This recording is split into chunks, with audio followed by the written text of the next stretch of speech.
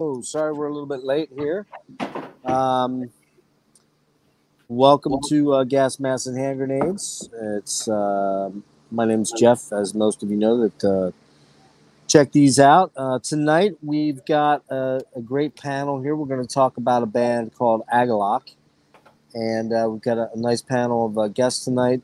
Just to let everybody know that Eli may or may not be attending tonight. He's got some uh, some issues where he had to stay late at work, so he's going to try to pop in a little later. Might even get uh, Dreadful Rick might even pop in briefly, so uh, we'll see how that rolls. But tonight I'm joined by uh, Logan, who's a uh, a virgin to the gas mask uh, and hand grenades uh, show. So I say be gentle. yes, I will. I'll be gentle. Thank you. And then we got another virgin here. We got Ryan from. Uh, oh, I'm sorry. That's Logan from Drunken Metalhead Musings YouTube channel, and we've got Ryan from Ave Mors. Is that how you pronounce Howdy, it? That is correct. Nailed okay, it. cool. Ryan's a virgin as well to the program, and I appreciate you joining me tonight, Ryan. And then I got an old uh, standby here who's been like at on seems like every single episode that I've done the last couple of months.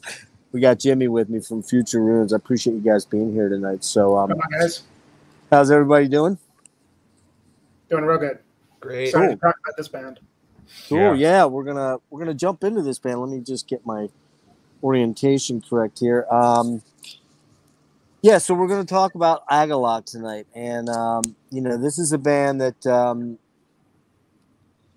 I think a lot of you know a lot of people, or a lot of when they kind of came onto the scene in 98, 99, um, we um, they were kind of labeled a black metal band and an American black metal band in particular, to be more precise, and um, you know, going back through this catalog, which it's been quite a while for me since I visited this stuff.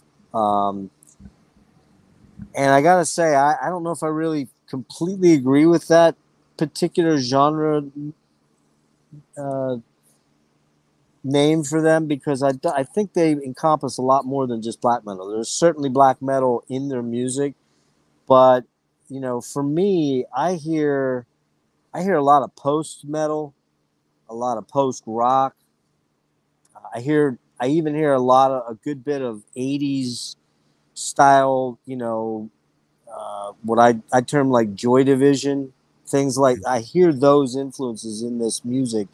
I think just to call them a black metal band is kind of disingenuous. There's a lot more going on here. There's ambient, there's dark ambient in their music, there's a lot of neo folk, there's a lot of folk, Americana. I kind of almost in a weird weird way hear bands like I hear them being a, a major influence on bands like Wayfarer, for example.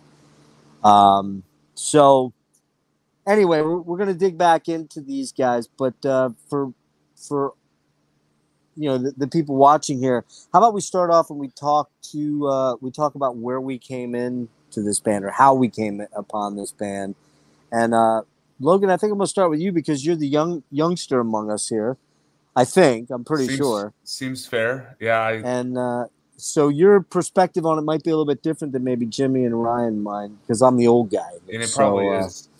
And I, yeah, I definitely so, realize that when you come in makes like a world of a difference of how you view a band always. and like the lens that you're looking at like their discography and releases from.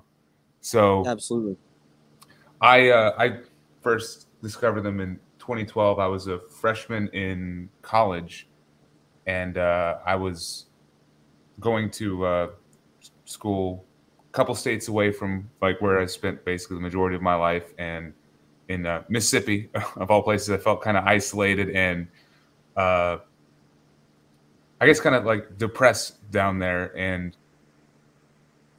definitely the music of Agalloch, specifically their first album, Pale Folklore, really spoke to me during that that whole just year uh, at college, especially because I, I, found them in, in December during the winter break, and it was just really love at first listen. And honestly, they were like the first black metal band, which we can address that for sure mm-hmm. at some point if I can, you know, can actually use that term or not. But in my at, at the time I was like, wow, this is the first black metal band that's actually really clicking with me. Like up to that point, I had tried uh, Transylvanian Hunger by Darkthrone, uh, De Mysteriis Dom Sathanas by Mayhem, and uh, oh, the Dim, D- Dimmu Borgir album with the uh, the decapitated naked lady on the oh, naked on the, on misanthropic, Misanthropic Euphoria. Yeah, right. yeah. And none of those like I appreciated, especially probably the Mayhem album, like Funeral Fog and uh, Fall, the Freezing Moon are for sure awesome. I appreciated it, but never like really clicked with me at that point. But as soon as I heard the opening like guitar line into uh, "She Painted Fire Across the Skyline," I was just head over heels, and yeah, they kind of really became like almost like an event for me. Like the first I, year of college was what year for you? 2012, you said? 2012, yeah. Okay. And like I there that album was so special that I honestly I I waited a whole year till the next winter to buy their next album, The Mantle, and then I did that the next for the next uh, two albums after that. No kidding. Basically, just because wow. I love just how special it made their music seem, and you know, it made it look really like an event. And from the get go, I will say, I had a connection of their music with just being outside and and I don't want to say hiking because like my hiking back then was like literally I just we had a bunch we were the my family's home was on a lake so was just like walking around the lake you know around that December seems apropos yeah. and it it just formed that connection of Agalloch and just being outside and being in like a, a cold natural environment and that's something I've tried to maintain with their music too but I, nice. that's starting point for me I'd say Cool, Ryan. How about you? Yeah, so um, I think I'm a year older than you, but I actually got into Agalloch much later. Um, in 2010, I had a bandmate recommend uh, Marrow of the Spirit to me. Weird, weird album to jump into Agalloch with. I think. Um, yeah, probably that and like Serpent in the Sphere, pretty divisive records as far as I can tell. Um, I loved it. I loved it immediately, and I'd never heard anything like that. I wasn't especially in the black metal. And I'd love to delve more into the genre classification too, because I agree completely. It's it, they're not just a black metal band. Um, yeah, we're gonna definitely do that here. Um, so wait, when you said you're a year older than you meant a year older than Logan, right? Than Logan, correct? Okay, yeah. I was gonna say because there's no I started college in 2011. Yeah, there's no fucking way you're a year older than me. you never know. Father, Father Time isn't a year older than me at this point, so yeah. Sorry, yes, then, then Logan. So okay, I thought you were probably. I thought you were a little closer in age to like. I thought you were probably like late thirties, actually. So I, will I'll just take that as a comment on my maturity. Absolutely, one hundred percent. It is. It's the beard. It absolutely. It, it, it is honestly the beard ages you. Um, so yeah, I I heard Marrow of the Spirit and I loved it, and I don't think I really started to dig into them until college. Probably twenty thirteen is when I had my like black metal renaissance, where I just realized it was like my favorite type of music in the world and um, I started to really dig into them, and I just fell in love with the band. They're they're they're a top five band for me easily, um, like of all time. Just one of the greatest bands I've ever heard, and especially now that I live on the West Coast, I feel very like just connected to what what they're doing with their music. Um, True, I mean they're West they're a West Coast band. Uh, you know, although we'll get into that in a sec. I'll do a history in a minute after Jimmy and I throw our uh, where we came into the band from. But uh, yeah, and but and once I do the history thing, then we'll we will talk a little bit about what we perceive the band to be as far as as a genre genreification, if you will. But um, and then we'll jump into the albums. Jimmy, you have all the albums, right? Do you have the EPs and stuff too? Yeah, uh, I okay. picked up. Yeah, bunch of stuff. Right.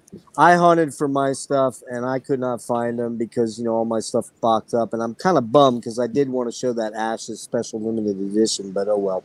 Um, so how about you, Jimmy? I mean, I know this band's pretty special to you. So where, where did you come in on the, the Agalloch train? Yeah, I've got uh, a lot of history with the band. Um, I learned about them um, probably right when they came out. In uh, well, I mean, so Pale Folklore would have been 1999, I believe, and uh, I think Yeah. it was probably 2000 the first time I heard them, and uh, you know I, I was kind of prompted to go listen to them as a result of reading this review here. Ah, Oh, see that? So this is a, a Metal Maniacs. Uh, look at that. That's really It's, uh, so Cool. you know, to put it into perspective, Schuldiner was still alive. Um, right? Oh yeah. Type Typo Negative was still going. Um, Cannibal was probably releasing Bloodthirst at this point. Um, but um, I, uh, you know, probably I, I used. I mean, this was where I learned about a lot of music, and so I I came across this review, and I instantly was struck by that image there. Um, you know, there was something about it that just Oh yeah, yeah. uh, spoke to me. Just I thought it was very, I don't know, evocative. Just I mean, uh, you know, sort of beautiful, and like you know, at the time I wasn't really any into any kind of like you know sort of black metal music or anything. But um, and lo and behold, who wrote this uh, review? Uh, let me see if I can find it there. Hang you on, see? let me pull up. Can you see that? Yeah, it's Marty. No shit. Yeah. How about that? Yeah, believe it or not. Um, How so about Marty, that? actually was the catalyst to me getting into this band and uh, sort of like kind of my history with marty like i, I used to I, I really liked his writing in this this magazine so when i first met marty uh, like on these streams i kind of made a fool of myself and kind of fanboyed on him so Ah, uh, because you know I, I liked his writing in metal maniacs and plus i'm a huge Byron uh, recordings fan so but Yeah. anyway um you know so i read the review and uh, i think it was the, really just this image here that really kind of like prompted me to really want to go listen to this. And at the time, I, I wasn't into any kind of like you know more of the, the the black metal stuff, except maybe like Emperor and Dimmu Borgir. I mean, uh, you know, this we're talking 2000 here, so. Um, I, I don't even remember how I listened to it because back then you didn't have Bandcamp or anything. I must have like downloaded it on Napster or, or right.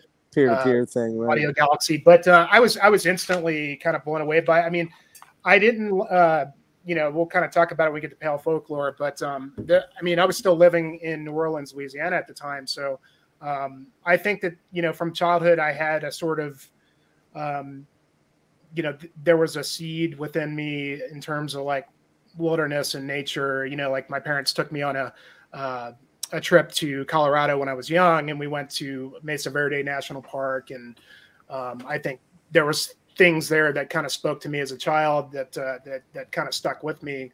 Though I never really kind of fully realized I was getting older. I mean, 2000, I was probably you know my early 20s.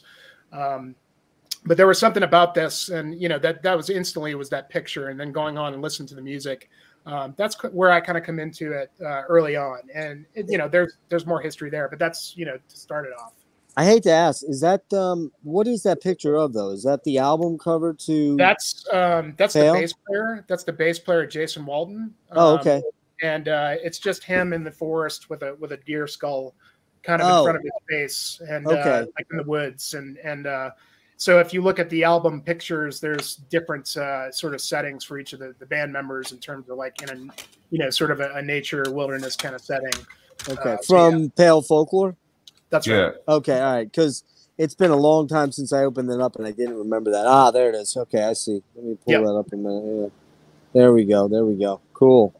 Yeah, I didn't remember that. Um, so for me, uh, I'm right around where you were, Jimmy. Although for me, it was it was um, uh, the mantle that you know, as an older dude, I was already into my 30s at this point in 2001 probably you know early 30s and um, i had kind of begrudgingly come into the world of black metal and extreme metal and death metal begrudgingly kicking and screaming around 2000 2001 with blackwater park. That was the, the album that was like oh yeah there's something here that i was missing. Now i was aware of bands like deicide and cannibal and all the florida death metal stuff death and, and possessed and things like that but man, I just struggled with it because of the vocals for the longest time. And but suddenly, when Blackwater Park opened the floodgates for me, it was like, oh, I just couldn't get enough of this. I had,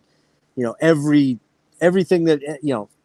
Ulver was a big one. Those first three albums from Ulver were right around that period of time, and I, I think I, unlike you, I did not read about it in Metal Maniacs. I think I might have read about it in like Brave Words or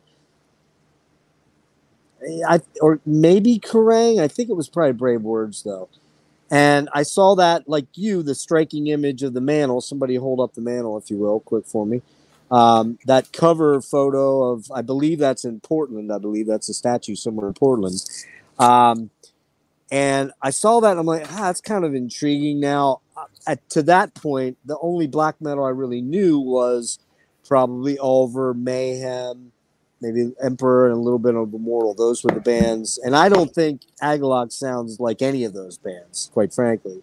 Um, and I remember reading about, you know, reading an interview or not an interview, a review on the Mantle, and I'm like, you know what? I'm gonna grab that thing because I shopped at the End Records a lot back in those days. I dropped a lot of money at that place. You know, Dissection, um, Opeth stuff, Anathema stuff. Those were big, you know, early gets for me. And man, when I got the Mantle, I just remember it just didn't come out of my CD player in my car for months. You know, it was just the go-to jam for me. So, um, and then I, of course, you know, at that point, I grabbed Pale Folklore and of Stone. Uh, yeah, yeah. I always say that thing wrong. What is it? A po- Pillar Stone? Oh, a Pillar Stone and Wind, right? Wind. Right. Yep. So, Uh, yeah. And then going forward, then I stayed with the band. And um, so, speaking about the band, I'm going to use my cheat sheet here real quick and do a little quick history. Um, so, yeah, of course, I don't have my uh, notes open to the page I wanted to be open at, though. There we go. So, this band was formed in 1995 um, by John Haughm. Is it Haughm or Hogum? Haughm, right? I've always always said been Tom. Tom. Yeah. I I, I believe it's Haughm, yeah. And Shane Breyer, uh, John Haughm was a multi instrumentalist, and Shane Breyer was the uh, was played keyboards. In 1996, Don Anderson joins the band, uh, and they they work on their first demo, which was called "From Which of This Oak." They were then joined by Jason William Walton on bass in late '96, and in 1998, the trio of Haughm, Anderson, Williams, I'm sorry, and Breyer recorded a new demo called Promo 98, which was solely for label consumption.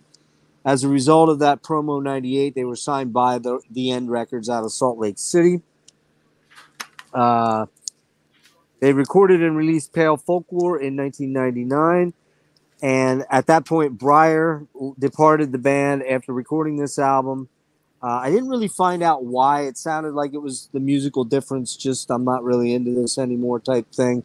If you guys know any more, certainly add it. Um, and uh, let's see what else. They recorded and released four more full length albums, five EPs. And uh, in May, on May 13th of 2016, they disbanded. Haughm forming Pillorian, Anderson Walton, and Dekker formed Khôrada. I believe that's how it's pronounced.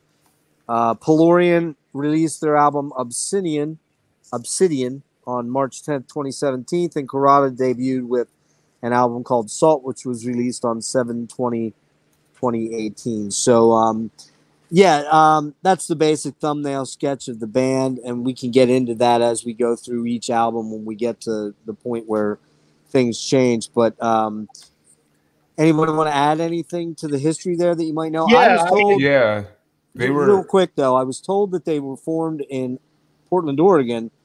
Uh, Wikipedia says that. However, Eli, who unfortunately isn't with us, does know Aesop, Aesop, Aesop Dekker, Yeah, and apparently sent him a text message. And Aesop said they really formed kind of in Butte, Montana initially, and then moved out to Portland. So I don't know if that's really true or not, but I would think Aesop would know more than Wikipedia would know. You never know. So go ahead. Who's up? Jimmy, you can go. I was just going to say Don Anderson and uh, Haughm, I think both were from Montana originally. And I think Haughm moved to Portland first, and maybe Jason stayed in Montana, but I think Don lived in Portland. And I also think Shane Breyer, I don't know if he was, I mean, like, I guess they always call him a member of the band, but he didn't really contribute a whole lot other than those, like, sort of Keyboard interlude yeah, things. keyboard Yeah. interlude things, yeah, which, you know, like, uh, in my mind are amazing. But uh, Oh yeah, they're I don't know if he was ever like really truly. Uh, and there's also uh, one project you kind of uh, you might not have seen. Uh, Breyer had a project with Jason Walton, the bassist, called Susurrus Inanis, I think. And Okay. that's like if you like Breyer's stuff on the first, you know, record, the, the, you know, it's it's all like keyboard, uh, ambient. I don't even want to call it ambient. It's just, uh, Atmospheric. yeah, just keyboard atmospheric stuff, like, yeah. keyboard stuff. Um, he did a whole like album of that with Jason Walton, and you can Okay. get it on Bandcamp if you're interested. If you like that stuff, um, there's a whole album. I didn't even know that until about like five years either. ago because I really enjoyed his contributions and had no idea. When and it's pretty good. It's not as good as what he did for Agalloch, but it's but it's kind of in that same vein. Yeah. Okay. Hey, Ryan, do you want to add anything? I have nothing to add except that Montana still makes sense as a place for Yeah. them to have started, given the the incredible wilderness up there. Yeah, well, the origin. I know. I know. John is from Butte. I believe he was, you know, raised and lived there. I actually thought it was Jason that was from there, and you said, um, oh, you said that Don is from Portland. Jimmy. I believe he is. Yeah. Okay. All right. So why wrong. they why they got there and how they got there, I'm not really certain. That Mhm. that part I, I wasn't sure about. How about you, uh, Logan? Do you have something to add there? Yeah, the one thing I was going to add is they were actually Anderson and Haughm were in a band before Agalloch called Sculptured, which is like a progressive death metal band. Which I, I didn't find I didn't realize this until preparing for this stream, but uh, I don't think Haughm necessarily recorded anything. He was the drummer for the band, like, but I'm pretty sure Anderson might have stayed with the band throughout their whole uh, discography, and they have four albums out Yeah, I, I knew which about. I'm gonna I'm gonna have to listen to at some point now. I knew know about there's a connection. Sculptured. Yeah, I knew about sculpture. I, I thought that was Don's band initially, like it was his band. Um, Mhm. I actually did not know that Haughm was in that band. That's the I- first I knew that. Yeah, I don't even know if he's actually has a credit. I just know there was him and I guess Don Anderson in in it originally, Yeah. and then from there I think Agalloch took Developed. shape. Well, that's what that's what Right. it, from my Wikipedia finding. Right, right. Yeah. I'm always leery of Wikipedia though, because you just This never know that you know. But it is the quick is fair. reference. You know what I mean? But Right on, actually, Sculptured was the was Don's first band. Yeah. yeah, I think Agalloch was primarily Haughm's project. Yeah. Uh, yeah, You know, like, it was really him until he brought in those other guys. But Right. you know, Don was focusing on Sculptured before that. Uh, but I think knowing that uh, Sculptured was Don's main band and that they're like a more of a progressive, melodic, you know, death metal band, it makes some of the guitar playing and like his choices, especially in Pale Yes. Folklore, it make, make you know makes it makes more sense, I guess. You know, like some of the guitar lines and melodies he uses. yeah, I, did understand more. notice on Metal Archives it does say Portland, so I'd probably trust that a little bit more than I'd trust Wikipedia. But who knows? Whoever put it on Wikipedia probably got it from Metal Archives. So. Mhm. Um, yeah, so let's talk a little bit about before we jump into the albums real quick here. Let's talk a little bit about you know where what we perceive this band to be as far as the genre. I mean, again, I hear uh, so much post rock, and I'll use post rock and post metal kind of synonymously because I think they kind of go hand in hand in a lot of ways. Um, you know, there was a big push in those early to mid 2000s by a lot of different bands that you know you had your isises and your neurosises which had more of a sludgy kind of post metal sound. And then you had your bands like explosions in the sky which you know had that epic grand and, and in the trees and you know yeah, they had a more epic sort of grandiose sort of uh, a style of, of sound um, but of course i think it's really important to note that one of the things i think that John really kind of brought to the fore in his in this project was his acoustic playing. There's a lot of acoustic interludes, a lot of clean guitar as opposed to the super distorted stuff. Um, so what what do you guys think about that? Like, give me your your takes on it. Jimmy. What what do you where do you kind of pigeonhole them if you yeah, I to? mean, I guess if you kind of look at the beginnings of, of their music, I mean, and it's kind of interesting because, like, you know, when you listen to the, the first record, it's like it's already pretty developed in terms of, uh, you know, like the different influences. And, you know, a lot of people refer to Ulver, you know, that, that, you know, sort of pale folklore was like a, you know, an Ulver, you know, uh, directly tied to Bergtatt, which Yes. I've always, which is clearly the case. I think I think Agalloch is a, is a perfect example of a band that took an influence from something and really kind of shaped it into something of their own, which is what I feel from, uh, Right. from, the, from the music. But I mean, there was obviously that underlying, um, you know, sort of black metal element, which gave them that sort of cred. But I always thought there was so much more because I think the post side of things was kind of more. They've always cited the band "Godspeed You Black Emperor," which I'm Yes. familiar with. Um, Huge. But I know that that was a big one for them. Um, but then there's you know also that sort of neo folk uh, element, which I don't know.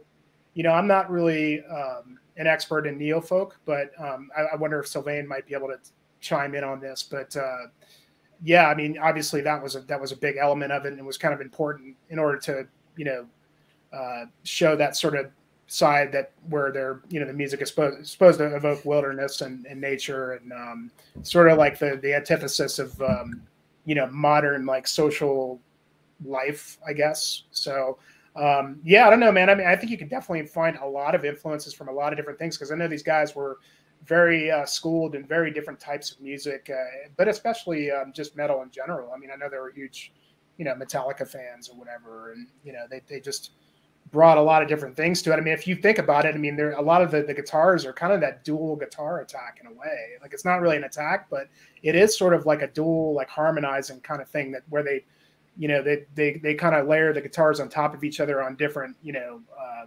notes of the scale to where it just sounds like it's a harmony. Um, you know, you could you can you can say that that's a very much an influence from Iron Maiden or something. I was just gonna say, man, if you, I don't know if you, if you guys did, but I had never listened to the demos, and I went back and listened to the demos, and the very first demo uh, is, man, it's straight up new album worship all the way through. You hear Thin Lizzy, you hear Priest, you hear Maiden for sure, um, but you have the black, the element of the black metal with the vocals, the raspy vocals, and some of the blast beat. There's not a lot of blast beats on those early early demos. Um, and in fact, if you go through their recording history, there's a lot of there's there's moments of blast beats, but it's rarely is a track overwhelmed with blast beats ever with Agalloch. And I'm really glad you brought up Godspeed, man, because that is I I totally forgot that one, but that's huge, man. And I'm a major Godspeed guy. I loved those first two the two EPs and then the full lengths, the first like three full lengths, you know, like Lift Your Skinny Wrists and um, Yankee XO. I mean, it's so F sharp, uh, what's called F sharp Infinity, I believe. Um, yeah, totally there, totally there. I also hear Rush in the very early, some Rush, not like a major influence, but it definitely is there. There's there's a Rush influence. So, how about you, uh, you uh, Logan? What what do you hear there? So definitely all of the influences that you're talking about for sure.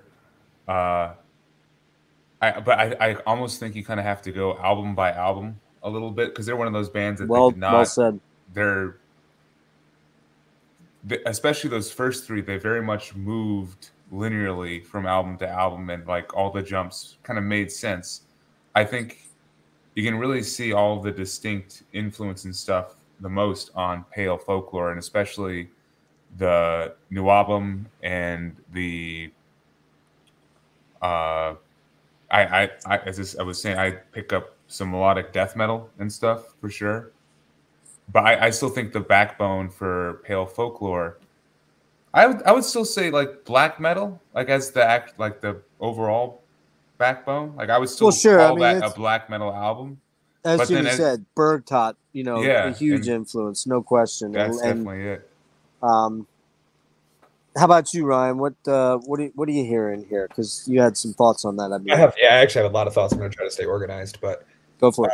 I have heard that they they liked the term dark metal to describe their sound early on in their career. Um, I don't know if they came up with that or if that was like a reference to something else that was going on at the time, but I think I think that's it, they really do kind of defy classification in a, in a way. Um, so I you know I, I can see why they would make up their own sound. Um, I would I would say for me, Agalloch was actually my gateway into neofolk. Um, hearing neofolk bands that didn't really click for me before, after hearing Agalloch, uh, made it make a lot more sense as a genre. Um, I, I kind of had the, I you know I had the software at that point to understand what was going on in this genre and sort of appreciate it more. Um, I I kind of for me Agalloch is just it, it- I call them a folk metal band. Um, that's not really what people think of when they hear folk metal, but I think it's American folk metal, um, especially because folk metal draws heavily on black metal anyway. It almost to the point where you could call it a subgenre maybe of black metal. So I, I think the black metal influence is still clear. Um, I really don't know many other metal bands that incorporate folk metal or folk to that extent in metal, and especially in the American scene. Uh, you got to consider they're like Agalloch's contemporaries were like Weakling and Judas Iscariot and Yeah. Yep. Leviathan around that time. Like those are not like Nothing like those. pretty bands. bands. Nothing at like all. Those that. like, No. ugly, Nope. grimy bands. Right. Weakling maybe had like some like beauty in it, but like still, it's like very harsh music. So like Agalloch was doing something very different, and they're such an important band for American black metal and just metal in general. Um, Well, I, th- I think you bring up you bring up a good point. There's there's a I think there's a good bit of Americana in their music too. Yes, you, you can hear you can hear uh, especially because of the folk influence. You can hear the John Prine. You can hear the hmm you know the the um, Hank not Hank Williams, but what's his name Woody Guthrie. Um, you can kind of hear those those folk influences really take shape with John's acoustic passages, and you know we're going to talk about you know they cover a Death in June uh, song. I've never really dove deep into Death in June, but I do know that they are an Australian band that has a very folky, dark folk sort of vibe to them, and uh, that was an important influence, I believe, in in what John was listening to. John was also into a lot of ambient music too back then, and that takes shape in various forms on these albums as you progress forward, especially the EPs. So, um, yeah, for me, that you know, again, I I I think they kind of like you said, Ryan. They almost defy classification in a lot of ways because there's numerous different things going on here that aren't. They certainly weren't like Mayhem, or you know, which was that raw, hateful, evil sounding black metal, and they weren't like Emperor, which was kind of the other side, which was the grandiose, progressive, almost astral sounding uh, black metal, and they weren't like Immortal, who were a lot more sort of you know, deathy on their first album, and then just sort of, you know, that tremolo pick, blast beady stuff, and the you know, Abbath. There was a lot more going on here and also the fact that when John was singing in his his black metal vocals, he also interspersed a lot of clean vocals within the, the these these songs. And dare we say, there weren't a lot of tracks that were under 8, 9, 10, 12 minutes on their early material. In fact, there really wasn't any throughout most of their career until maybe Serpent, really, at the end. Um, so, yeah, interesting perspectives there, and uh, probably why I gravitated a lot to these guys because you know my early black metal probably was Emperor, over. Uh, I never was really a big uh, dissection, the second wave stuff. Um, you know, and I would say in a lot of ways that they had a little bit more akin or or in line with the, the second wave black metal bands than they did with the first wave black metal bands, in my opinion. That's just what I hear. So, um, all right, man, that's cool. That's good stuff. Um, we ready to jump into albums? As I said, the, the first uh, demo from Which of This Oak came out in '97 uh, on First Light of Dawn label. I only see that there's one album on that, so this must have been theirs. Okay, you got it there. Now, is that the compendium or is that the This is the, yeah, this is the compendium. It's just Okay. got all the demos. It's the early demos and the EPs. And uh, if anybody's ever looking for this, Eisenwald still has copies of this. It's a fairly new pressing. Yeah, it's not. Um, it's it's literally just the first demo and right, the the original 90 two EPs. the promo. hmm Well, it's got the promo '98 on there, right? Yes. That has hallways of uh, Enchanted Ebony. Enchanted Ebony and Melancholy Spirit. hmm Yeah, Right. That's right. hmm Um, the only two tracks on here that are not on records are the Wilderness and this Old Cabin. I think everything else. Has Ah. been, um, everything else has been done on record or EP. But okay, yeah, this old cabin was on the first demo, and what, what's the other one called? The Wilderness. That was on there as well. the right? Wilderness, yeah, Yeah. You know, that's good stuff. I mean, it sounds raw, to, and by raw, I mean recording wise, it's a little raw. But again, it's got a very new wave of British heavy metal vibe to it, um, to my ears. But also, I mean, like it couldn't be even more overstated how much they were influenced by Ulver. If you look Oh, at these pictures, 'Cause, Big I mean, time, those man. pretty much just mirror the pictures in Bergtatt. Yeah, yeah, they do. Those are incredible pictures. I'm I'm really happy Yeah. to be able to see those. yeah. I I, mean, never seen the- these until until this release, but I think there's They're in the Okay. Pacific Northwest, which you could almost maybe mistake for Norway if you were. How about that? That's great. I've never seen this because I don't have this one, which we'll talk about a little bit down the road here. But that's cool, man. Now, is that you said that's the compendium, right? yeah, it's called the. Uh, the compendium no, this is called um, this is called the Demonstration demonstration Archives. archive. demonstration archive. Um, That's it. Yeah, that was But yeah, the like I said, it's a fairly new. Um, Eisenwald just started pressing these, so you can still get it if anybody wants it. Yeah, I mean the whole, you know, just to quickly touch on that, you know, there's a big step up from the promo 98 from uh the original demo and some of my notes here uh Hallways of Enchanted Ebony super cool intro. Uh that's a killer track and I think they they they redo that then on Pale Folklore then I believe, correct?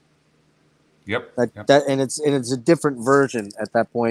And same with Melancholy Spirit. Um just to touch on as Embers Dress the Sky, which is on Pale Folklore, then you know that that track is what's to say, very cool. Uh, I really like the mellow interludes, and you hear a little bit more of the the classical Sh- Shane Breyer influences a lot more on these early demos than it is. Obviously, they they move on from that by the time they get to Pale Folklore and of of Stone Wind. So, all right, um, how about we move on to the first album then, guys? Ready to do that? Sounds good.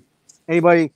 Uh, you guys, Logan or Ryan, did you want to speak to the demos at all? Did you know them? Or are you familiar with them? Do you I have have the? not listened to them. I've legitimately I've only listened to it once in my life. Um, Okay. and since they pretty much most all of those songs appear on later records. in better versions. Yeah, Yeah. exactly. Yeah, and that's another, like they've remastered so many of their albums. I tend to listen to the, The least better song because right. I feel like that's the one the band is most proud of. I guess. Rep- Yeah, they want you to yeah, hear yeah. it. Okay, so uh, Pale Folklore again, they're signed to the End Records, and Pale Folklore comes out June sixth, nineteen ninety nine, on the End Records. Uh, Jimmy, you have that one? You want to show that one? Do you have that on album or okay CD? Let's jump up there. Thought Oh, you got he's- on he's album got it too. too. I, I figured you had to have them both. Yeah, nice. Oh, you're muted. You're You're muted. muted. Yeah, this is the official original cover. I think That's the one I've got. and Yep. this is yeah. Mhm. And then what pressing is that album then? Is that more recent, like This 2006 is or actually so? uh, it's an End End Records pressing. It's a little bit newer, um, but yeah, this one um, is actually a picture disc um, Oh, that I got. I actually have multiple pressings. Ooh, of that's this 'cause pretty this cool. is like one of my favorite albums of all time. So I've got a ridiculous amount of these, but I, I just wanted to kind of show this one because this is the first one I bought. Uh, Yep, You know, and, and the original End Records. Uh, yep. you know, I got that one too. Yeah, Um, yep. And the and the artwork's really cool on it. I really like it. It's almost it's almost understated. It's very austere almost. You know what I mean? And um, all right. So how about we uh, kick in with our thoughts on this album? We'll start. We'll just go around. We'll start with Logan. Go to Ryan and Jimmy and I last. Then. All right, Logan. What you got on uh, this album? cool. So I'm gonna come out pretty strong right out Good. right out the gate. Uh, so I also I bought Oh, that nice. the, the end re- Oh, nice. repressed. I think this came out. I think this was like 20 uh, 2013. Yeah, I was gonna So, say twelve or this is- thirteen. Right? As I said, I, on gold. Uh, this well, first first Agalloch album I heard, and that definitely makes it very impactful. And honestly, the first two albums are very personal for for different reasons. I'd say this one was more personal because of like the emotional themes and stuff that is displayed in the music, you know, themes or just a feeling, general feeling of isolation and loneliness, but then at the same time, like peace and calm in, in nature and stuff uh, that I really connected with. And it straight up is my favorite Agalloch album and probably one of my favorite albums ever, period. you know? Nice, you and Jimmy, man. yeah it's it's honestly, it's impossible to top. I mean, she painted fire across the skyline is an absolute masterpiece of an opener. I, like I, it immediately clicked with me as soon as that, like cold guitar melody just starts in the beginning, with like the wind in the background, and then just slowly Yeah. builds up to the opening, and then, like on top of the, uh, the black metal, you know, speed, there's these beautiful guitar melodies that honestly it reminds me of In Flames, like like uh Jester Race in Flames or or maybe Iron Maiden too, but uh there's these just beautiful guitar lines that just arc across the whole song. And I love how they break it up into three parts and stuff and each part you know is perfect with each other but then also stands perfectly on its own uh, and there's just so many killer moments on just that first song alone. It's like, and it's 18 minutes, but they make it seem effortless, you know. And then uh, "Hallways of Enchanted Ebony" is the the next full song after "Misshapen Steed," which is a pretty emotive interlude track. Which Agalloch always do great with interludes. I think like Yeah. their interludes almost are like standalone songs that like if I just heard that by itself, I would be perfectly content with it. It's I, Beautiful- I, fucking ca- I call them uh, bridging tracks. They kind of bridge Yes. The epics together. And as we know, uh, John was pretty into the long songs. Pretty much Mhm. every album was a long. You know, there was Yeah. at least four or five really long songs with uh, bridging tracks between them. Yeah. yeah, and uh, Holly's Enchanted Ebony is also awesome. Um, it might actually be, well, every single track on this album is perfect, and I love every single one. But like, if I were to rank them, it'd probably be at the bottom, just just barely, you know. Uh, Mhm. and then Dead Winter Days is just a super emotionally heavy track.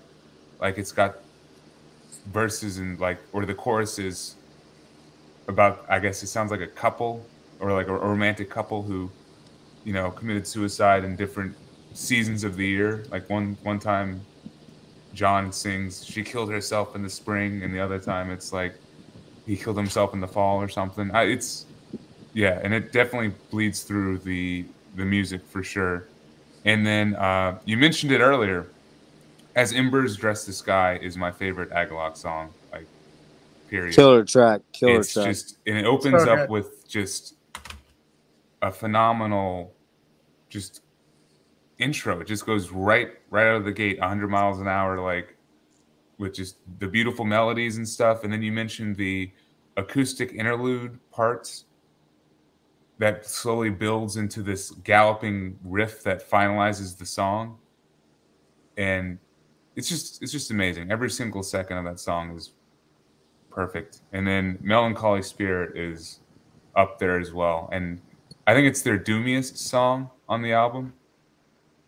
It's like a kind of a slow burner in the beginning, and the acoustic interplay might be the best on that song, you know? And it just it builds beautifully and there's that one riff in like the chorus part, which is just pure uh, headbanging bliss, I would say. Uh, I think I think this album is extremely important for the U.S. black metal scene. You guys mentioned briefly uh, where they stood in 1999 among like their compatriots and stuff, and how they were very distinct. But I think if you if you look at the Cascadian black metal scene that's kind of developed in America, where like being Americana is almost a main focus. You mentioned Wayfarer Jeff. I think Yep. you could throw Alda in there. I think you'd throw uh, Panopticon in there. yes. Um, Falls of Rauros. Falls of Rauros. Uh, a lot of stuff on Bind Rune, probably. I think it owes it a lot to this album right here. Um, So- it's interesting you bring up Panopticon. I actually talked to Austin yesterday. I had a text uh, message Mm-hmm. uh, thread with him, and he said that this band was extremely critical to the uh, formation of of Panopticon's sound. He said, "I wear my influences 100 percent on my sleeve, and I own them." And he knows that he knows the guys well. I'm, you know, I'm sure. Um, That's cool to hear, honestly. Definitely, definitely there. Um, yeah, that's some really good good stuff there, Logan. Really like that. Um, how about you, Ryan? Talk to me a little bit about this album. Got it. Yeah. So I have a lot of similar comments to Logan. Um, this, I, I guess, I'll be the downer here. This this record falls somewhere. I ranked everything just for fun. This Yeah, one yeah. falls somewhere in the middle I'm gonna do it too. I like it a lot. It's a great record, obviously, and as I said, you know, they don't have bad releases. They're one of my favorite bands of all time, but this one falls somewhere in the middle for me. I still love it though, and I think it's an amazing introduction to the band, um, as it you know as it was for people in the late '90s, but also just as as a band fleshing out their sound and sort of figuring out what they wanted to do moving forward. Um, I think especially like I think John really found his vocal style on this record. Um, Right. It's pretty iconic, honestly. Like it, it almost sounds I don't know. I mean I mean that that vocal style wouldn't work for a lot of types of metal. Let me just say it that way. Like sort of weak and almost whispery and a lot of times Right. people don't like that in metal, but it's just absolutely perfect for this band. It just it, it really complements the music. Um also, you know, they have a lot of orchestral elements. They have like big timpani parts, uh, piano stuff. They even have operatic like female vocals on a couple of these tracks. Um, Yes. that I mean, that's a, that's a lot. Like that's a lot to incorporate into a band's first release, first real you know label release. Um, so you know, they're certainly not a band that that um, sort of pulls punches or, or doesn't go for exactly what they're trying to do. Um, just a couple, yeah, quick comments. Misshapen Steed, I think, is a great interlude track. Like as a band, they just really understand like how to make, like they understand the pacing of a record really well. Um, they know when to throw an interlude. They know when to have big emotional climactic moments. Um, and then, yeah, as Embers Dress the Sky, probably my favorite song on the record um, as well. And it has that amazing like a discordant piano intro, and then they just throw you right into that first riff. Uh, it's so good. It's just really heavy. Um, I, I, yeah, I love a lot of these tracks, but um, taken as a whole, yeah, it's probably somewhere in the middle for me. I think one word that kind of always comes to mind when I'm thinking about uh, Agalloch is evocative. There's something about their music that's evocative of. Logan brought it up, which I failed to mention the, the Cascadian thing, whatever that is. Um, you know, you hear it in bands now like Uada a little bit, where they're not like Agalloch, but you hear that Cascadian black metal sort of sound, and they're evocative of mountaintops and cloudy, rainy environs and wood, you know, the, the, the woodsiness of everything. And it's really, that's what I hear when I listen to this. So, um, Jimmy, how about you? Because I know you you feel really strongly about this one. Yeah, allow me to uh, wax poetic for a few. Go, go, go, go. Um, yeah, pretty much. Uh, I mean, I totally agree with everything Logan said and and Ryan. I mean, uh, you know, I think oftentimes I'm sure you guys would agree that like uh, when they're you know when when it comes to a band that you really love um, and you're asked what your favorite record is, you I guess you often feel you know like the first thing that you heard by the band is your favorite. Like for example, like the first time I ever heard Death was the Human record, and uh, and that's probably my favorite Death record. Um, you know, as I had kind of talked about, like I, I came into this band pretty pretty early on when they first came out, and you know, it's interesting, you know, because like uh, you know, I was still living in New Orleans and in a, in a place that had nothing really in common with what uh, what this album was sort of portraying to me, which I think was uh, that much more attractive um, in what it was doing. I mean, when I first uh, listened to it, you know, in probably 2000, um, it was a really new thing for me because I wasn't into any black metal. I wasn't into, well, you know, say for maybe like Dimmu Borgir and, um, you know, kind of more easier mainstream kind of stuff, if you want to call it that. Um, but um, at first, I, I didn't like the vocals at all. Like I, I, I, put it on and I listened, and it instantly like, uh, you know, drew me in with with with the the nature sound and the wind and um, you know, I listened to a bit of it and I knew that I, I was onto something here. I was like, there's something really amazing going on here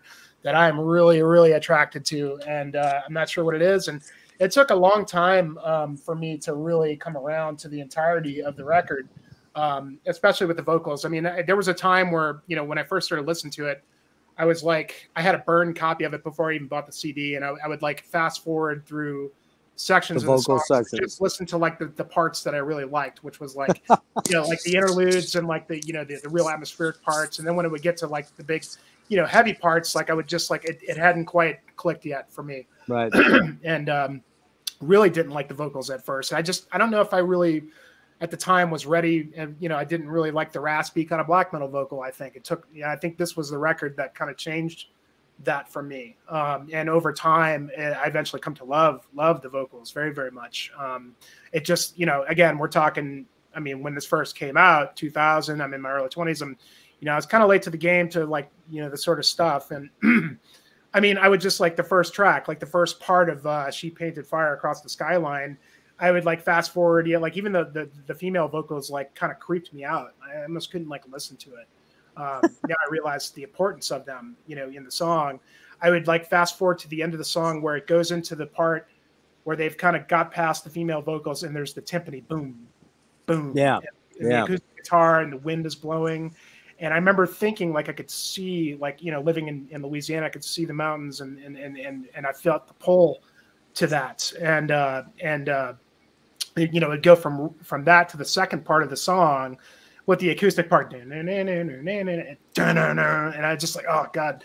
I mean, it just gives me goosebumps just thinking about it. I mean, this, this is a record that I could still listen to today and I still get goosebumps when I, when I hear like, like, like the parts. There's not a record, there's not a lot of records that I can say that about. I don't think anybody can say that you can listen to it so many times and it still uh, draws goose flesh and just gives you the you know the hair on the end of your your back stands up and it just I mean has that sort of effect. And uh, I, I largely credit this album with my my eventual uh, you know move uh, to Colorado and my eventual um, you know t- you know finding my yearning for for wilderness and uh, and nature and, and getting away from the concrete and away from the rat race and getting into a place that was unspoiled and um, and and just uh, you know as it is in nature. And you know to me that's that's very important. If you watch my channel you know you know that i'm into those things is hiking and things like that. So uh, this is the very album that that really kind of i found sort of a um, you know found sort of a personality for myself um, you know in being in my 20s and trying to figure out who i was and what I wanted out of life, um, I think this album uh, helped me along that path. Um, because I really could see that and feel. Agalloch, I, al- I often would would would describe as a band that you feel. You know, it's you feel the music as opposed to like so much metal that you might listen to. It's more of like a listening thing and kind of a you know headbanging kind of thing or whatever it is, just rocking out. Like this is stuff that you really like feel in your heart and your soul.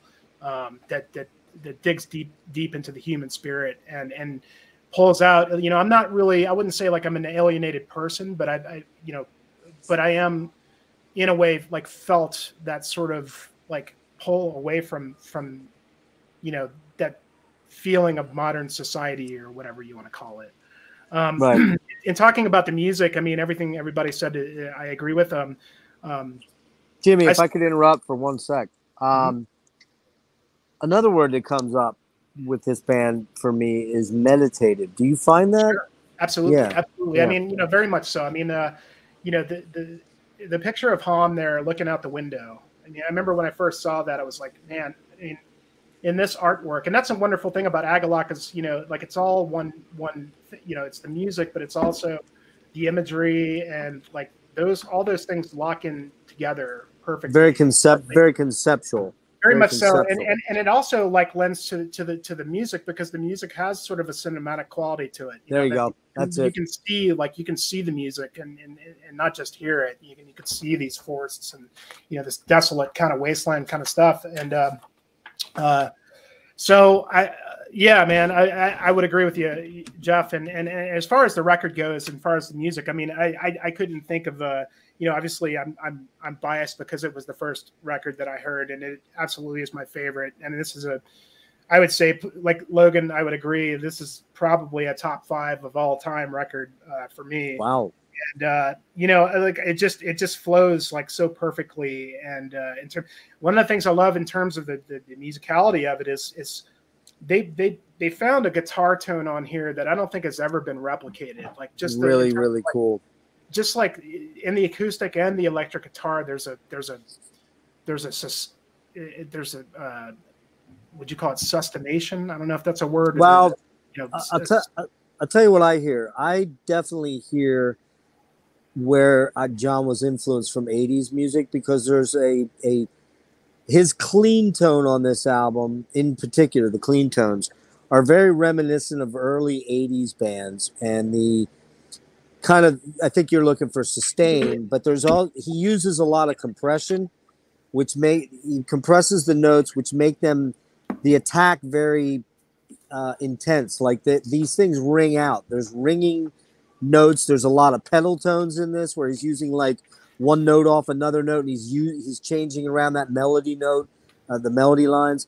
Um, and and so yeah, I, I would definitely say um, that's the probably the most unique thing about this. Plus, I also think that his vocals are highly unique because he's not going for the shrieking banshee of Burzum or the the the craziness of say Attila or the the croaking of Abbath or something like that. It's a very Ryan mentioned it. It's very much like a whisper, and it Yeah. becomes part of the fabric of the music, which is kind of different than a lot of the other uh, black metal bands of that time. yeah, it's very subdued, and, and and and it was a good intro for me to like get into more of the black metal vocal, you know. And I think I think his his clean vocals, like you know, th- there's like a I like to call it like a monk like quality to it, like like they're like a chanting kind of quality that I think really works well.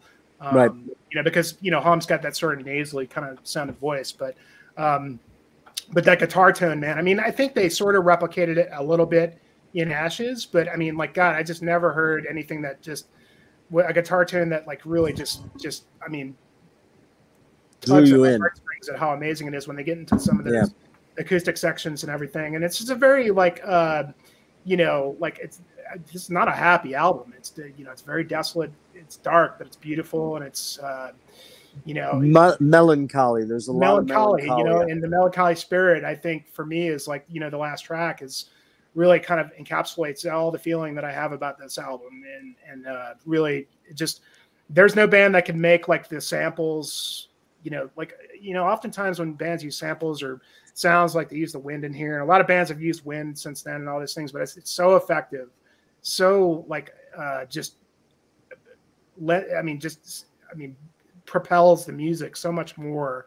You know, when you hear the wolves like howling at the end of Dead Winter Days or whatever. it is. Yeah. Oh, that's You awesome. know, I mean, God, Yeah. that shit just like gives me chills up my bones still to this day. And I've heard the song like a thousand times and it still does it. You know, I mean, it's just, there's something to be said about that. And that's a quality that, uh, you know, like I'm always looking for in, in black metal and in music and I'm, and it's hard to find, you know, and, uh, I, I could talk about, I could spend four hours talking about this album, guys. So I don't want to like hijack this, but I mean, you know, so influential and so important to my very soul. This this record is, and wow, you know, I mean, you just can't. Um, Awesome, man. Dude, Yeah. Jimmy, that was all well said, man. That was Yeah.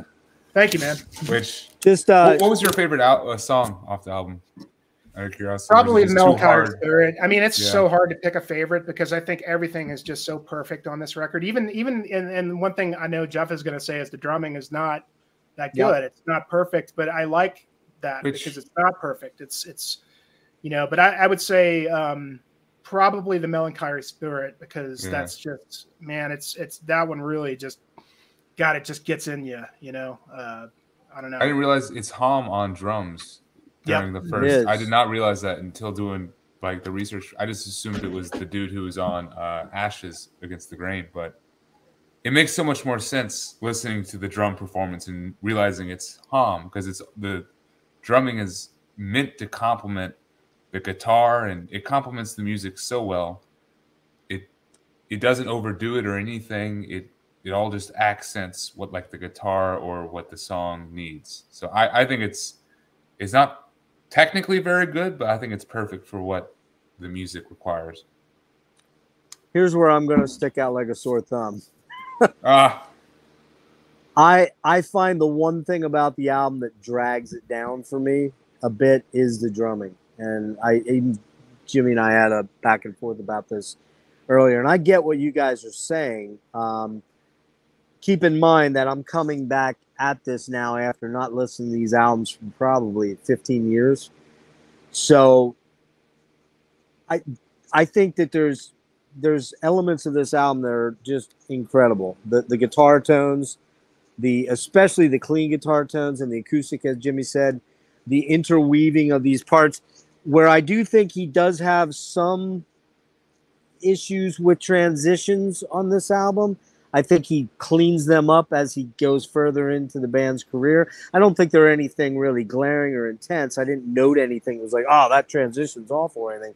But I do think they're. I noticed them more. Not they to me they were notable because of the drumming because there seemed to be tempo changes sometimes that seemed to be sort of vacillating a little bit. That could just be me being hypercritical. I don't know. Because um, you know, you listen to those first three uh, Ulver albums, and they have similar issues as well. Um, but man, the clean guitar tones on here, and and unlike you, Jimmy, I really gravitated to John's vocals because they were kind of unique for black metal. They just had this etherealness, this otherworldly sort of vibe to them. Um, you know, where it was uh, very much a whisper, and then he would come in with that that clean tone. I really like his clean tone. I I wouldn't. He sounds like nobody else, and I don't really hear a nasal sound. I hear sort of a I hear like Joy Division and that sort of almost like deadpan, like it's almost like a dry sort of chant, like you said. It's, his yeah. clean vocals have that going on with them. If I can jump um, in really quick, yeah, yeah, that's exactly how Death in June sings. Yes, yes, and, they do. Like it, it is a direct influence from like Death in June and like Current '93 and like First Current '93, exactly. Yes. Yep. Edward Ka-Spel, those guys. I mean, that there's very, it's almost like I don't want to call it monotone because it's not monotone, but it has, it has elements of a monotone. You don't get you don't get histrionics. John's not a histrionic clean singer. He's not doing the he doesn't do that. It's all very singular notes that lead up to. But I will say, for a guy at, and I don't know how old John is. He's got to be. He's probably younger than me. He's probably in your age range, Jimmy. Maybe like later forties, perhaps mid to late forties. To be writing these epic length tracks with all these interweaving sections is, and he was primarily, I believe, the primary writer at first. I guess Don got more involved. I think the band became more involved as they went along. But John always was kind of the focal point of writing for this band. Um, Let's see if I can get a couple of my quick notes here. She painted Fire Across the Sky, that part one. Great epic opening that sets the template for their sound going forward. I really dig the operatic vocals. They are they do come out of left field though. They're kind of jarring at first when you hear them. You gotta you gotta adjust your ears a second go, oh, okay, that's cool. That's unique. Has a little bit of a gothy feel. We didn't bring that word up before but there's definitely a gothic feel to a lot of this. When I say For Americana sure. and goth, it's in there, man. it's not type O gothic, but yet it's not necessarily not there too.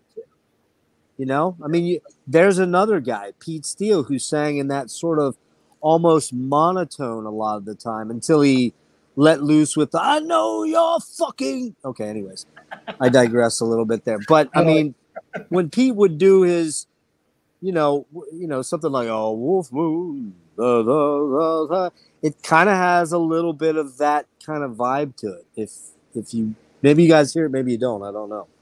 Um, no, I do definitely. Misshapen Steed, really cool, man. That's a that's a, Sean, a Shane Breyer track. I'm assuming. It's it just is. got this beautiful ambient interweaving with the piano melodies. They're gorgeous. Um, the vocal section on uh, she painted three section um, it's kind of odd and jar- jarring transition at first but then it kind of comes together at the end and kind of ties together nicely. For me as embers dress the sky is probably the standout track. It's just such a evocative track. It has it has this cinematic feel. It's a great way to put we're going to say that word over and over you know.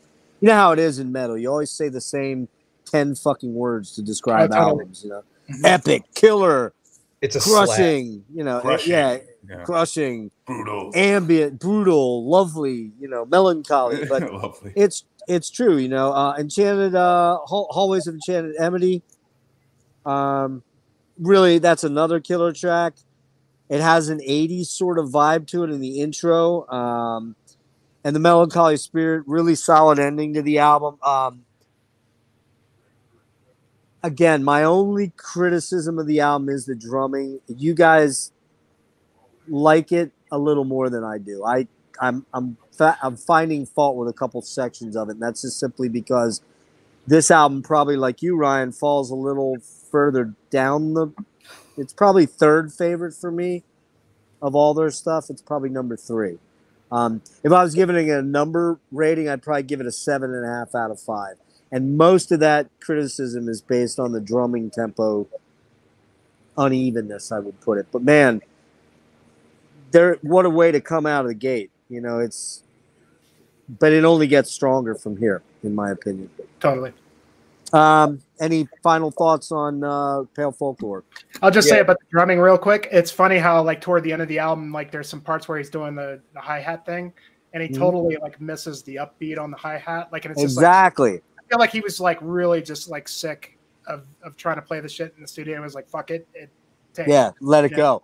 I, dude, you nailed it, man. There was a couple of instances where I was like, okay, that he just uh, exactly like he just left that go because it was like, you know, that's pre-digital stuff there. That's probably 99. You're not really talking I don't think you're talking Pro Tools and Logic yet at that point, are we? But that's probably a little bit later. So they're probably cutting most of that live. I mean, yeah, they can overdub, but yeah, I agree. And and again, I don't want to shit on it entirely. He's a solid drummer. He's just not a great drummer. He's a much better guitar player, singer, I mean, piano, that guy. He's much better at that stuff. So you can say he's um, more Ryan, did basic, you, you, know.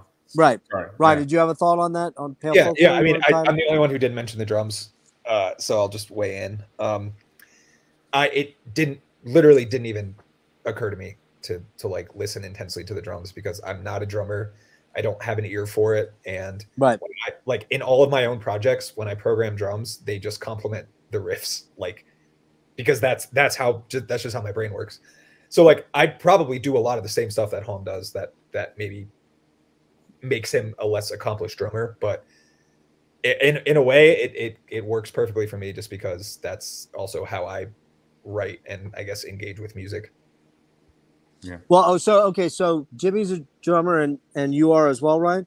Oh, I'm not a drummer. I've never played drums in my life. Okay, you tried, play I'm gu- you play guitar, right? I play guitar and I Okay, that's I program drums in my band. Okay, are you programmed? So, okay. Yeah. Well, we have CJ. We have CJ in the comments here. I think he's still here, and uh, I don't know.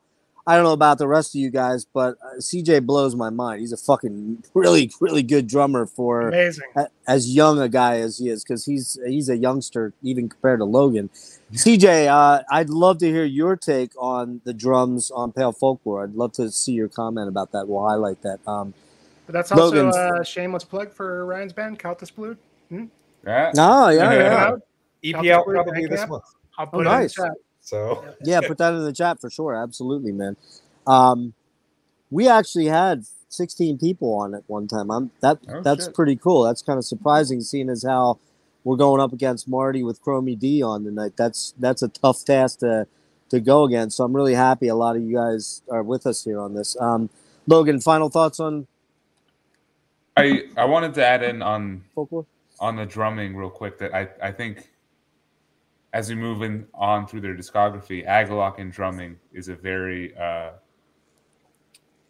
important issue that I will address as we get to the future albums for sure. But I think that Brian, you probably hit it on the head that he was just writing the drums for the the guitar that he wanted to create and Right. I I would never consider myself a drummer, but I, I played for you know a little bit, and I would play along to Agalock's Pale Folklore because the drums are simple enough to play, and they're they're fun. I think they're you know very fun to play along with, just because of how simple and you're just basically accenting everything that happens in the music, you know, And if you know Yeah. the music well, you can play the drums perfectly fine. Yeah, too. Yeah, again, it's music. they're they're serviceable drums. They're nothing super Mhm. uh, extraordinary.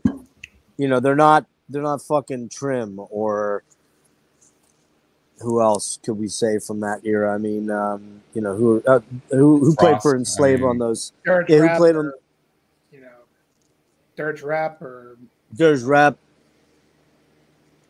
Yeah, I mean, you know, I, I- I don't think they, they intended the drums to be at the forefront. You know, I think they were supposed to serve the songs, and I think there's moments where they do. There's moments where it's obviously, you know, sort of the uh, I like to call it the unreliable drummer. You know, yeah, because, you know, the percussion is important for Agalloch. You know, especially when it comes to like using interesting sounds like timpanis and and uh, yes, glockenspiels or bells or whatever the hell they do. You know, I mean, it's you know, it's kind of a more percussion than a drum set feeling to it.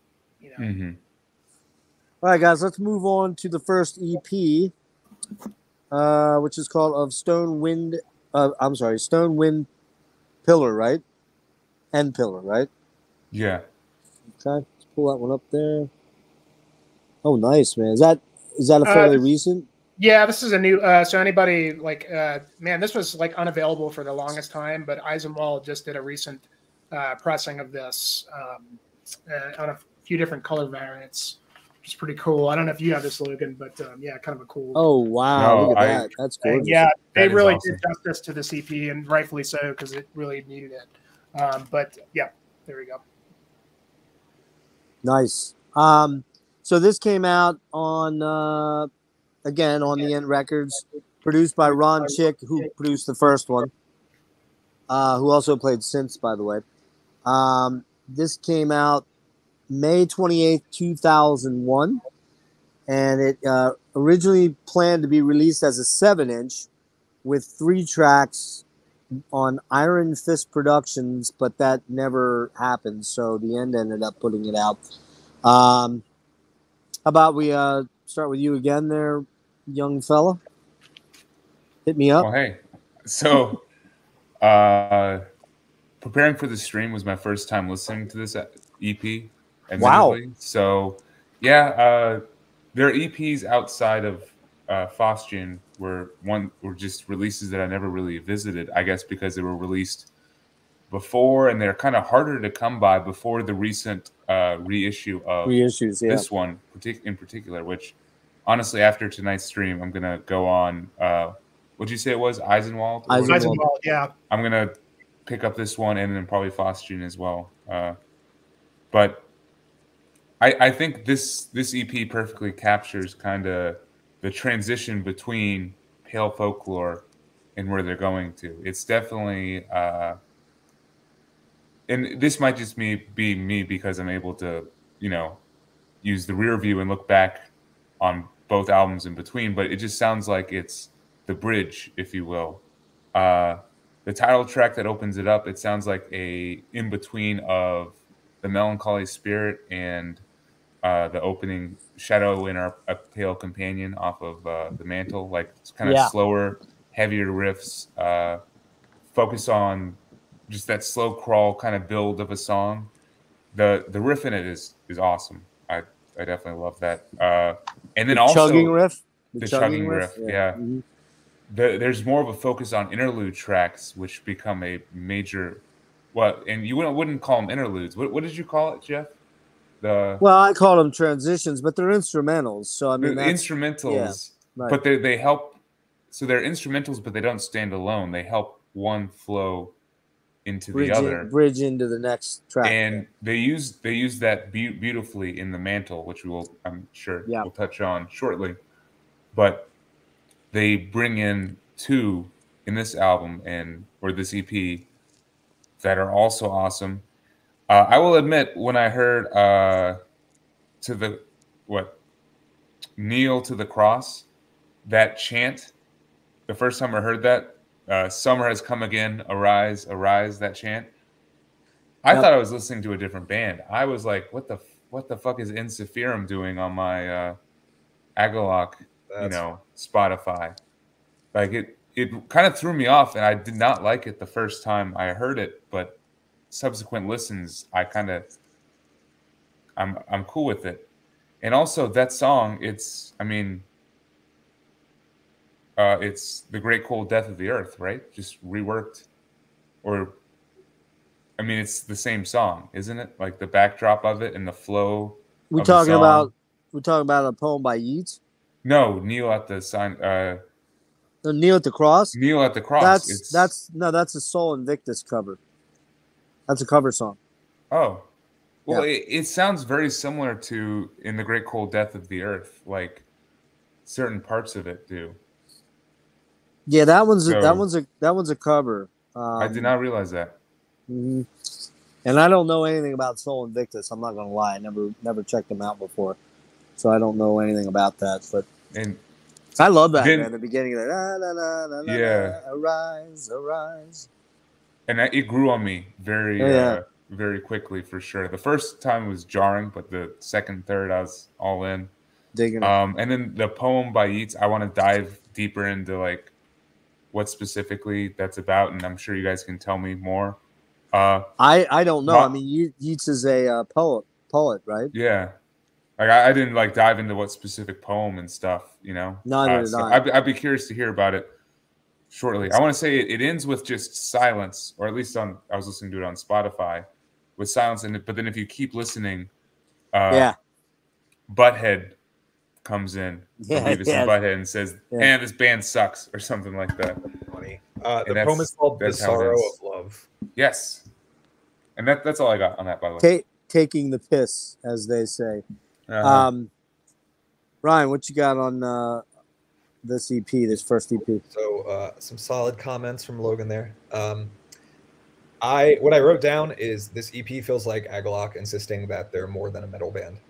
Yeah. Um, you have a lot, lot of different influences: traditional folk, neo folk. Um, I don't care what anyone says. Uh, Foli, uh, Foliorum Viridium, I think is what it's called. Is that's a Dungeon Synth song? Like yeah, it is. it's like that's Yep. like a Mortiis song, um, which is awesome. I think it's cool. I think this EP is a little strange because it kind of feels like a, a compilation of tracks more than like a distinct release. Um, Yeah. but it's fine. I love it. I love all these songs individually. Uh, poem by Yeats is great. Um, that poem is called "The Sorrow of Love." Um, I minored in poetry in college, so it was oh, really cool nice. really cool to see like a metal band like you know and his his lyrics are very poetic like he puts a lot of thought into his, his lyrics Sure. but it, it's cool to see like some nods to the to the master poets um, I'm assuming Yeats is uh, an English poet. he's irish Yeah. um, Irish. Okay. yeah so i yeah a lot of love for him um kneel to the cross really cool song um that is a sol invictus cover sol invictus is another neo folk band uh same era as death in june so it, i mean it's clear how influenced they were by that and and metal um and then i guess the only other comment i have is the chant at the beginning of that sol invictus song is in the original hmm but it is also a, that's what they chant at the end of the Wicker Man. Yeah. Mm. In and on the White EP, they use multiple samples. From Lots of samples. Yep. Yeah. So I also love how much because Wicker Man is that's a top four, top three movie for me. One of my Great favorites. movie. ever. Great Such movie. a big influence on Agalloch too. So it's just like Yeah. really cool to see how how much our interests overlap. Um, almost feels like the band was just tailor made for me sometimes. But yeah, I love You that. and, and I- you I and just Jimmy and Logan specifically, I believe. apparently yeah like it, but that's that's they're so i don't know they're such a like profound band that everybody feels like the band is made for them you know what i mean Like, Yeah. they just have something for everyone i feel like but Like Yeah, like that's it. John like John's writing these songs specifically just for you. Oh yeah he had me in mind specifically i was i was five years old when this came out I was gonna say, even though you were just an infant, probably. Yeah, Yeah. right.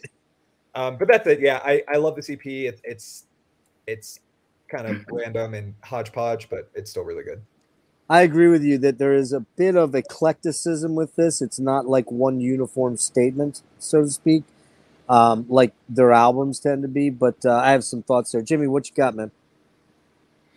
Yeah, um, I think um, I, I think like to me this is kind of a companion piece to Pale Folklore, and I think that um, a lot of this stuff was kind of left over. I don't want to say left over, but kind of definitely in the time frame of the record. I do know that um, the title track of uh, Stone, Wind, and Pillar was actually intended to be on Poke, uh, Pale Folklore, but uh, they they decided uh, to not include it because they were going to have a certain amount of songs, and Dead Winter Days uh, took precedence um, over it. So I mean, and then the rest of it, I think uh, it was just kind of things that they probably would. I agree with like Logan that like you're kind of seeing like how they're gonna, you know, go forward to the next record. But at the same time, I think like it, it just it's an extension of Pale Folklore in that it's showing you the diversity of this band and the diversity of what they are capable of.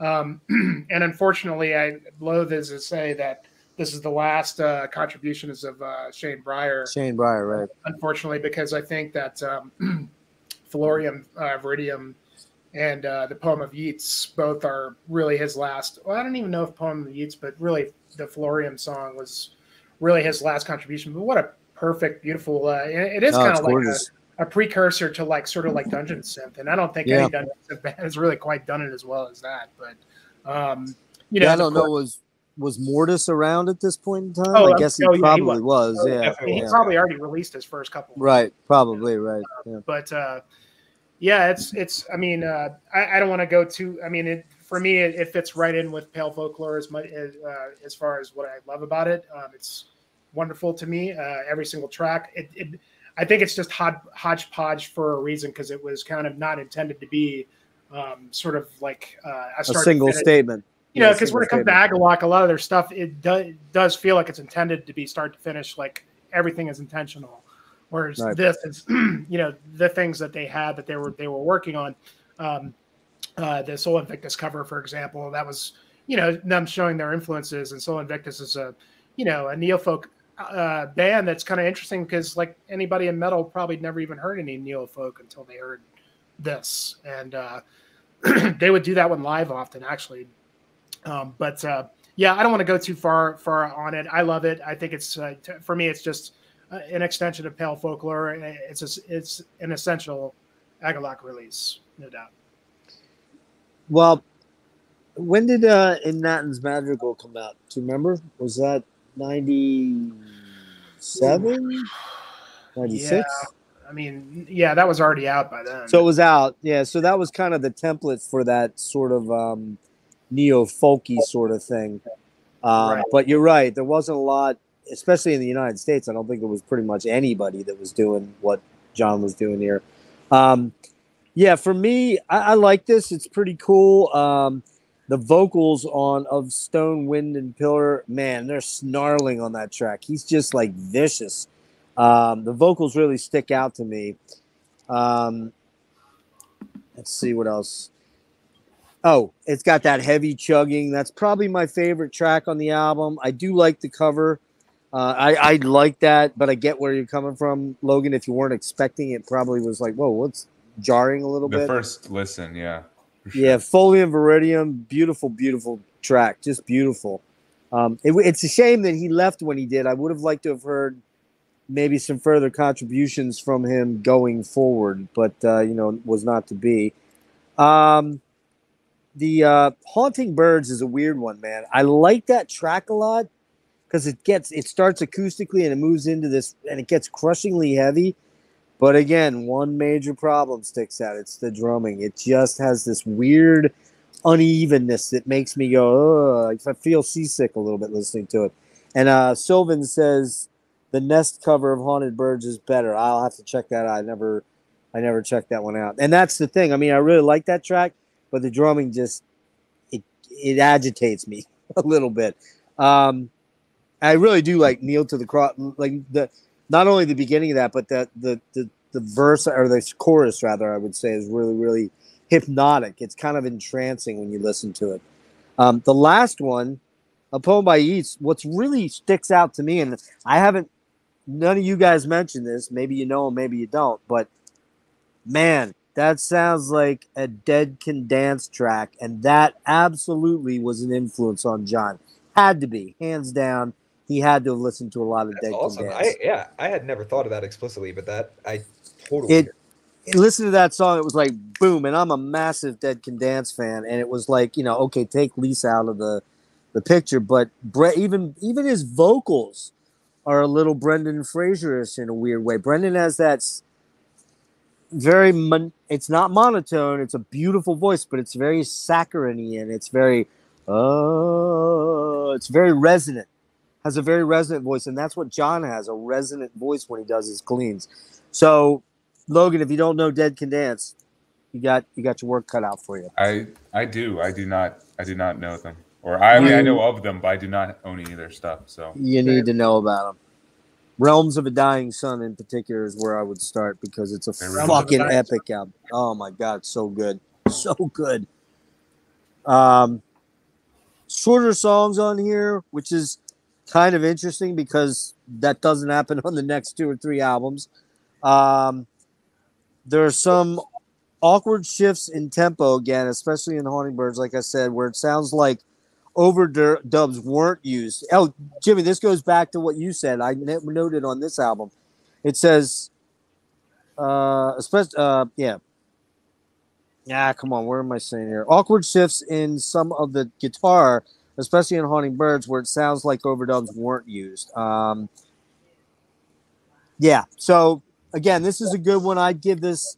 I'd give this a seven and a half out of ten. Um, they did the marks do get better, I promise uh, right now. In fact, let's talk about the mantle. Are we ready to move on, guys? Let's do it. yeah, I wish I wasn't old and didn't have to read notes, but I'm old and I have to read notes because I can't remember shit anymore. The Mantle comes out on the End Records on 8 13 2002. Um, production again by Ronn Chick and John Haughm. Ron also plays some synths, some mandolin, and contributes some samples. Um, oh, this also includes several outside musicians. I did not write them all down. We'll look at Jimmy's cool looking Jimmy, what, album what there. pressing is that? Is that an OG there? No, I think uh, no, it's not. It's uh, this is a growl, uh, G R A U growl pressing, um, and actually, unfortunately, uh, John Haughm uh, despises this this pressing. He says it's not an official pressing. Oh, Oh, I bought it when I first started collecting vinyl because I had to have this on vinyl. But um, yeah, I mean, it sounds wonderful to me. So a- apparently, it was not endorsed by the band when they, they released it. But um, uh, you can see Growl Growl um, records here. Yeah, is that a is that a gatefold or just a? yeah, it's a gatefold double LP. Uh, I think A it's double? yeah, clear vinyl. I mean, uh, it sounds. What wonderful. years? What year's that one? I don't think it has a. I mean, yeah, it doesn't. I mean, I bought this in like 2013, maybe. I mean, uh, it was before it was before the end did all the new pressings of it. So yes. it's not. I, I don't know if the end had. I, I mean, I'm sure there's an original pressing for the end, but I mean, Grau. I think Grau is a like a European label. And again, uh, Haughm said that they did not have the rights to press this, so he considers it an unofficial pressing. But to me, it's Okay. Fine. I don't know if they had the original masters for it and they still did it, but I don't know. But sounds fine to me. So, so um, you know, this is where I came in. You know, this is the first album that I bought from them, CD, and um, I have a lot to say about it. But we're gonna stay with our our uh, plan. I'm sorry about my finger coming into the picture. I really don't have any other alternative but to uh, blow you guys up that way. So, sorry to those watching out in the chat there. Go ahead, do what you gotta do.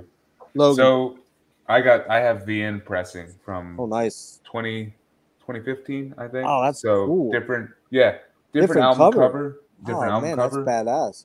And I I don't know if it's the same deer from a different angle. I did not do that much research, but it is.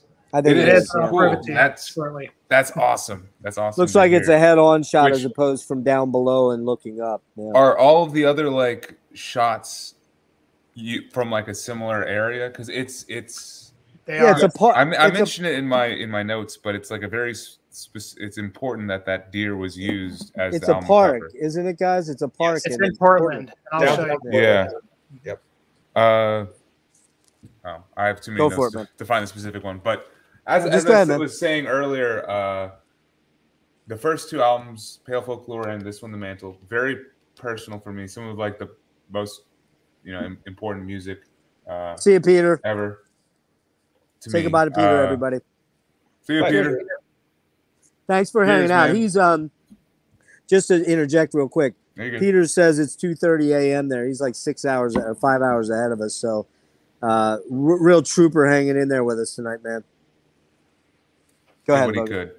Yep. So yeah, uh, pale folklore was more of like like important like emotionally, where like I I uh, attached myself to the emotions and just the overall feeling of the album. This one is important to me because of the the message that is kind of conveyed in the music and sp- specifically in the lyrics and almost like the layout and it it kind of starts right off the bat when you start opening up the uh the pressing that message right there the happiest, The man happiest is man he is he. who learns from nature the lesson of worship. Ralph Waldo Emerson. yeah. Yeah and i don't know that kind of just sums up this album and really probably Haughm's mission statement perfectly you know like he Yeah. I think just despised just society and what like you know it was becoming and the materialistic and nature of it and there was no there was no god for him and re- i think religion is definitely brought up here specifically in the first uh the first song um Celebration from the for the death of man. no uh in the shadow because that's just the oh, the uh, shadows. Oh, that's, just the, the intro. intro Right, right. yeah The shadows In- over our pale. Yeah, yeah. Yeah, in the shadows of our pale companion. Uh, Who who would the pale companion be? Death, perhaps. That's how that's how I understand it. Yeah. Yes, because death is where he ends up at the end of that song. I believe. I believe it, it, it insinuates that he commits suicide at the at the end of it. But he's looking for like a religious uh, answer for life, essentially. I think, and there's just some great lyrics, great lyrics here. Like, uh, let's see where I. I'll have to organize my notes a little bit better next time for sure. Uh, shit. Rick just pointed out that when your head's down, you're looking at that. The antlers in the background. It looks like Oh, you have right here? antlers above your head. That's funny. Rick would notice. Rick would notice that. You find him? Uh, no, but this is so the other. I'll just keep going on. Uh, Okay. So to me, this is Agalloch just kind of becoming themselves. Like you could say that Agalloch was a black metal band on Pale Folklore, but this one they fully embrace that Godspeed You that you guys Oh, were yeah. talking about earlier, and Yep. they are just almost a post rock band that's sprouted black metal influences and stuff like Yep. uh, tracks like the instrumental um, shoot the Hawthorne Passage, which beautiful by the way, uh, and then Jeff, how do you feel about the the drums on uh, "I Am the Wooden Doors"? Real quick, Mm, because it's it's the most black metal, Okay, like, you go. harkening back to here's my Uh, note. pale folklore. Here's my note. Solid track. The drumming seems off for some reason. Yes, uh, on the double bass, you can tell. Yeah, I kind of on the it. double it just bass, makes yeah. it. It just makes it feel. It, it feels not sloppy, just off. I don't know how to put it other than that. It just feels off. That's the one track you asked me about, and that's the one track I note the drumming on. Yeah. The rest, the rest, I don't have any other issues with for the most part. So I I, I finally found the the lyrics I was kind of looking for. Cool, go so for it. In the shadow of our pale companion, he says, "If this, uh, he's here, I gaze at a pantheon of oak, a citadel of stone. If this grand panorama before me is what you call God, then God is not dead." But ah, I was gonna bring up yeah, I was gonna bring up that exact line. that, that's that's just a that has always stuck with me, and I think the delivery of that line, it's in that his whispered, his harsh whisper, if you will. Uh, Well, if I might interject a quick yeah, thing on uh, the White EP, there's a song called Pantheist. Pantheist is it Jimmy or Pantheism? Pantheist. Pantheist, and that summarizes that line you just said. Summarizes pantheism right there. God is in Mhm. everything that you see, yeah, feel. It- God is everything. It is not this mythical old man sitting on a throne up in heaven somewhere or Jesus Christ or something like that. So that was the God that John was worshiping. Yes, nature. I, I took it to mean it's like what you interpret that's essentially not made by man, you Right. Know? And the idea of like the spiritual God is almost more made by man than anything that is out in nature, and it was just cool to see that perfectly represented in in that song. And then the the, the interludes here are just Yep. perfect, or the instrumental tracks because they're not interludes like. Odal, that's a straight Ah. up post rock, post metal Absolutely. banger of a song. It gets super heavy, and the guitar melodies that just echo through that are just Gorgeous. Gorgeous. um, beautiful. I mean, just spine chillingly beautiful. I am the wooden doors. I think is just great. It's the perfect like kind of harsh uh, contrast to in the shadow of our pale companion. You know, with the double bass and the more black metal influence. And uh, I like one more lyrical line. I like when he's just screams and like pierces through the music. He screams, "I wish to die with my will and spirit intact." Ah, just sticks with you. Mhm. And then the lodge, I have to mention the uh, the deer antler as the uh, the instrument MVP of the album. The Totally. yeah, because that's that's how the album ends is with the, the him hitting the deer antler as the I don't know. It's it's just such a good use and great track, and I guess neo folk you would describe that song as oh yeah. yeah Yeah.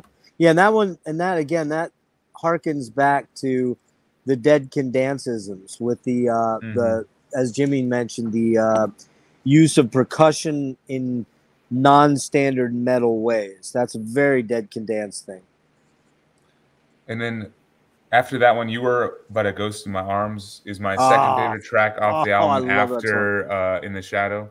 That Mhm. one I think harkens back the most to pale folklore, and it's just beautiful and epic, and the the use of the wind samples and stuff. And then I just love it builds up and builds up and builds up, and then there's a break in the music, and it comes back with him just shouting, "I damn this oak! I damn this sorrow!" It's uh, it's it gives me chills every single time. Like as much as I listen to it, chills every time.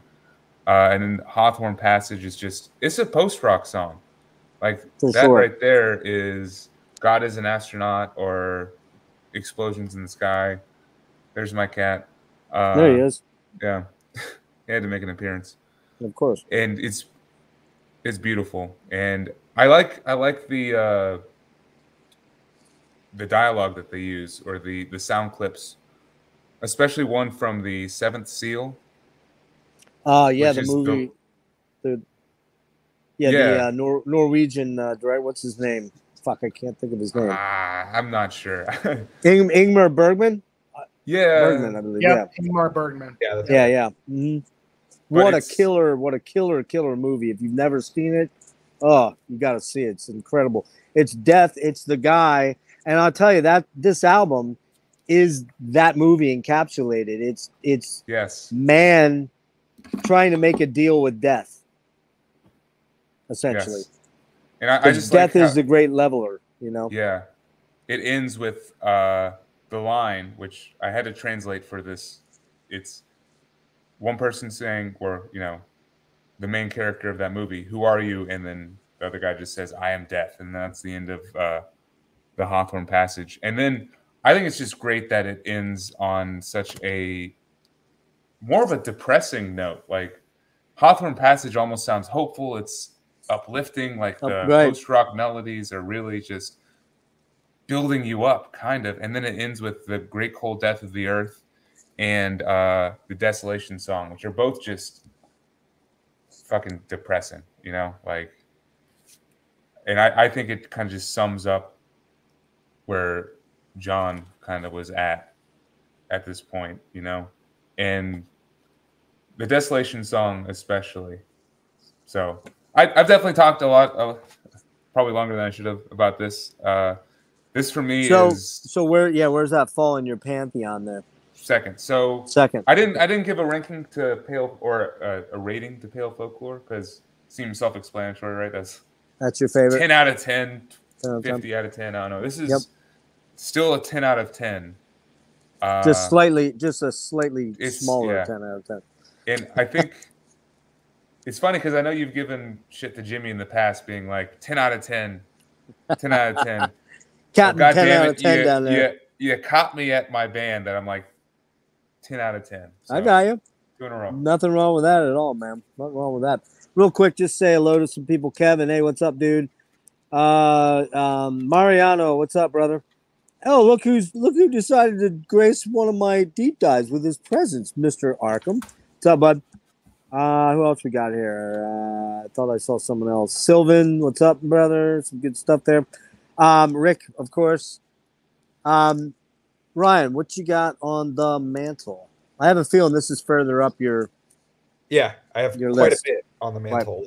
Go sure for Everyone else does. So, okay, really quick. Um, my friend Jake Sanders writes for a website called Heaviest of Art.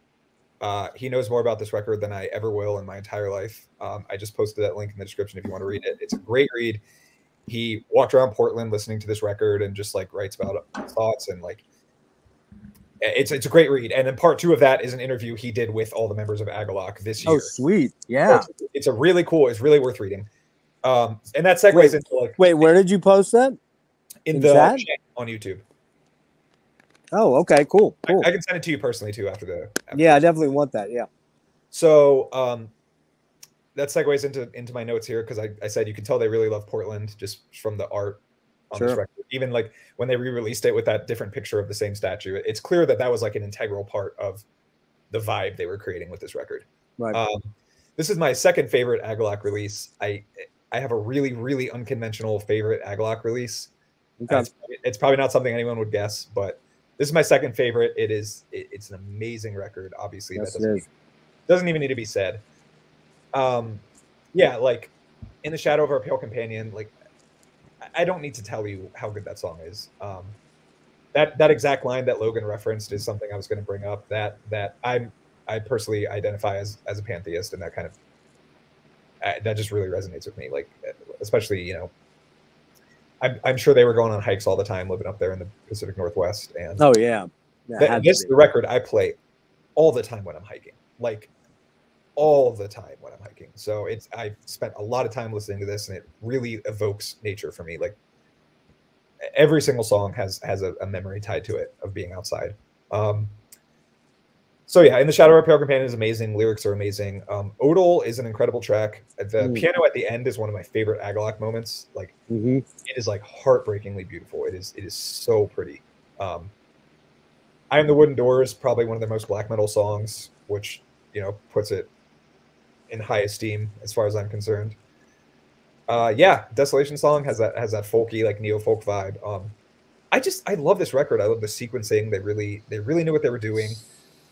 You know, a lot of really long songs on this record, but like in the shadow of our pale companion doesn't feel like it's 15 minutes long.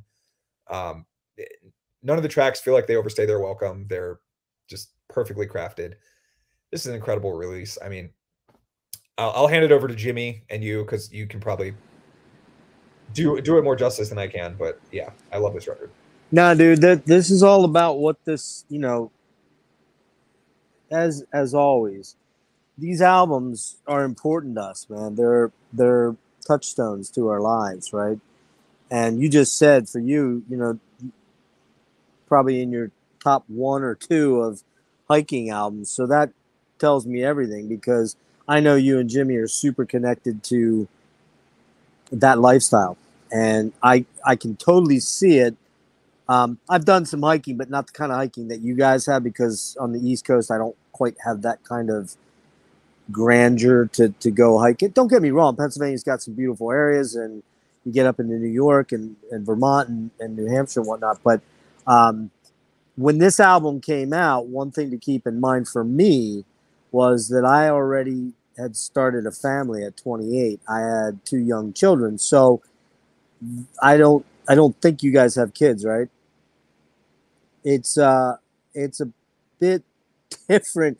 You're listening and your, your ability to concentrate and listen and focus as a 30 something year old guy with two babies is a little different than you know, I couldn't just jump in the car and go hiking and head. You know what I mean? So my experience was a little more insular, where this album touched me in the ways that it touched you, but on a level that it was up. It was kind of an escape for me from the stressors of work, and I was I had a, a job I hated at the time. I was an accountant when this album came out. I was an accountant for a pretty large company, and I fucking hated being an accountant. I hated the corporate bullshit.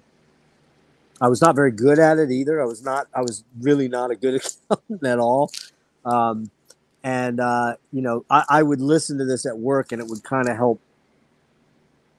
I'm a high stress guy, very high stress guy, and very ADHD and, and all that kind of stuff. And this allowed me to kind of tunnel vision into something. So, Jimmy, I'll get to my notes in a minute, but Jimmy, I know this one's important to you too. So, uh, let's go to you and get your thoughts on the mantle. Yeah. Um, well, what's interesting about this record is, uh, you know, I was already into the band when it dropped, and uh, I remember downloading it off of. Uh, you know, I, what was the one that came after Napster? Audio Galaxy, I think it was, or you know, at this time, like, you know, I don't remember. LimeWire, LimeWire. Yeah, well, I, I think it was Audio Galaxy, but I remember thinking like, uh, you know, already having Pale Folklore and not quite developing my feelings about it yet at the time. Um, this album dropped, and I was like, oh, these guys got a new record. Oh, let me go check this out. And honestly, I mean, this was the record that helped me develop my feelings for Pale Folklore because at the time I was still like trying to figure out where I sat with it, which I knew I liked it a lot. Um, but it really just reinforced what I felt about this band um, listening to this because it was definitely different. I mean, of course, it's a bit, uh, you know, I, I, I don't want to go too far because I think that everything that Logan and Ryan pretty much everything you guys said encapsulates the way I feel about this record in terms of the uh, uh, the lyrics and the, the feeling and the the journey, I, I would definitely say, um, you know, if you look at the discography, this is, you know, I'll go back to the term cinematic. This is the most cinematic record that they put out. I mean, in terms of like concept and and just yeah. The feeling of it as you you know, it's it's it, it's the most like well put together, like in terms of like the songs, you know, flowing uh, from start to end. It feels like I w- just watched you know the seventh seal or something like that. Like it just you know it, it all flows in that in that way. So uh, one of the things that wasn't mentioned is that i i think i remember hearing Haughm talk about that this this record very much was a homage to to their hometown portland you know and, mm. and I even talked about the Hawthorne Passage, which you know, if you go, if you ever go to Portland, uh, there's the Hawthorne Theater. There's a lot of Hawthorne uh, places. I, I, still am not sure who Hawthorne is. I should have researched it for this, but um, yeah, I'm not sure either. But uh, but he talked about the Hawthorne Passage being uh, this is supposed to be what it feels like when you you know you jump in the car in Portland and you drive through the city, and you drive up to Mount Hood, which is a, a crazy high mountain uh, next to the city. Uh, very difficult uh, mountain to to uh, you can't hike it. It's a mountain mountaineer route. Uh, but hiking up to the mount or driving up to the mountain and taking the round trip around back to Portland is what his feeling was about that song. Um, and in addition to all the things that the guys were talking about, like uh, with with with the lyrics and uh, the lyrical content, which I think really kind of built upon what they were, you know, trying to convey in Pale Folklore, uh, was was even more so conveyed in this record in terms of like you know like Pale Folklore, the lyrics were very much more kind of a meta, you know, um, you know, sort of like the death of man kind of thing. Like, you know, just the, the first tasting of the antithesis of, uh, you know, concrete in society. But this was fully realized, I think, in the lyrics with this record is, you know, you guys were talking about, uh, you know, those lines and in the shadow of our pale companion. But uh, I, I wanted to share something with you guys uh, that I took a trip to Portland myself, and uh, I went to the very site. I knew it. I knew you were there. uh, it's not going to come across awesome. very well in the in the phone, but oh, uh, this is in the very middle of uh, downtown Portland, where they photographed this. Right. So I'm sure That's you guys right. recognize yep. that. Yeah, uh, all the pictures they used. Yeah, the all of them, from... and all the. This is the fountain that is uh, along the the the the the, the elk there.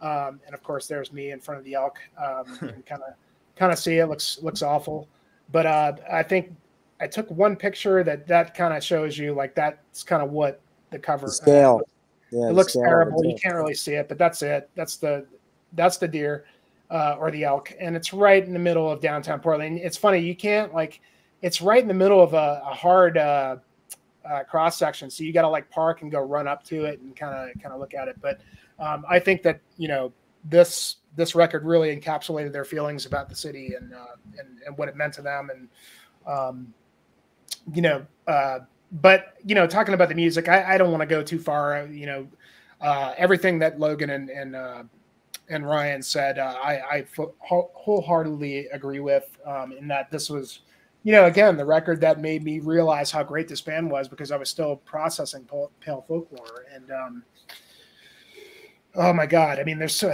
there's so much i, I could spend you know i'm not going to try and just yeah i'm, I'm not going to spend too much time like talking about every track because every every track is so meaningful to me. Um, but they just really nailed it. I mean they they they went a little bit further i think. And and and and, everything feels like so you know the important thing when you write music like this when you write a, a you know a big epic like you know in the shadow of our pale companion and make it sound like you know 10 minutes that goes by that quick is because it's so good and so like it, it just it just develops and and and uh, and and and builds upon things that are to me feel like pretty natural and logical to these guys at this point you know um, that it was kind of effortless in a sense and i'm sure it was not effortless when they wrote it you know but um, it just definitely feels that way and that's a very hard thing to uh, accomplish as a band especially at this juncture uh, you know a band that's coming out with something very very new sounding um, and and you know to say that like maybe they were sort of the uh, you know some of the progenitors of the american black metal scene well i mean this couldn't be a further step i mean you couldn't step that much further away than you did with this because i mean this is very much to me uh, a neo folk album you know with some black metal leanings here and there um, but is not uh, indicative of what they would go to uh, next in developing their sound. I think it, it almost felt to me like this was what they were really needed to get out of their systems before they would really consider themselves a, a full band. You know, because at this point they're not a touring entity. Then I was just going to say they haven't toured yet. yeah, I mean, they might have played live once or twice. I mean, uh, but this is very much a. I feel like, and you can feel it in music as a labor of love for sure. It's a- and, It's a studio creation for sure.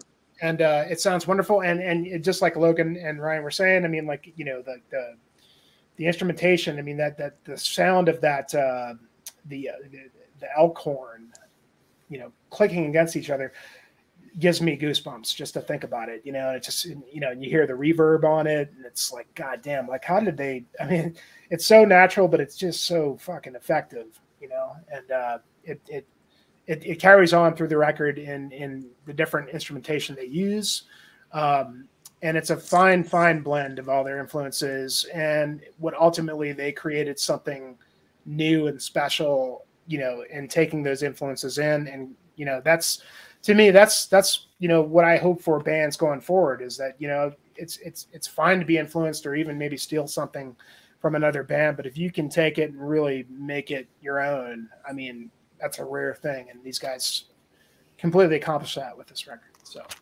yeah. Um, So what? So that's a easy ten out of ten, right? Or is it a twenty out of or a twenty out of ten? I mean, I, I- I couldn't. I mean, even if the drumming is like kind of off on "I Am the Wooden Doors," which it is, and even that song kind of took me a while before I warmed up to it. But yeah, I, I, I- don't have any problems with it at all, and it's it's yeah. I mean, I can't I can't find a flaw to this day. You know. You guys summed it up a lot. I'll hit a couple of key points. I think one of the things to point out that's kind of important on this album is all of the artwork is in black and white, or grayscale, rather, I would say. And I think that's important because this album has very much a grayscale kind of emotional vibe to it.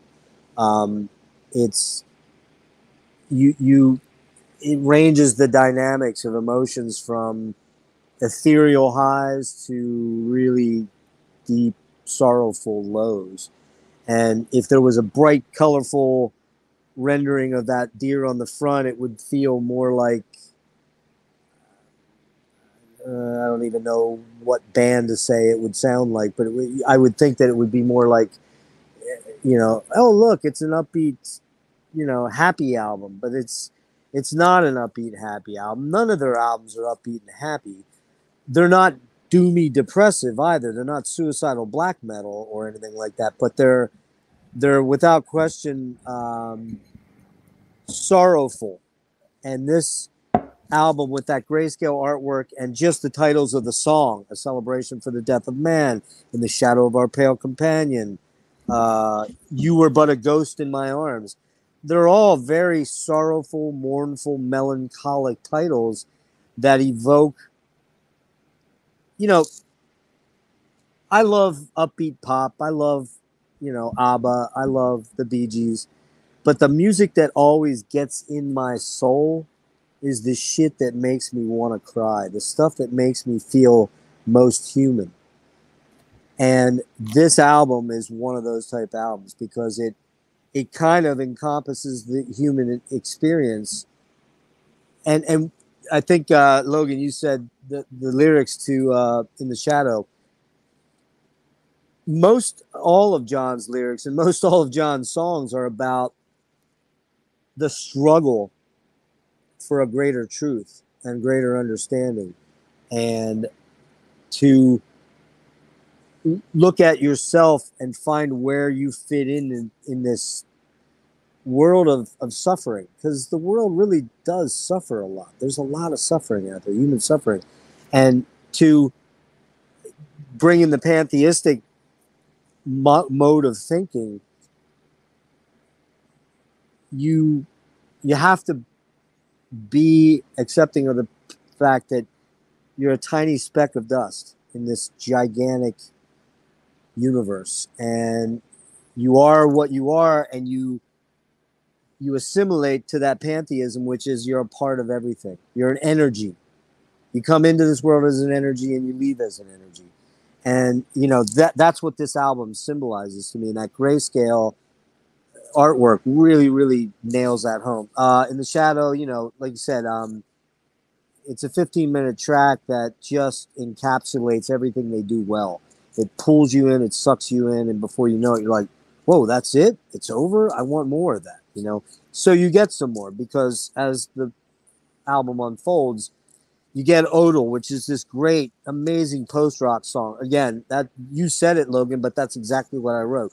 Great post rock song uh, the guitar parts that cascade into each other, super evocative, amazing post rock slash metal. Um, I'm the Wooden Door. That's probably my least favorite track on the album.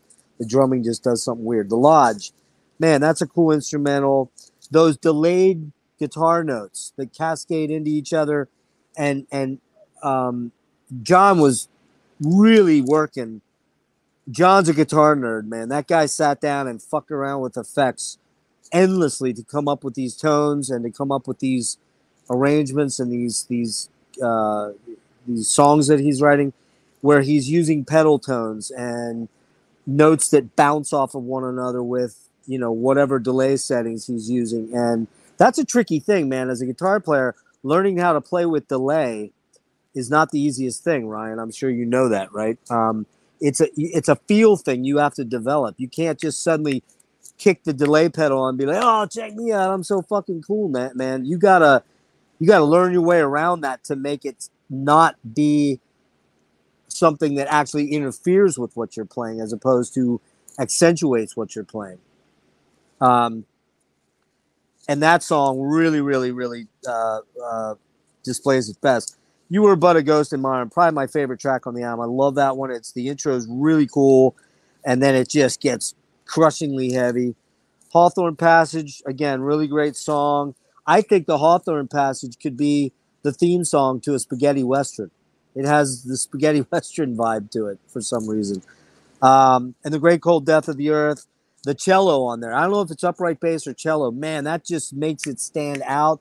And again, here's a black metal band that's not afraid to bring a cello or a viola or a congo or a you know a bone whistle or something into the mix because it's unique and different, sets it apart. You're not going to hear that on a Mayhem record. You're never going to hear that on an Immortal record. You're not even going to hear it on an Emperor record. Maybe an Enslaved record, maybe somewhere.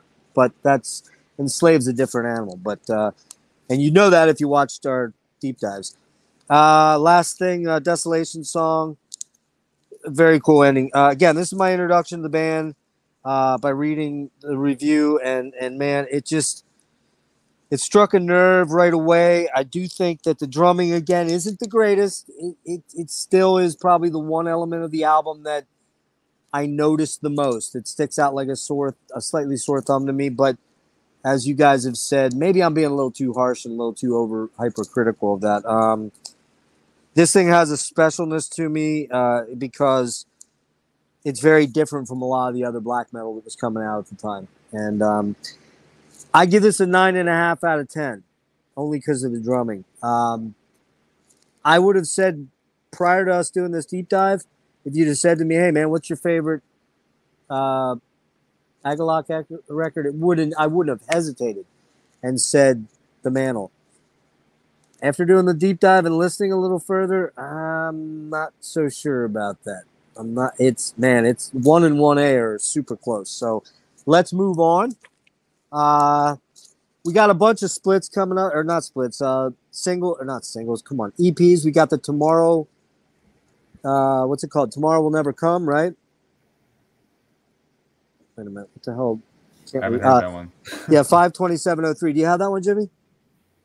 I don't. I don't okay. have a copy of that one, but it's. I'm, go- I'm going to yank that one out. I have it. It's um, yeah. but I'll get it at the end and show it real quick. Um, that one I have is a, a 500 limited uh, signed, hand signed. JM signed it, and uh, it's numbered out of 500. I'll pull it then. Um, it's two tracks. Quite frankly, Death of Man version three is kind of cool. Tomorrow will never come. There's a mental illness track where a guy's talking and, and there's a lot of dialogue in it. Eh. If it's on the compendiums later, I wouldn't go out and search this out. It's just not for me that critical to own. How about you guys? Anything to say on that one? Literally never heard it in my life. Yeah. Okay. Um, it's easy to pass over. I mean, it's it, it's cool. You know, the first track is kind of ambient. The second track, there's some cool acoustic stuff, but I think it was kind of just sort of left. I, don't think it really is worth really delving in too far. Yeah, it's not it's not a critical thing own at all. Um, uh, then also there is the Gray EP, which came out uh, on Vendlus Records. Um, this includes Chris Greene, I believe, on drums. And this was limited to a thousand copies, came out February 29th, 04. You have that one, Jimmy? Um, I have uh, I have a, you have a, the, uh, edition of it on. Uh, this is the White Division Gray. The comp, yep, it's the yeah, comp, right, and I, I bought this the first time I saw the band live. Um, you know, because you couldn't get this anywhere else, but it's it's right. the White EP and the Gray EP together.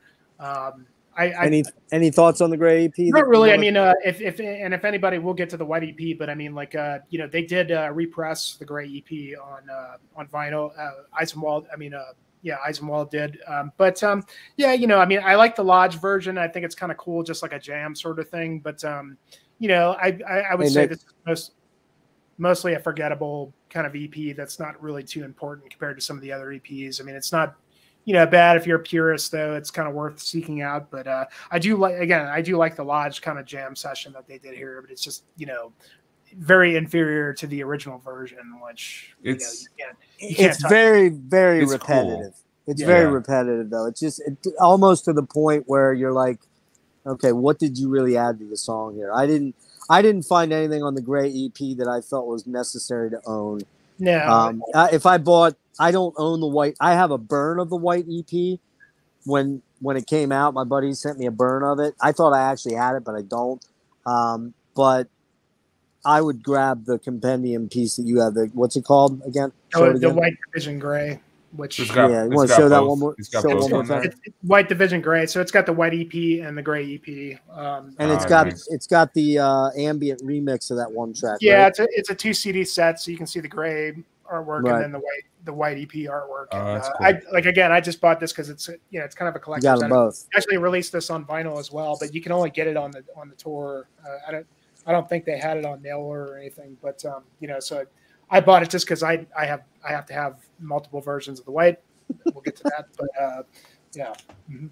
Yeah, again, I think this one is for collectors only, and I get it if you're a collector. I don't think I'd. I think I'd buy that that double CD if I could find it. Um, uh, last thing, uh, there was a split they did eight two oh four with Nest.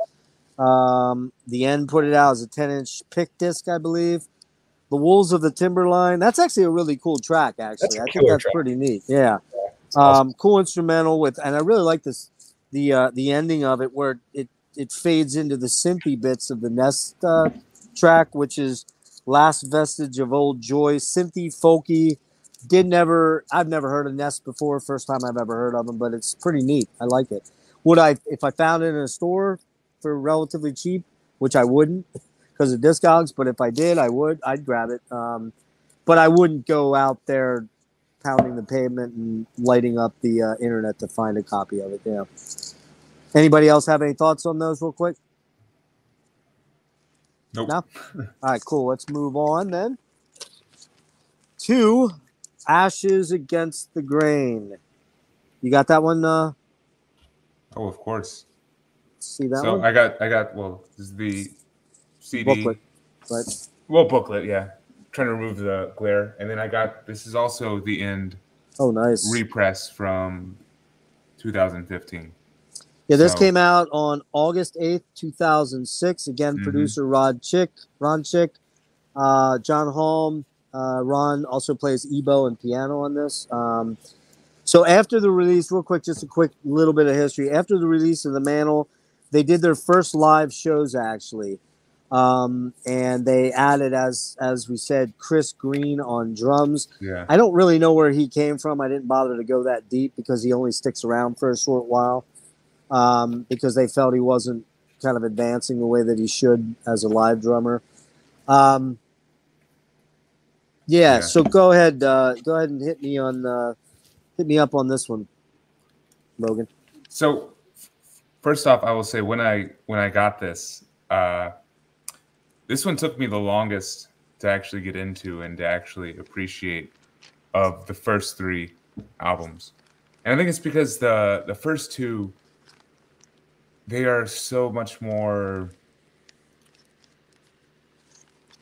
like you just have to really dive in and like kind of feel it out. The the, the songs are so unique and go the such a unique passage and stuff. It's adventurous. It's exciting. That's not to say that this is not like that, but the songs are a lot more individualized, if you will, and a lot more linear. You know, like they follow like a a verse chorus almost kind of pattern. I mean, there's still like the Agalloch twist and stuff. I'm not trying to say that they just wrote verse chorus verse chorus bridge kind of songs, but when you're comparing it to the mantle or to uh, pale folklore it, it definitely kind of comes off like that and it, it took me a little bit to wrap my head around the fact that they were really focused more on writing individual songs here and really trying to hone all of the many different influences the post rock the neo folk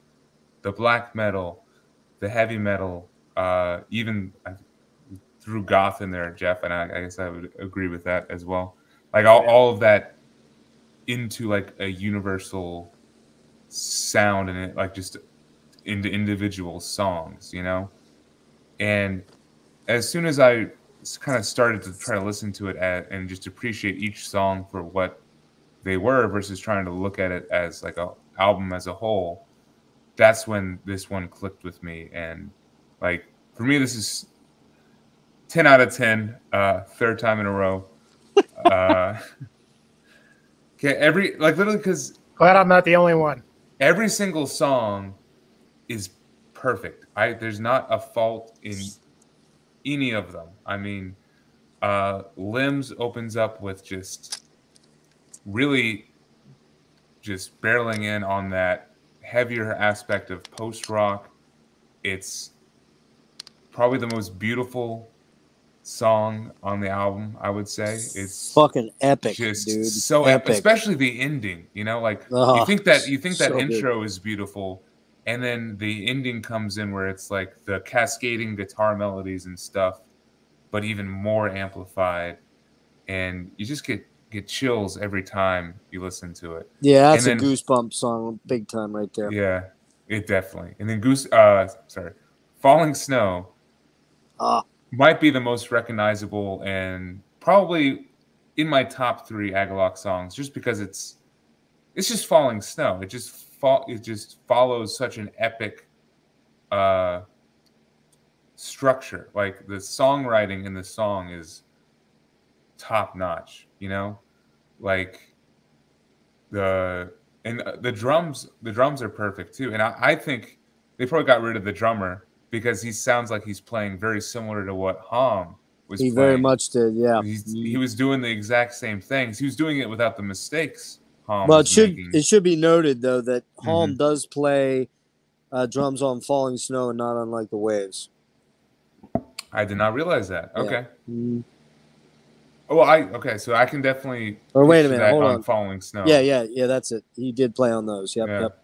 Which Falling Snow just because the the first half of the song is the linear songwriting, you know, hmm and then it goes into the ending of the song where it's just like a a guitar note like ringing out, and then the drums come back in, hmm which I will air drum to that the the drums coming in every single time. You know, goes like, Very, very, very Godspeed, It's- you Black Emperor. Yeah. it's it's just epic and then it just goes right back into the intensity of the song the ending of it is probably one of the best Agalloch moments and yeah and then uh to me the weakest song but the the song that i've probably appreciated the most recently is uh what is it as as above so below or as shit, fire above ice below is that it Fire above. Fire above, ice below. yeah, yeah. That one probably is the most post rock kind of song, but it has a similar climax to what Limbs had, you know? And I just think it's a good, like, middle interlude kind of song to bridge the first part to Not Unlike the Waves, which is my second favorite song off the album after uh, Falling Snow. The most epic, you know, black metal song. He gets some uh, DSBM kind of like howling, just pained vocals in that song, Mhm. and the groove is just perfect. So, uh, I don't want to try to steal too much about, about the individual tracks. I, our fortress is burning probably took me the longest to like appreciate, but it's probably the most the closest to the mantle in songwriting because it's it's very conceptual in that it just flows versus you know goes the linear route and uh one more time aham is still on the same mentality when it comes to writing lyrics as he was on the mantle the line the god of man is a failure and all of our shadows are ashes against the grain the final final line of this i think that just continues to sum up the ethos of the band and I don't know just why they really kind of mean so much. So that's I'll end there. But wait, no, sorry. If I were to recommend someone a Agalloch album to get to start with, this would be it because this is the perfect just Mm. entry point, I think. And now I'm good. I'm sorry. We're good. I think, uh, yeah, I, I want to actually touch on that in a minute here. Um, Ryan, how about you? Um, I did want to say one quick thing. Where did I lose my? Oh, real quick.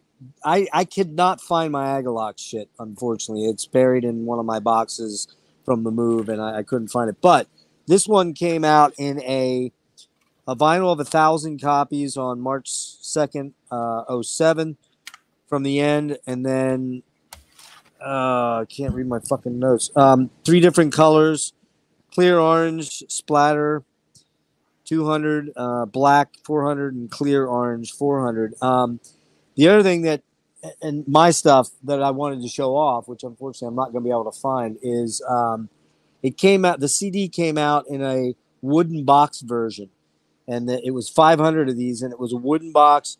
Had a slip cover that you pulled like a like a, a sliding little, like a grooved. What do you call that when you? Like a dovetail jointed box, really neat little box, right? With a sliding uh, wooden cover that like came out. die cut, die cut sleeve or No, it's not die cut. Um, oh shit! When it has like two channels, like your drawers would go into, slide into a drawer. It has like that kind of a. It's just a really neat like presentation. Then inside it were some Polaroids, not Polaroids, um, like black and white photos, and then there was ashes in a baggie from a fire they probably were hanging out at, or or they burn in their backyard. Who knows? In the in their whatever but it had that and then it had the slip cover version of the cd in it and i wish i could find it but unfortunately i can't find it so um, ryan what you got on this one here All right. So, uh, first thing I wrote about this record is this is an album of huge riffs, which Yes. sort of sort of dovetails off of what Logan was saying, where these songs feel more like self-contained. I would say definitely uh, more just like a traditional metal ap- approach, I guess, just like catchy hooks, but I mean, still killer record, obviously. Uh, Limbs is probably one of my favorite Agalloch songs. Um, the the really heavy like post rock section at the beginning is great, and but like the Glockenspiel or whatever right after that, where that song just takes a really really dark turn. Um, the the from that por- portion to the end of the song, that's like one of my favorite bits of Agalloch's music.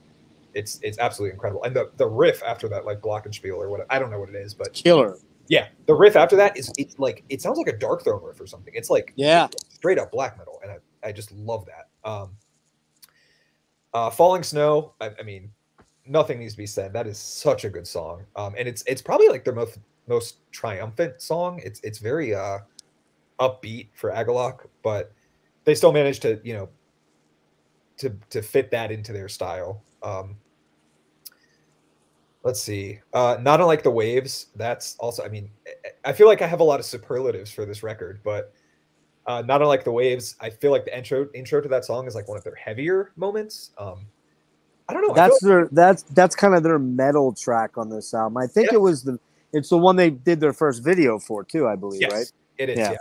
yeah, um yeah and I, I feel like maybe they were like consciously pushing the the envelope with the tracks on this record um because that's really heavy and it doesn't really harken back to anything they had done before in my opinion Like it, like Agreed. that's just a very heavy song. Um, I think maybe in general this might just be their heaviest record, but i agree yeah, there's just a lot a lot of really good stuff going on on this record. Um, you know, if you like the more highbrow sort of, you know, obviously it's still very like philosophical, but like it's not the mantle where they're like almost telling a story throughout, you know, a 70 minute record. It's just like kind of more about the music, I think, on this one. But yeah, incredible record. I can't say enough good things about it. so where does this one fall on your but this is not your number one though is it Oh no, it's not. okay Um, all right I I think I might like Pale Folklore a little more than this one, but like wow again, I'm very um I'm very generous with my uh my perfect scores too. So I would say all of their all of their full lengths are perfect records to me. So it, it's there's kind of a lot of churn. Like it kind of depends just what I'm in the mood for. But it, this is this is somewhere in the middle of the pack as well. I would say. Okay. And I don't want you to like if you have more to say, man, just say it. I know I don't know where you're sitting at as far as having to stick around or leave, but um, you know, I'm trying to move as quick as I can, Yeah, but we have a lot to say about these albums. So I don't want you to go, Oh, I gotta hurry up because you know, if you have other stuff to say about it, say it. You know what I mean? Definitely, yeah. No, not at all. Um, I do probably need to bounce around nine, but Okay. in general, I, I I genuinely I'm not just saying this to be like humble. I feel Okay. like you guys have this covered a, a bit more than me. Like Logan's, No, Logan's got it down, Jimmy's got it down, you've got it down. So No, I mean, but you know, that the whole thing for me and why I do these deep dives is not about my opinion. It's about all of our opinions. I really, Jimmy knows this, man. If, if I've said it once, I've said it a million times. My deep dives are only as good as you guys. sure, I can sit here and wax poetic about a lot of shit, and people are going to tune me out. I think people tune in to hear a multifaceted uh, panel talk about these albums. So far, we've had. I've been the only guy that's been semi-negative about the drumming. It does get better. Uh, which we should add that after this album, Aesop Dekker from Ludicra joins the band. Um, I don't know Ludicra. I don't know anything about him, but I do know he's drummed in quite a few bands. So, um, but yeah, I want to again. I, I, the dynamic is what I'm after when I do these. So, um, Jimmy, you ready to tackle this one? Yeah. Um, well, uh, I've got another Grau pressing of this. Another, according to Haughm, is uh, unofficial release, but uh, you know, sounds fine. And uh, you know, at this point, um, you know, at this point when this comes out in 2006, I'm a full fledged fan. You know, I'm all in, and uh, also it's kind of a, you know, sort of. Uh, what's the word I'm looking for? It's just uh, it I had moved to Colorado at this point. So Agalloch released The Mantle in 2002, right? So this comes out. It almost feels like there's a four year wait for every record, I Right. think. Um, Yeah, about. so at this point, um, I was already fully uh, feeling comfortable in Colorado and not really found my kind of stride yet, um, you know, in terms of like hiking and things like that. But uh, when this came out, uh, I was definitely already a full fledged fan and, and uh, really, really stoked and excited for it. And I would say that, uh, you know, right off the bat, I was, you know, blown away, loved it. I mean, uh, I think this is the most mature they've ever sounded in terms of their sound uh, instrumentation wise. Um, you know, everything just sounds like, you know, if you had any complaints about the drumming or just like some of the, you know, just the playing in general, I think they really kind of streamlined things in terms of the performance um, on this. And, you know, so like the mantle, like to me was like, you know, I don't want to say it was like kind of an experiment because it was the second record. You know, I mean, third record is kind of like what make or breaks you, right? Is in terms of a, a great band. But uh, um, you know, and the post the post rock influence really, really kind of shined through on this one. Um, but I still felt like they still retained their identity in terms of uh, what they have been doing so far. Um, but uh, yeah, you know, they just they sound like they really, really kind of have things locked in. And I would also say that, like, I mean, and and they were never like, you know, a victim of this before, but I mean, it really, it really shines through on how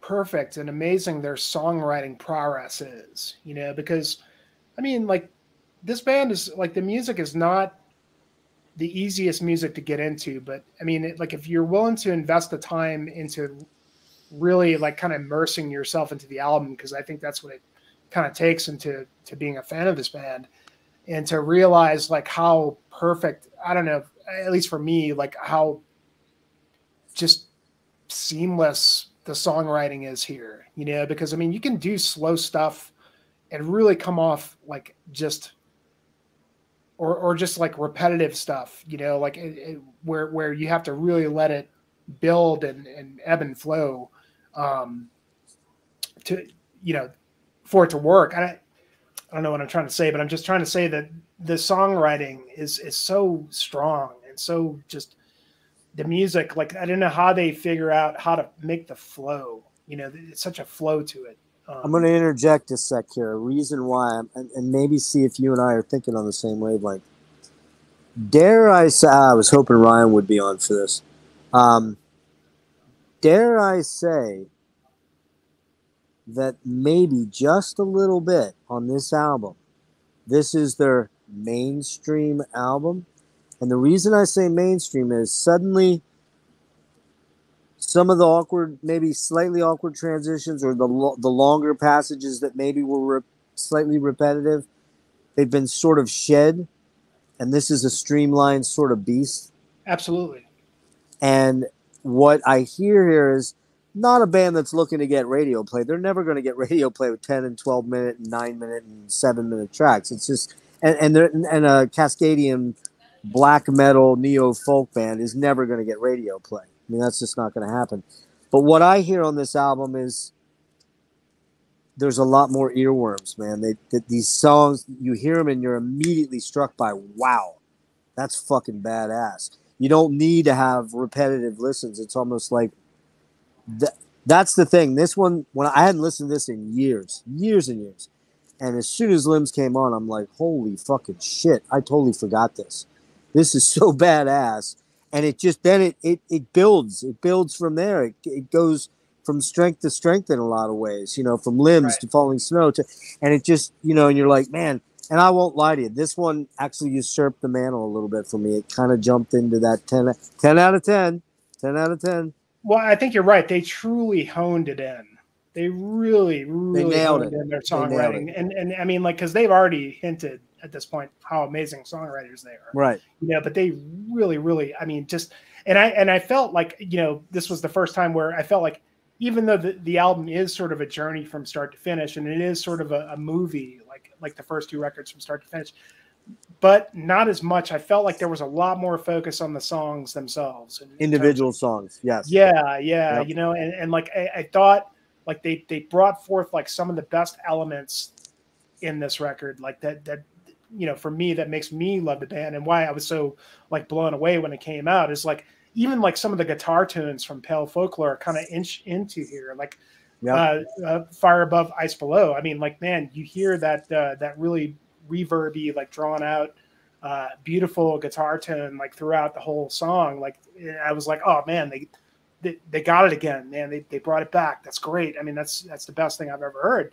Um and uh but but i mean you want to talk about like composition like perfect composition. You need look no further than our fortress is burning part one and two you know because it starts with this wonderful i mean just amazing uh you know and their their their melodic sense is i mean just un, unreal. But i mean like if you listen to the our fortress is burning one and two and the way that they transition into bloodbirds is like Mhm. one of the most like uh you know emotional like cinematic moments i could almost say. I keep using the word cinematic but i have to.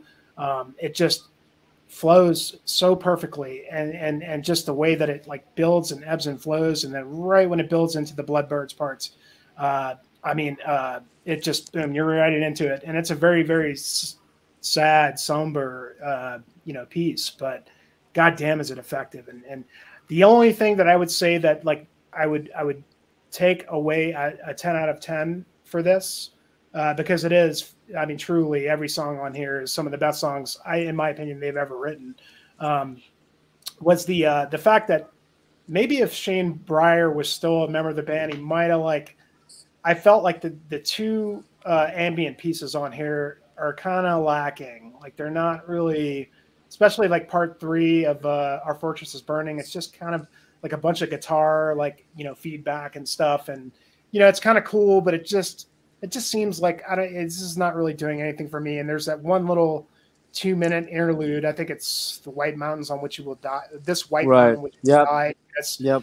it's cool and it's a nice little like interlude. But like you know, like Logan was talking about, like they're they're the kings of interludes, and they kind of for me like those two tracks.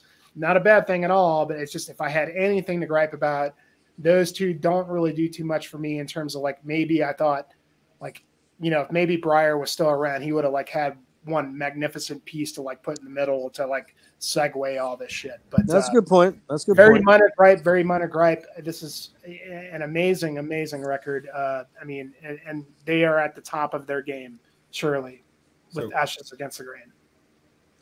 Yeah, I um not a lot to to offer here. You guys nailed it for the most part. Let me see. Um, there's a little less uh, acoustic on here and more atmospheric stuff going on. Um, there's also a lot of very uplifting melodies. There, the melodies are very up tempo, positive, and I generally gravitate towards the more somber, melancholic. But these these are uplifting in a epic sort of way. Um, like you know, we did the Blut Aus Nord thing uh, a couple a month or two ago with Kellen, and you know, we talked a lot about cosmosophy. I hear a lot of cosmosophy, and this album have some synonymous sort of vibes to them with their the, the guitar melodies are just these they envelop you and they drag you in and whether you, you can't not be hooked by them is really what it is. Limbs just man what a you know that EBow goodness. Love that EBow man. Who doesn't love a good EBow? I mean come on. Um you got the killer post rock vibe to it just fucking cool as hell uh, grandiose epic uh, one of my favorites uh, Agalloch songs for limbs again another epic opening post rock metal goodness song with Falling Snow. It's gorgeous. The clean vocals on uh, on that are just amazing. Actually, these the two alternating. Um, uh, again, John really did perfect that alternating pedal tone, you know, ascending, descending sort of riff thing that he would have, where you'd have a pedal tone, a note, where he'd play it off of two or three other notes that were super melodic, and and then he would suddenly change it into you know something that was maybe a major. He would then suddenly drift into minor, and it would just you know it would just captivate you. Um, yeah, the White Mountain thing is a little bit of a, you know, that's kind of, if anything, that's the one I would say is the throwaway track on there. It doesn't really add anything or do anything, really. Fire Above, Ice Below, all I have written is killer track. Uh, not unlike the Waves, that's, again, their heavy metal song on this album, and I don't have a problem with that, man. I mean, Amazing. I love when they get heavy. I love it a lot. Um, our fortress is burning the most ambient beginning, that slow burn track. And right here, Jimmy, I have for Bloodbirds building, building, building. Amazing. Then it goes into uh, the final instrumental. I do like that. And the reason I like it is it's so Godspeed, man. It's just this climaxing thing that just falls into like the earth swallows it. And it just sucks it in and just, it all decomposes and deconstructs right there before your ears. I wanted to jump in on on that too. That I really I kind of like how it ends because it to me it sounds like a raging fire Yep. going out. Just Just being point. swallowed, just, Just being, being swallowed, swallowed by the in. earth. Yeah. and I I think when you combine it with the lyrics of you know our fortress is burning, I mean well it's in, it's in the name of the song. It's Well, just again, it's about it really hits. I think. But that song is very much again about John's eternal quest to point out how we're born into suffering and we we struggle to find meaning in material things and, and material uh, because we're all materialistic. I mean that's what we have. That's what we have all these Yeah, all these things we have, right? But but in the end, we can't take any of that with us, and it, it's that epic build, and then that crescendo into the infinite nothing, Yeah. or is it infinite something? That's the question, the eternal question that none of us will know until it ends. Some of us that's coming a lot sooner than it should. But anyway, um, yeah, man, the last song, Scars. Oh no, I'm sorry, that was the last song.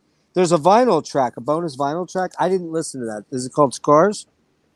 I I don't have that one. Okay, maybe I, maybe I, I don't know why I wrote that there. I've Maybe I'm wrong. Maybe I'm wrong. Uh, anybody want to tie that up? Again, that's a 10 out of 10 for me. That's my favorite album. Just barely edging out the mantle. I mean, just barely. We got to get to uh, Ryan's favorite. I have a feeling that next one that's coming up might be it. No, not the next one, but the one after. Um, the White EP comes out on 22908. Jimmy already showed that. Um, I'm going to hit this one real quick. It's a follow up to the Gray EP from 2004 tracks were written between 04 and 07. It was limited to 2000, came out on Vendlus Records. Uh, as Ryan mentioned, lots of samples from The Wicker Man. It's almost predominantly an acoustic based album. There's very little electric on this. Um, many of the tracks were inspired by The Wicker Man. There's a, uh, what's, okay, so the first song, Isle of Summer, very much all about the Wicker Man. There's all the samples in there. I think Christopher Lee's on this one, or is he on the last one? He's on the Cri- last one. Last Yeah. Yeah, one. it's, it's not the first one. Yeah. Okay. It's Um, the kids chanting on the first one. what a what a cool, almost classical sounding track. I mean, it's a very happy, beautiful song. Birch Black, very bluegrassy, almost bluegrassy. Some of John's most chicken picking, you know, finger picking type goodness that he doesn't do a lot of on on the albums. Really, really pretty track, really cool. Uh, hollow, uh, is it Hollow? Can't read my own damn writing. Hollow Stone Yeah, Hollow Stone. Yep. man, super cool ambient synth track. Dungeon synthy a little bit, but a little bit more ambient than Dungeon. Pantheist, man. I love that song. That song is fucking cool as shit. Uh, but Birch White, Birch White's the standout track for me. God damn, that song's amazing. Best track on the album. Sowilo Rune, quiet acoustic track, excellent uh, playing, nice little interlude. And then Summer Isle Reprise, man. It's just this nice, long, languid, beautiful, lilting reprise of the original th- uh, song. So this one's a 9.8 out, out of 10 for me. I love it, man. I fucking love it. Um, all right. Who wants to go next on this one? Jimmy, I'm going to let you go next. White, the white EP quick. Yeah, I actually um, I got the first uh, CD Vendlus pressing of this. Ah, look at you. Um, I think they released like hundred. Right when it got announced, I jumped right on it just because love the band so much, and I knew what was kind of coming. And uh, anybody that wants to uh, Said You know- limited to 2,000. I don't know if that's the vinyl or the CD. The CD, uh, yeah, I think it was just the CD. They didn't release Yeah. it on vinyl at first. That's what I thought. That's what I thought. Yeah. yeah, I, I had to jump on, you know. But uh, Oh, yeah. uh, anybody that wants a physical release, they uh, Eisenwald did a beautiful new pressing of it. I Oh, mean, this, nice. I'm not I'm not going to take it out, but it's it's really expansive. It's got a lot of stuff in there. Um, I, I really think this should have been the fourth Agalloch uh, full length, just because like you know they call it an EP, but um, you know for me I I, feel like uh, it's long enough to be a full length and. There was actually a bonus track on the, on the vinyl that I had never heard before, and if they would have included that, it would have been long enough to be a full length. So, I, for me, I I I uh, I look at this album as a, as a full length, uh, the fourth full length, even though it's Right. not. So, so sorry, uh, but um, yeah, I mean it's uh, more.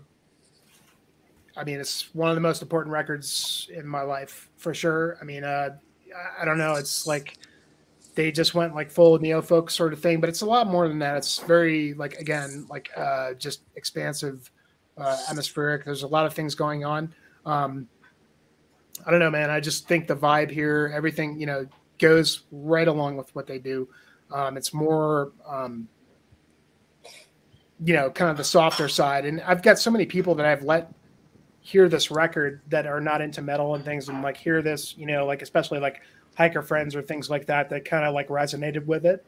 Um, you know, like sitting out in the forest or whatever. And um, but the one thing I will say is that I think they really um, used the Wicker Man samples to an amazing effect. And again, like you know, I, I think I said this before, but you know, when bands use samples, it usually kind of comes off as just kind of hokey and like kind of forced. But I feel like they really like wrote those last two songs um, for you know what the Wicker Man. I'd never even seen the film until I listened to this, and I you know went and watched it and kind of understood it and uh, realized how important it was to the whole like conceptual like message of of Agalloch and uh, what you know if you watch that film you know like it, it's it's very much those people are are you know it's it's a pagan thing you know Oh yeah.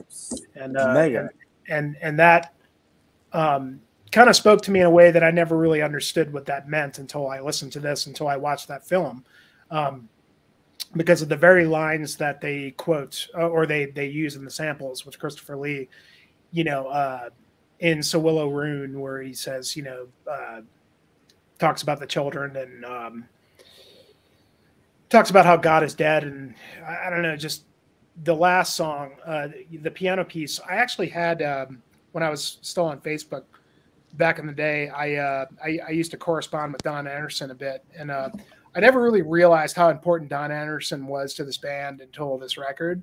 And if you kind of go back and you know go back to the early records, you realize like a lot of his solos and his uh, I, I don't know, just you know the combination of him and John Haughm is such an amazing union and even I would say Walton uh, to you know because Walton's bass is is something we haven't talked about. But the bass playing is amazing in those first two records. Um, but these three guys, like kind of what how they played off each other, kind of like you don't really get that very often. And um, so the the last track, you know, being sort of a reprise of the first song, um, is very important to me. And I, I, I talked to Don a bit, and I found out that Don played i mean composed and and played all of that piece and if you listen to that piece i mean it's a true classical piece of music. You know, it's not just some kind of phoned in like piano piece. I mean, it's real classical music, and and uh, the fact that he just like composed that thing from start to finish and, and did it all is kind of mind blowing to me. And uh, the way that they use those those last few uh, samples of Christopher Lee, uh, you know, where the guy's like, you know, uh, fuck, I try and think you, about he raised you to be a pagan or a heathen.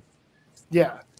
You, yeah, you were brought up to be a pagan. He said uh, conceivably, Heathen, but conceivably. Heathen, but not likely. You know, and like that just I don't know that eh, still to this day when I listen to that, it gives me, God, I mean, extreme goose flesh and just I don't know, it just resonates and uh, in a way that I can't. You know, I'm too stupid to try to you know explain right now, but it's it's it's it's it's so evocative and there was a time where like I would hike and I would put that on over and over again and it would just yeah, like I could see that.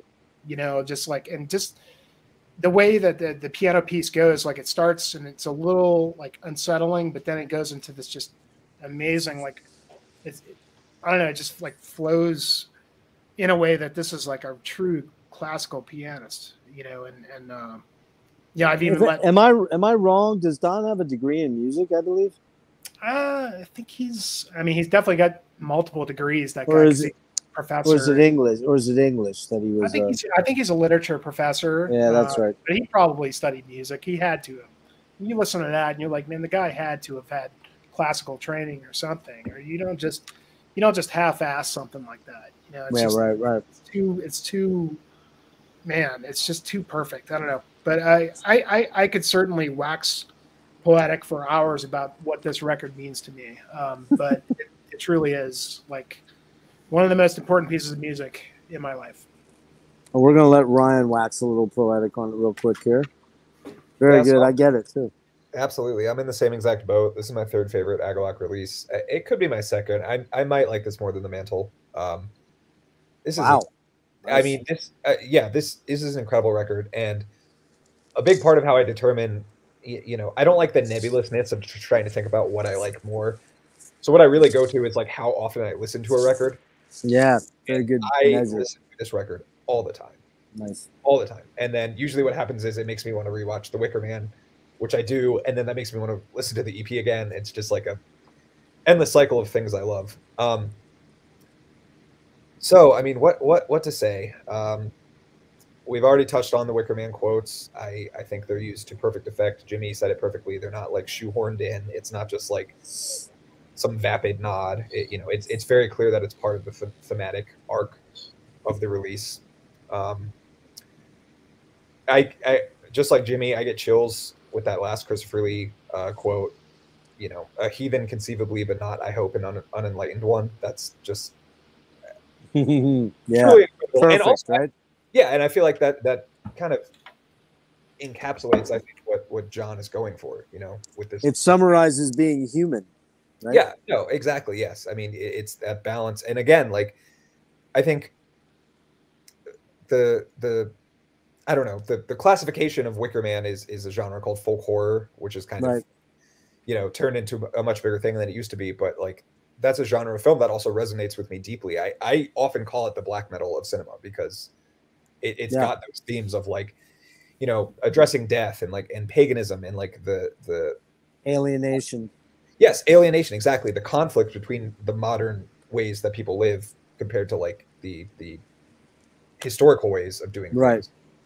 And I think that's something that black metal explores. I think that's something that the Wicker Man specifically very explicitly explores, and that's what this this release is doing. And so, it, j- I just feel like energized when I just thinking about this record makes me feel like energetic and listening to Me it. It's, yeah, I mean it's it's incredible. It's great hiking music. Like I hike to it often. Um, I I like that it's all folk. Um, I think. I, I guess it kind of let them explore that side of the, the band a little more, um, where these aren't just interlude tracks because all of these, you know, could have been like interlude tracks on any of the Sure. full Yeah, sure. I like that they just stuck to folk with this release. And like Yep. Jimmy said, especially with um, Where Shade Once Was, which I, I think is the bonus track, It, it's like a 40 minute. It's a full length. Um, I- I don't know if it's classified as an EP just so they could like It is yeah, sort of like know. it's, it's a but I get you. Yeah. the yeah. band. You know what I mean? But I, you know, I I like what Jimmy said. I, I think it is full length, and I think they just took a different approach with this one, and it it really paid off. Um, I, I, yeah, I don't have much else to say. Pantheist, like you said, that's a beautiful song. I love that song, Ah, it's amazing. and it, it's cool to see it like explicitly um, um, referenced that you know that's sort of probably where they're coming from. And I like too that it has you know Agalloch in general, but like this release, I really feel it. it it's not the like um, anti-religion of traditional black metal. It's you know they're offering like a an ideal that's you know, they're offering an alternative, right? It's not just like the I've, I've been saying this in, in multiple places now at this point, but I'm, I'm tired of the over the top satanic stuff. It's just it's silly to me at this point. And I like that Agalloch has this like, positive ideal that they're offering. You know, here's here's a better way I think of of being a human being in this world, and it's not like it's not Christian. It's still anti-Christian. It is, but they're doing it in a way that's like thoughtful and presenting something that that's a, a viable alternative. I think. Um, You know, I, I didn't even think about any of that beforehand. That was that was completely Yeah. impromptu. So um, That's that's right on. I- I'm Honestly, gonna I leave think it there because I think they're- that's the place to stop. they're just questioning religion and like its purpose and how humankind in the modern world should search for religion among the current society. I think, and that's that's a great point. Yeah, I um the the one thing that in listening to this, it made me pick up my acoustic. It made me want to pick up my acoustic and start, you know, fleshing out some things. I I have a song I've been working on with my daughter, who's a singer that is amazing, and uh, actually Logan's heard her. Um, and I was writing these sort of cool little finger picked, you know, riffs. And I, as soon as I listened to this yesterday, I was like, man, I gotta, I haven't played in a while, like way too long, like long enough that my calluses were painful. They're painful because I, unfortunately, because of my nerves, nerve, nerves, and my health general, I'm always, you know, chewing on my fingers. It's terrible, but it's a disgusting habit. But it is what it is. But man, I picked up my guitar and I was like, oh man, it was just made. It made me really dig down into my guitar playing yesterday for quite a while until my fingers said, "Fuck you, stop this for right now." It really hurts. Um, but yeah, it's it's gorgeous, and um, the the whole concept of you know I'm I'm a borderline atheist, and I only say that I'm I'm a hard I'm a hard right agnostic is what I am, and that's only because I I guess I want to hold out that tiny little smidgen of hope, even though I know it's probably not realistic. At least for me, I don't think it's realistic. Um, but the whole satanic thing is just so played out, man. It's been so played out for so long, and I never took it. You know, I go back to high school with Number of the Beast in '82, and you know, people burning those records at concerts and all that stupidity, and you're like, really, man? Like, are you kidding me? You know, and it's like just the hard holy rollers versus the satanic people. What's the difference, man? I mean, you're just praying to something that probably doesn't exist anyway. So it's like, I don't know. It's just, it's kind of silly to me, to be honest with you. I get it. Ooh, it's Satan. Don't get me wrong. I love, I love Mercyful Fate and King. It's great. It's, but it's horror. It's like watching horror movies. You know, that's all it really is. You know. Yes, very much. And I think even like with Venom uh, specifically. Oh yeah, tongue in they, cheek. they didn't take it seriously. It it was not serious. And then you had, you know, the the Norwegian kids in the in the nineties who did take it seriously Exactly. because it was a form of rebellion. And I understand the the idea behind it, but a it's just been done to death. But more importantly, like you're still working within the Christian tradition. Exactly. Satan You- is is You can't have Satan without God. So right. So if God is dead and you want to shit on God and Satan's the, the way, it's like, well, Right. it's, you're just changing your allegiance from one to the other. And okay, so one's all do the bad stuff. Yeah, Do and, what like, thou will. you're picking the losing side anyway. Real, Like, sa- real Satanists, Satanists, the whole, you know, the Crowley, sa- or not Crowley, um, LaVey. LeVay and stuff like that. It's, dude, it's about getting laid and hooking up with chicks and Hedonism. Yeah, it's, it's just hedonism. That's all it is. hedonism. Well, that's Yeah, that's what. Crowley was too. Yeah, but Yeah, yeah, exactly. That's- so, that's all right, different. Logan, give me some quick thoughts on the EP. Whoa, shit! Sorry, dude, Uh-oh. I kicked you out. I hit the wrong button. Sorry about Honest- that. Honestly, it is fair because uh, my take on this is well, guys, I, I think I screwed up. Oh, you didn't uh, listen to this?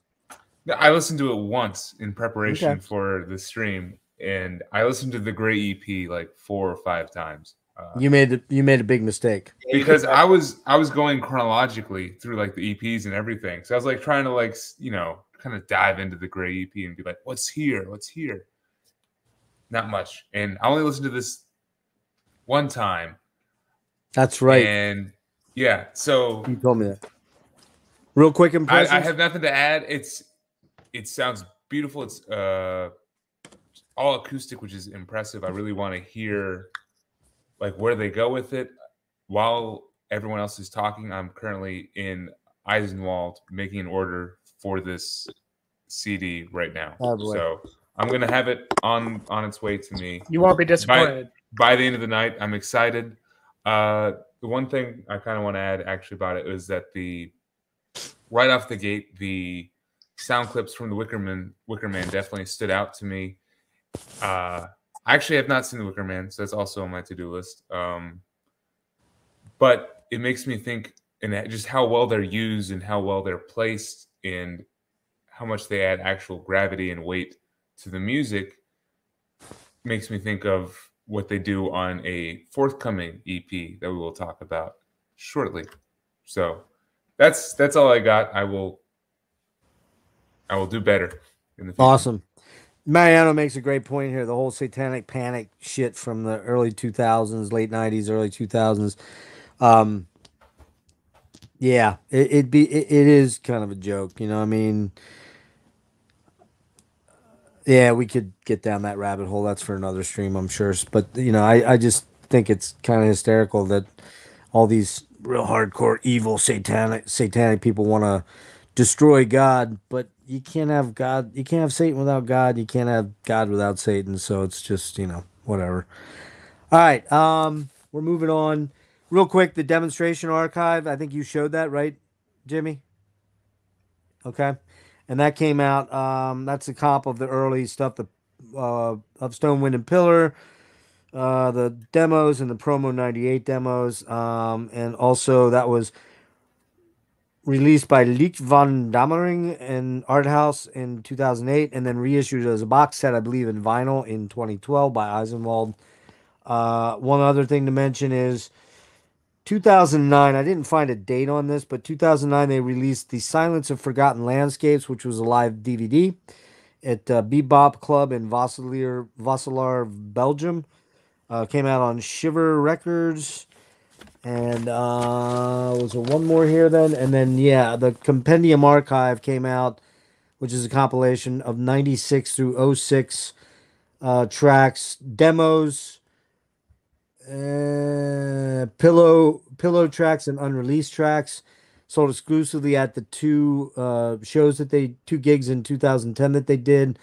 Um, that was 250 hand numbered copies, and that came out by Leekt van Dammering. You know how that one, Jimmy? No. All right. Um, Marrow of the Spirit came out November 23rd, 2010 on uh this is on who's this on? Profound Lore? Yeah, profound lore. Profound Lore, right. So um well you got that just on CD, Jimmy? You're muted, right? Yeah, unfortunately, I don't have this one on uh, vinyl. Um, they really need to repress this at some point. But uh, Yeah, I if you don't want it on vinyl, you got to pay like two hundred bucks wait for CD or for the album. You mean album? for the for the vinyl. Oh, Um, okay, okay, yeah. Yeah, I think too. I think this is the first one that they haven't remastered yet, which probably goes hand in hand with you know having not re-released it. I think probably Yeah, is good enough to stand on its own, but that's probably why there's no. this was released. Uh, this was produced by Stephen Lobdell, I believe. Ste- is that right? Stephen Ray Lobdell, and was recorded at Audible Alchemy in Portland. And um, I'm going to let you go first on this one, Ryan, because I have a feeling you have some stuff to say about this one. Nice, Jimmy. Yes, I do. So actually, this is not my favorite. Oh, I have an even weirder favorite Agalloch release. But Wow. Interesting. yes, I Yeah. well, do. there's only really one more, isn't there? uh, well, no, two. Not there's two. quite.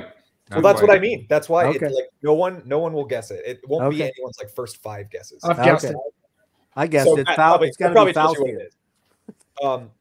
Anyway, I love this record. Uh, this was my first exposure to Agalloch. I had never heard any metal like this ever, and I mean, still to this day, like I, you know, I still find myself googling bands who sound like Agalloch, and they don't Ah. exist. There's nothing. Um, Agreed. there are bands who do explicitly try to do this style, but I just don't think anyone can nail it. Um, but yeah, I mean this this is a really really unique one. I think maybe it's their most depressive.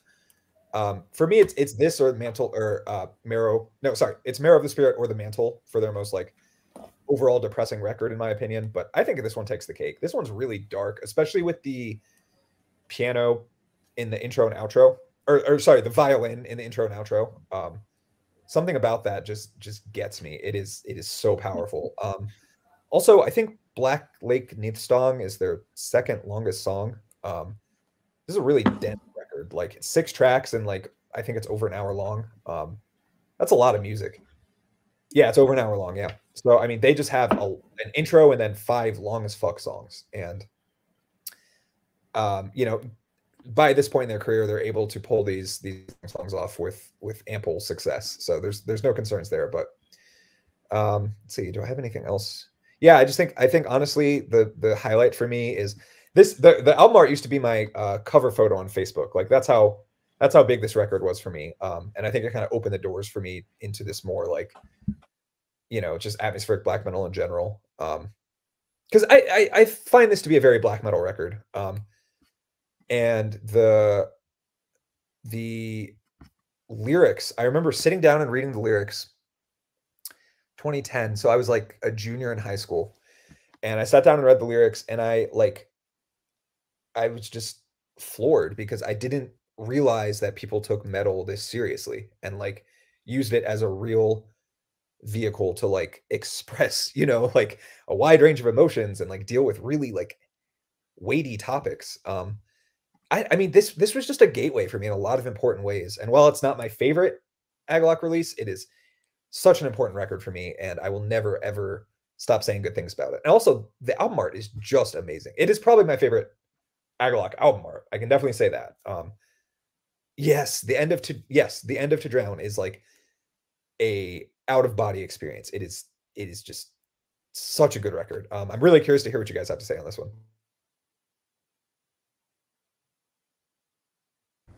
Okay, uh, Logan, we'll hit you on this one. All right. So this one was a little. It, uh, I kind of it was kind of lost between the cracks for me when I got into this band because I got into them with 2012, and I think the end was, you know, consistently repressing all of their releases and stuff, you know, and as uh, Jimmy mentioned, it's and as Ryan also mentioned, it's not probably going to get a repress for the most part. So this was the last Agalloch album I heard. Like, it, I mean, after Serpent in the Sphere and all. So, and I didn't pick this up probably until like 2018, 2019. And in total, probably given about less than 10 listens in total. So, this is the the one that I'm the newest with. But there is a lot to unpack here and Mm-hmm. i'm really excited to be in the middle of unpacking it if you will you know like i'm definitely not Right. my opinion is not fully formed on what this is and where it stands like i can definitely for this vid the sake of this stream put it in a place but i don't know if that's where it would potentially end up landing but Right. there's just there's just a lot going on and i i think in order to kind of like think about this this album you have to once again revisit the concept of drummers in agalloch. Here we go oh shit. There it is. Aesop Dekker from this band Ludicra jumps in, and I think he makes Agalloch an extreme metal band for the first time in their career on this release. This stuff is heavier, it's darker, it it will swing back and forth from the regular like dynamics of Agalloch, but instead of swinging into like a more fast-paced like Agalloch, which is actually more like mid-paced black metal. Like let's just Right. Yep. say it as it is. That's, Agalloch that's never well. Put, that's well put. Yeah. Agalloch never was like Nope. you know i- immortal behind in black metal. yeah. This isn't but- dark fu- dark funeral or No, but or pure Holocaust or something. Aesop Dekker helped give them that push towards that actual extreme black metal sound. And I think it gave them the confidence.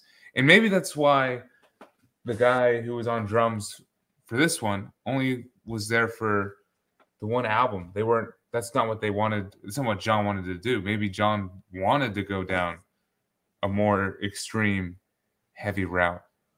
the story I read was that he was Mhm. not really ex he was not really uh improving as a live drummer and and they felt that he just wasn't what you just said he just he wasn't cutting it yeah, I mean, Aesop is the opposite of that. The dude is good phenomenal. Like, Yep. and he he shows off.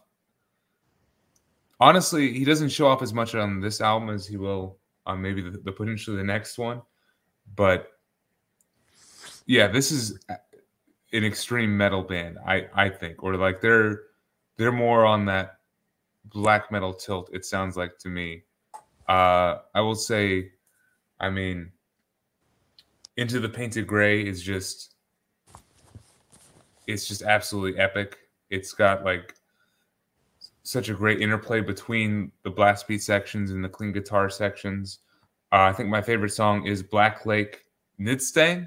How do you say that? Yeah, n- need stung. Need, Nice Nidstang. Yeah, Nice yeah. So Needs hold- stung. okay, really quick. If Yeah. you don't know what that is, it's worth explaining. please. So in Icelandic culture, and and what's interesting to me is how major Norse culture is on this band. Um, so a nidstang is is a cursing pole. So you you decapitate a horse and you put the horse's head on a pole, and you face it towards your neighbor's house, and that's that's like putting a curse on their household. So the Black Lake Niðstång was one of those that they found in Iceland, I think, in like a area called Black Lake or something like that. no kidding. Wow. How about that? It's very summerlandish. Yes, What- I mean, it Som- is. what's that called? What was that movie called? Summerland or summerland right? Uh, M- Midsommar. Oh, Midsummer. midsummer Yeah, that's Midsummer, it yes, midsummer yes, it is. midsummer yeah.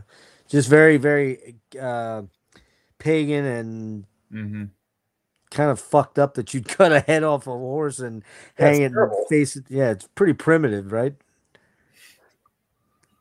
Go ahead, Logan. Oh, okay. Yeah. That's that's cool. And I I will have to listen to that with this that song again with that in mind, but to me the best part of that song is where it'll like it ends with like some ambience and then just builds back up and amps back up from there and the drums just sound absolutely crushing towards the end of that song, you know? Uh and then to drown, I think someone in the comments mentioned how it was transcendental. I I absolutely agree. It's to me, Black Lake, Nidst- Nodstang, or sorry, Brian, whatever, whatever you said, and To Drown are the two best songs on this album, and I'm just excited to see where this falls. You know, like right now, I would say it's hovering at like a strong eight to a nine. I don't want to say. I'll just leave it there. I'll just leave it there, but excited to explore more. All right, Jimmy. I know you have a couple thoughts on this one. Yeah. Um, well, I mean, at this point in the uh, trajectory of uh, being a fan of the band, I was anticipating this record. Like, I mean, more so than any other record I've been looking forward to. You know, because like you have to wait for like four years for a new Agalloch record, and uh, you know, so what?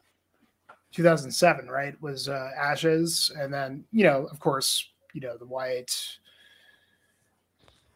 yeah, I think I remember like being like the biggest Megadeth fan when I was huge into Rust in Peace and like anticipating uh, Countdown to Extinction. And uh, like I walked into the record store the day that it came out and you know bought it and was yeah unfortunately kind of uh, disappointed because I held that record in such high regard that like you know maybe it wasn't as bad as I thought it was at the time and it's actually a decent record. Um, I was so so excited for this. Um, and uh who I mean I don't know. I say I sense a butt coming. Well, I mean, not really. I mean, I, I I do like this record. I think it's a good record. Um, I think I don't I, I didn't feel like it was a step in the right direction for them because I definitely felt like it was the first time where it was like, okay, they're not like uh, gods anymore. They're just humans, like that are just figuring it out. Whatever you, you, I'm sure you guys have records like that where you feel like these guys are just fucking gods. They're, you know, they're, uh, you know, elevated humans at their ability to create music that uh, is is you know uh, blows your mind. Um, so I, I, I found it very interesting that they went in more of a, a black metal, you know, uh, direction, and that was pretty evident before the record was released. Is that they were kind of, you know, changing things up, new drummer, um, you know, four years. At this point, also, you know, they're they're pretty known. They're pretty big. Right. I mean, like, Good uh, point. You know, everybody knows who the fuck they are. I mean, like they're not. All of a sudden, maybe they have something to prove. You know, like whereas like previous releases, like that, you know, their their appeal didn't really matter. Like it was Right. That's a great point. Yeah. That's a great point. Um, so you know, at this point, I think after Ashes, they had started playing live a lot more. Um, so uh, got Aesop on drums, and I think this is a really good record. I, I, I really enjoy it. Um, I, I will say, I you know, I, I'm uber critical, you know, when it comes to Agalloch, and I thought that. Uh, I, I definitely I, I, I cannot stand the production on this thing. I hate the way it sounds. Um, that What do you hear there? I'm curious. What do you hear there? I'm just curious. It's just it's just I mean like I think it I I kind of understand like what they were going for. Like I think they wanted to get a little more abrasive. I think they wanted to get a little more, you know. I don't want to say that they wanted to get more like metal cred. I I- I don't want to like put them on that. You know, I want to put that on them, but like I feel like they were just, you know, they had a lot to prove for sure. I mean, there was a lot of hype, a lot of uh, you know, focus on the band at this point. And I think that was probably kind of hard for them, you know, because they're not the type of guys that were, you know, um, you know, expecting super super media savvy. Yeah, super media Yeah, savvy. you know, yeah. and and uh, you know, so at this point they're playing live, they're doing those things, and um, so um, I think I thought it was cool that they had more of a focus on, you know, like uh, you know, more a more metal cred here, like a more you know a heavier kind of thing. Um, but I and I think that they chose the production to suit that. You know, I, I think they wanted to go for more something different, and uh, you know, I, don't- I don't fault them for that. Whatever, I I I, I don't think it really quite worked for them. Um, you know, for me at least, uh, it, it's too uh, it's too abrasive. It's too tinny sounding. You know, I mean, uh, it's too like kind of trying to go for that sort of thing rather than just do Harsh? what's natural. Well, I, it didn't feel natural to me. It felt like okay. okay, we need to like kind of, you know, that's just me. That's just what it felt like to me. Now, that said, um, I think I was also a little taken aback by, you know, there was a lot of um, guest musicians on this, you know, with, There was. uh, you know, and I was kind of taken aback by that because it was like, you guys don't need guest musicians. You can do everything, you know. I mean, how many, you know, different instruments did we hear like on the previous records? to me, that felt like a little forced. Like it was a little like, you know, not as honest as I've always felt about this band, you know. So not that it's a bad thing because you know the intro track is great. I, I like uh, what uh, the chalice did with that. Um, but going into especially into the painted gray is where I start to really have problems because I felt like, okay, this just feels like it's it's unmistakably Agalloch, but it's you know they're going for the blast beat thing. They've got Aesop in the band now, and Aesop sounds great, a great drummer to to add to the band. Um, but I don't know, it just I don't know, it's, it just it just doesn't uh, doesn't quite you know add up for me. And then uh, I think the Watchers Monolith was the first track that they released uh, leading up to the to the record release, and that one kind of harkens a little bit more back to like what they do, you know. Whereas Into the Paint of the Gray was kind of more, you know, the abrasive black metal song. Yeah, Like, for sure. It just felt like they're like we're doing our black metal moment here, and I just always felt like you don't have to do that. Just do what's natural, and uh, and that's just you know, it's a very you know complete fanboy gripe because you know if if you take my gripes aside, this is a good record for sure. And uh, I would I would definitely say that uh, Black Black like uh, Nights thing, however you pronounce it. I mean that's that's an example of a band that really knows how to write songs again. You know, it's a tw- it's a twenty minute track or whatever, and it ebbs and flows perfectly. Uh, I mean, not a, not a moment to be missed on that song. Um, I would say, like for me, like the back half of this album shines. You know, with Black Lake and Ghosts of the Midwinter Fires, that could have been off. You know, the mantle. Great Yeah. track, great. You know, still building upon what they're good at. You know, good good songwriting. And to drown, even though that has a lot of like guests, I mean, that's a really wonderful, uh, just man, abrasive. You know, yet uh, classic. Very, ex- very experimental. Yeah, yeah, and uh, and so like you know, in retrospect, uh, I was a little disappointed, but it's still, um, it's still up to the standard to I expect from this band, um, but just missing the mark a little bit, um, and I think the production really kind of, you know, in a lot of places, kind of ruins it for me, and I. I, you don't have to do blast beats, man. You know, I mean, like it's cool and and it works, but you know, I almost I, I just feel like it it feels forced. You know, it feels like That's a good point. where are we gonna go? Like we got to really like make this next big epic album, and I don't know. It just you know, be a live band maybe. I don't know, uh, which is cool.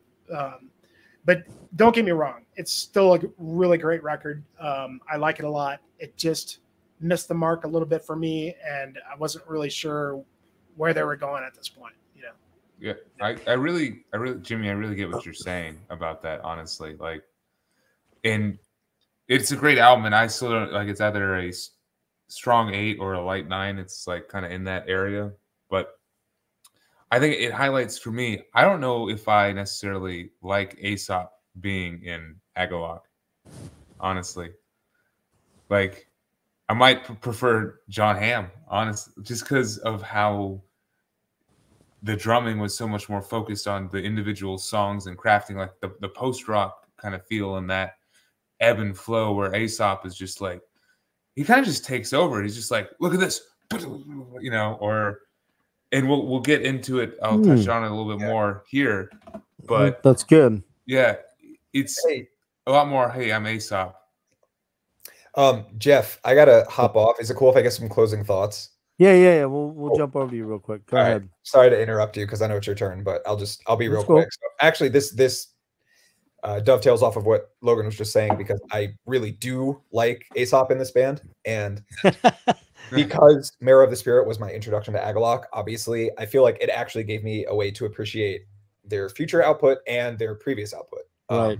I kind of hit like found the band in that sweet spot.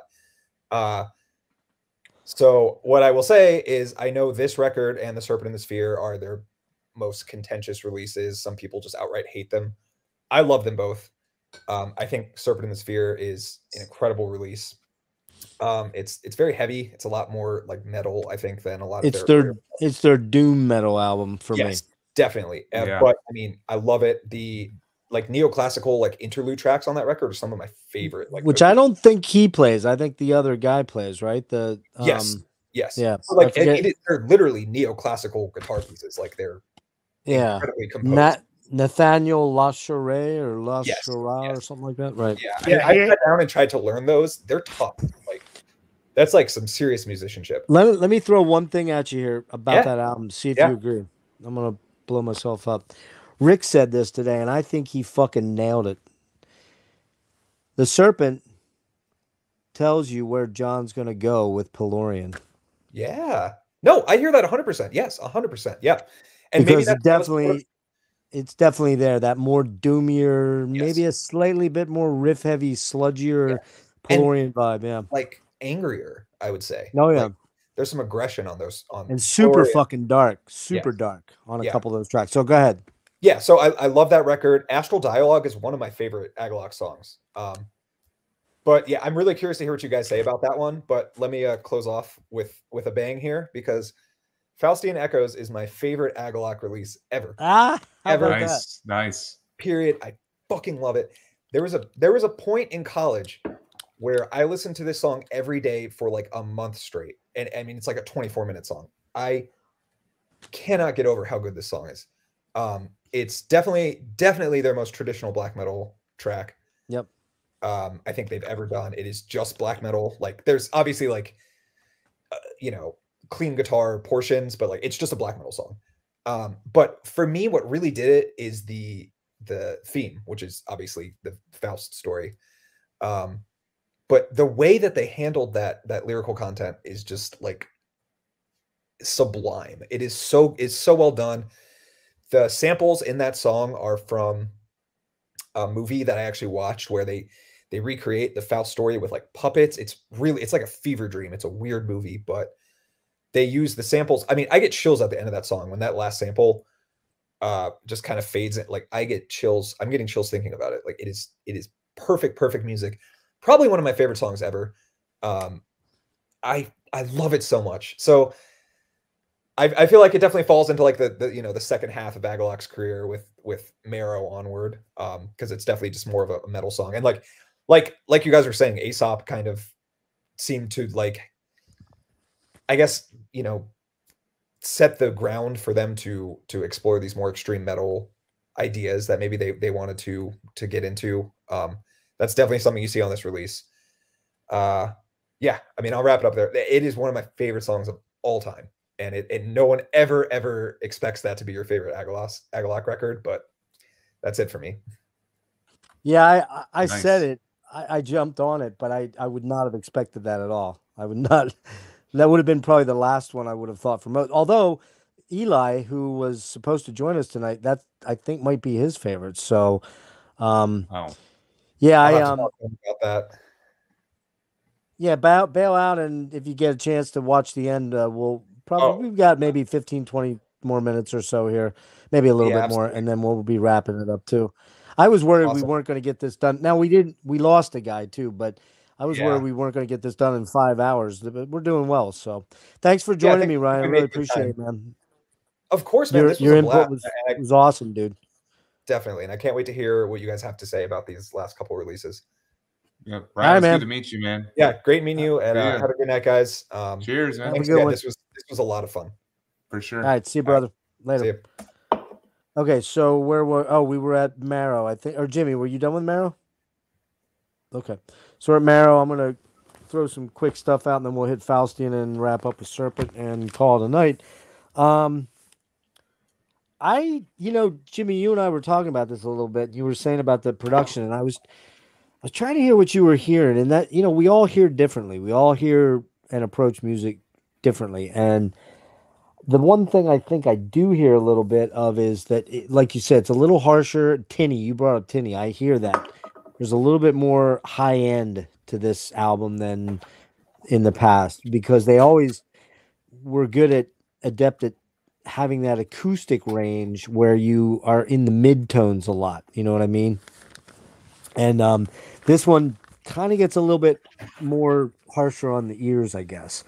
But I do like it quite a bit. I really, really do. It's, I mean, maybe a better mastering job on this would have been, would have really, so a remaster on this one probably is definitely something that hopefully they are looking to do at some point. Um, But they escape the weight of darkness intro. You know the piano. It's cool. I think it goes on a little long for me, just a tad. I don't know why. It just seems to go on a little long.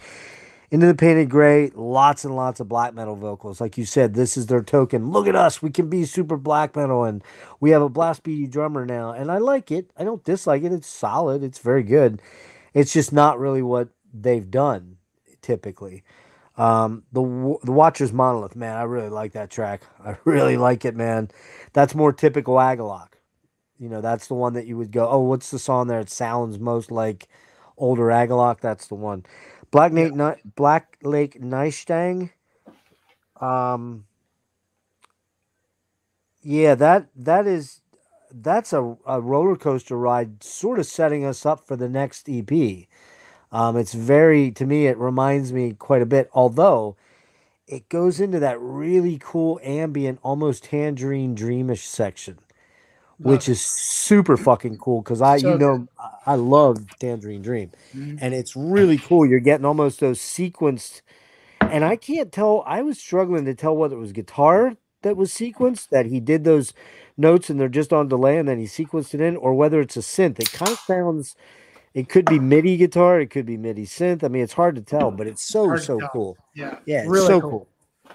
Um, so Black Knight Lake Nightstang, really fucking badass song. Ghost of Midwinter Fires, great song. It's more black, uh, uh, more black metal, but it's a little more Agalloch black metal style. Um, still very post metal too on that one. There's still a lot of post metal, and then to drown. That's probably the most unique song on the album. It's um, Yeah. Really cool. it, it's it's something they've never done before and it builds and builds and it kind of it kind of becomes a wall of noise sort of song to a degree but like uh, pedro says here i associate oh no i'm sorry the end of to drown is transcendental exactly it's kind of like It is. Mhm. you have this almost out of body experience when you're listening to it you're like if you really focus on it and close your eyes you can feel yourself like astrally projecting or something like that It's Yeah, so- that ending is yeah, it's Yeah. so cool. So for me, this is a strong eight out of ten. And the only reason I I don't have so much the issue with Aesop's drumming, I just think that it it sounds a little harsh, like you mentioned. So I, we Yeah. did hear something similar. That's the only thing that to my ears was a, a, it just didn't have that. Also, I don't think there's as much acoustic on that album as generally he was used to playing. So Yeah, I'm kind Um, of missing uh Haughm's uh, clean vocals too. There's not a whole lot of clean yeah, there wasn't much clean There's a on that couple. There's right. a couple. There's a parts, I couple, think, yeah. But not much. no. But I've been No. very critical of the record, but it's still a great record. Don't get me wrong. And Yeah, I that's mean, the thing. Yeah. That's the thing. I mean, even their worst record is still a pretty good record. You Yeah. know, I mean, it, it really is. There's there's a lot a lot to that. So, all right. So we get to um, shit. Where's it at? Oh, you're Fascinating kidding me. Yeah, but I didn't write down the date. Fuck. Uh, it's 2012. Uh, give 2012? It's. I can get the exact date for you in a second if you want it. Okay, twenty. Yeah, 2012. That's right. Um, yeah, it's. They come out with Okay. Faustian ep, ah, Faustian Echoes, which is a 21 minute 34 second track. Um, Yeah, came out June EP. 2012. June 2012. Okay, cool. Came out as an EP. Um, I, it was released digitally at first, then a CD vinyl uh, at shows, and then via email order exclusively. Do you have this? Does anybody have this? That's the only one I don't have a Nope. physical of.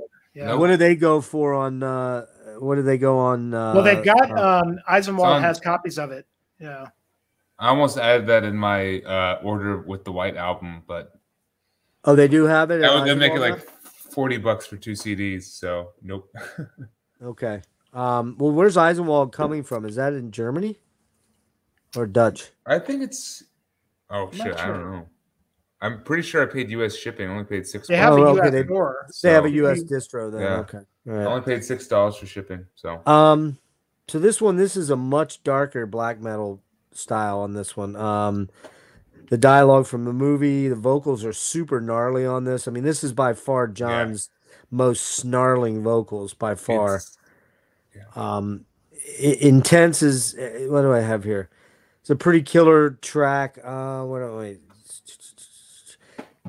Some of the some of the line levels seem a little odd to me at times, though. On the in the transitions, that's the only uh, thing I would probably criticize at all.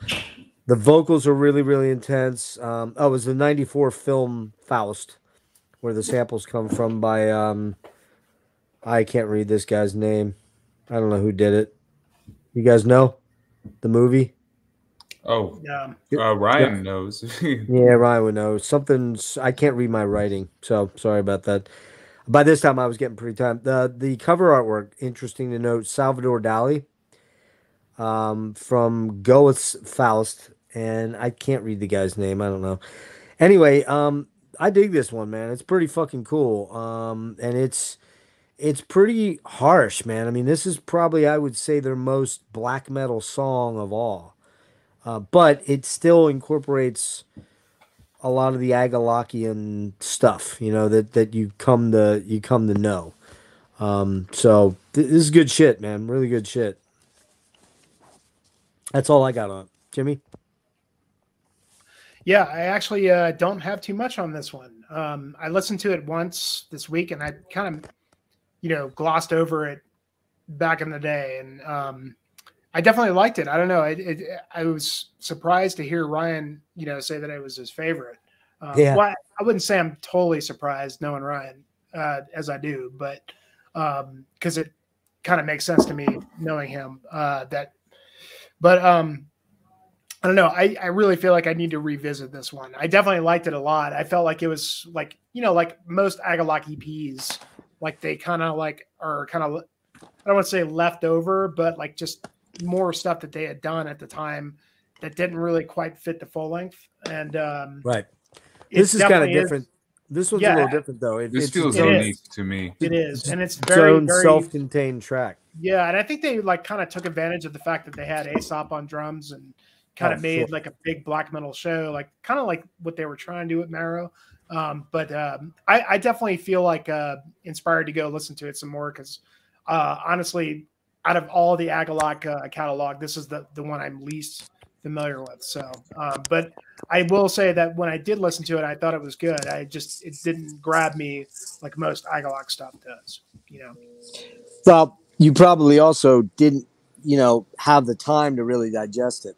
You know, that's Yeah. Mhm. if you'd had six or seven listens or whatever, you would have probably been able to go, okay, I can, I got a better informed way of, of going about this. But yeah, I mean, um, yeah, Ryan, no problem, dude. I really, really appreciated you joining tonight. I'm Honestly, I had a bad to- taste in my mouth after Marrow. I mean, as Yeah. much as I like Marrow, I was Struggling, still struggling a little bit with the band Yeah. as a whole. yeah. Um, how about you, Ry- uh, Ryan? I was going to call you Ryan again, Logan. And I'm the Uh, one that's not drinking at all. Cheers to you, Jeff.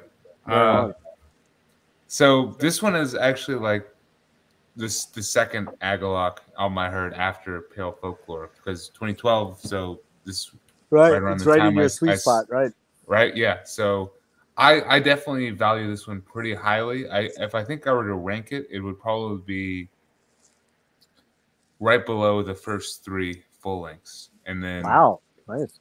it's yeah, it's it's pretty awesome. I think the the biggest part of it is just because of the overall concept and how it's so well contained in this one track, and the samples that they use are almost like a another instrument. They add it. The samples add so much depth and so much more impact to the music as you're listening to it. And I think because of the subject matter and because of the Faustian story and what it, it's conveying, the extremity of the music and the fact that they're going as heavy into the black metal and into blast beats and stuff, and into the contrast between like blast beats and then oh here's a sample or blast beats and here's a clean guitar break.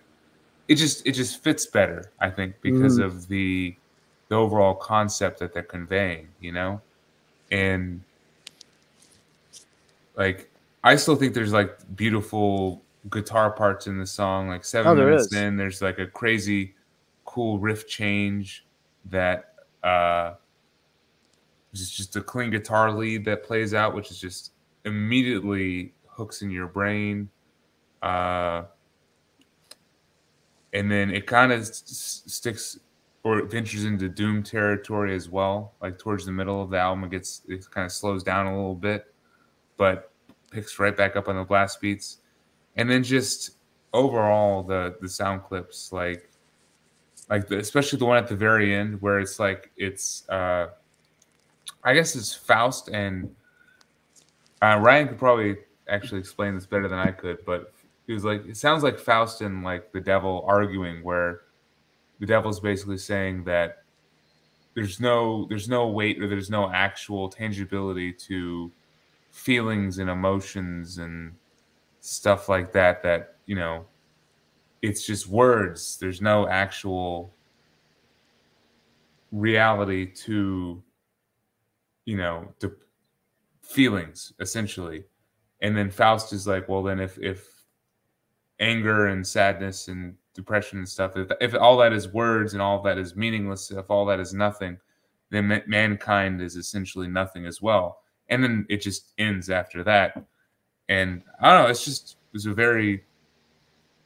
cool ending to a cool song cool ep so i don't know definitely rank it highly Yeah, I'm I'm like uh honestly, I'm like Jimmy. This is the one I've had the least amount of time with other than Serpent, which I just got Mhm. into the last two days. So I got maybe three or four listens in on this one. So not enough for me to go, oh, I really know this like the back of my hand. All the other ones, even Marrow, when I fired it up, I had had that back in the you know when that came out and Yeah. listened to it a lot. So I, I, I recognized some melodies and some vocal lines and stuff, but this one was was wholly new to me. I remember. I, you said this came out in twelve, right? Yeah, I remember. Faustian Echoes did, yeah. yeah, I remember this coming out, and I got to be honest with you. After Marrow, and it's interesting, Jimmy, because you and I have maybe a similar experience, but maybe for different reasons. I got to be blunt with you. At 2012, now I'd been into this band for the better part of a decade, and while they had not let me down at all in any way, shape, or form, I think I was start. Some of my tastes were changing a little bit, um, and I was starting to listen to Oh, with re- regards to metal, I was starting to get into more old school death metal that I had missed. You know, some of the more brutal knuckle dragging stuff. So, some of this more crystalline, pretty stuff, or these long track. For example, these long tracks, because this is almost twenty-two minutes. hmm You know, which is like the length of fucking you know close to the edge, or you know something like that. It wasn't it wasn't as in my wheelhouse and I I I don't even recall listening to this when it came out. So it, it may have completely excuse me, may have completely passed me by. And so when I listened to it on Wednesday and then again yesterday, I was like, oh, okay. This is pretty good, man. I mean, like I, I don't think I was expecting it to be good. And then based on kind of talking to Jimmy about the last album, which I didn't I knew it came out, but I never picked up, never even listened to. I was like, well, I wonder if the last album is better than I think it's going to be. And we'll get that in a minute. But yeah, this is this is pretty cool. I give it a seven and a half out of ten, and that's just because I'm just not like you, Jimmy. I've got a few more listens than you under my belt, but I just I don't have I don't have enough experience with it. And no, Kevin, I haven't seen them. I don't think I don't think anyone else um, was. I've seen them uh, three times. Yeah, I, I've not seen them live. They came to a fest in DC. I don't remember whether it was Decibel, if that was around then, or, but I know I was I was supposed to go. My buddy John was lived down there. I was going to crash at his place, and I know also that fucking um, oh November's Doom was playing too. I was like super stoked, and then something happened. I think, to be honest with you, I hate to say this. I well, wait a minute. This would have been, yeah, this would have been in yeah, around 2004 ish, 2000. When did they go out first? Was it 2000? For they went out for Pale Folklore, right? Or not Pale Folklore, um, the Mantle, right? Yeah, they went out touring finally for the Mantle, right? I think. Don't think they started It touring. probably wasn't until they got the of the drummer, right? Yeah. At least Ashes Against the Grain, because that's when they got the drummer. Yeah, but that was all the way at 2006. Are you sure it was Mhm. that far? I don't remember it being that far up. Well, I Well- mean, they they did like select shows like in those days, but they didn't really start touring. Well, no, that's what it was. This was just a fest. They weren't on like a major tour. And no, I, I want to say this was 04. And unfortunately, I, you know, built a house in from the winter to the summer of 2004. I had two, you know, fairly young kids in fifth grade and third grade or whatever it was. And I moved into that house and 11 days 11 days, seven days later, my uh, wife came to me and said, Hey, I don't want to be married anymore. So you can imagine I had a little bit of some stress going on in my life at that point, and I, you know, was ready to uh, kill everything. No, just kidding. Uh, but yeah, I was going to go down to this show, and I ended up bailing on it because of what what was going down. So, um, yeah, I, I want to spend a little bit more time with this. I think it, it's deserving of that. Um, you know, whether I pick it up or not doesn't really matter. But uh, how about we jump on to the last album, guys? You ready? Let's All do right, it. cool. Jimmy, I'm going to make you talk about this first. Oh, I great. wanted to ask uh, Logan, when did you see them play live? So I I saw them uh 20 I got I got actually got their set pulled up on Setlist FM. Uh June 27th, 2014. Oh, nice. We're at. So it was uh King's Barcade in Raleigh, North Carolina. Uh and I I guess honestly it's it's kind of I'm I'm just so happy that I was able to see them because I'm looking at their set list and I went back their first set was March sixth, 2003, by the way. So that's when they started playing live. And the- they That's what I thought. 2003. Yep. Yeah, they don't have as much. Like they, I guess they did not play live too much. You know. No, So- they they didn't. Europe, they did. They did. uh, I if I recall correctly, they might have done like two proper U.S. tours with like, um, I don't remember who they were touring with, but um, yeah, they did. Um, by the way, Mariano said Jan Švankmajer, whoever that's the guy that did the Faust movie. the The Faust. yeah, but yeah, I, I, it just was weird that for some reason it was just kind of weird that they they didn't do a whole heck of a lot of touring, and I think it was No. because, to be honest with you, I think you know Don, I was pretty sure was a professor, and he could only tour in the summers, if I recall correctly. And that's they had uh, to- that- June. yeah. Yeah. Yeah, they had to line up their tours so that you know they and they weren't. Let's be honest, they were well known in the U.S. if you were into extreme metal or underground metal, but they weren't going to be selling two thousand tickets to a show. It was going to be you know a couple hundred people max, right? Yeah. The King's Barcade where I saw him was definitely about that. And Yeah, honestly, I to me, which if I were to like actually sit and think about it, I don't know if it would hold up with all the shows that I've seen, but the time that I saw them might be my favorite concert ever. They Wow. just they they basically set up the venue with so much uh fog and everything. It was just smoked out. Like you could barely Yeah. see any of the members at all. And they just had flashes of light in the background. So it was just like a strobe. And you would just see Oh, the band flailing around. And honestly, this is when just seeing Aesop Dekker live was a- amazing, just phenomenal. I have this super distinct memory of watching the ending of Falling Snow, you know, where they're breaking it down and it's just flashing lights, pure fog, and you're just seeing these silhouettes of these guys just going Oh, ham on their instruments as it's the that song is just breaking itself down. that must have been great. Yeah, it well, look at that. Yeah. Lucky you, man. I, I mean, I never got to see him. I know. Best, best live experience for me. I, I know that when the band broke up, um, they uh, Pillorian went out pretty quickly. They went out, and I don't remember I who they were that. playing with. Yeah, they, they were played in playing Raleigh with. too. Well, they played Baltimore, and once again, something came up at the last second, and I didn't go. Which so you know. All right, Jimmy, give us your thoughts on the Serpent. Yeah, I saw them. Uh, I saw them the first time for me was uh, 2012. Um, after on the you know when they first started touring, Oh yeah, um, I saw them in Denver on the Marrow of the Spirit tour, and they were just sublime, amazing. Um, I saw them two more times on the uh, the Serpent and the Sphere tour. you know, which would have been the end. And uh, you know, kind of a perfect segue into talking about this album. Um, I don't have this on vinyl; it's just a CD.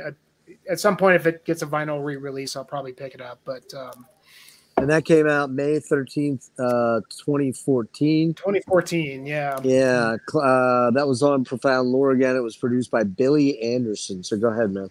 Yeah. Um, I've been uh, uber critical of this record for many years, you know, since since it came out, uh, because you know this is one of my favorite bands of all time, and uh, you know I've written some of my favorite albums of all time, and uh, you know honestly, when this came out, I, I fucking hated it. I thought it wow.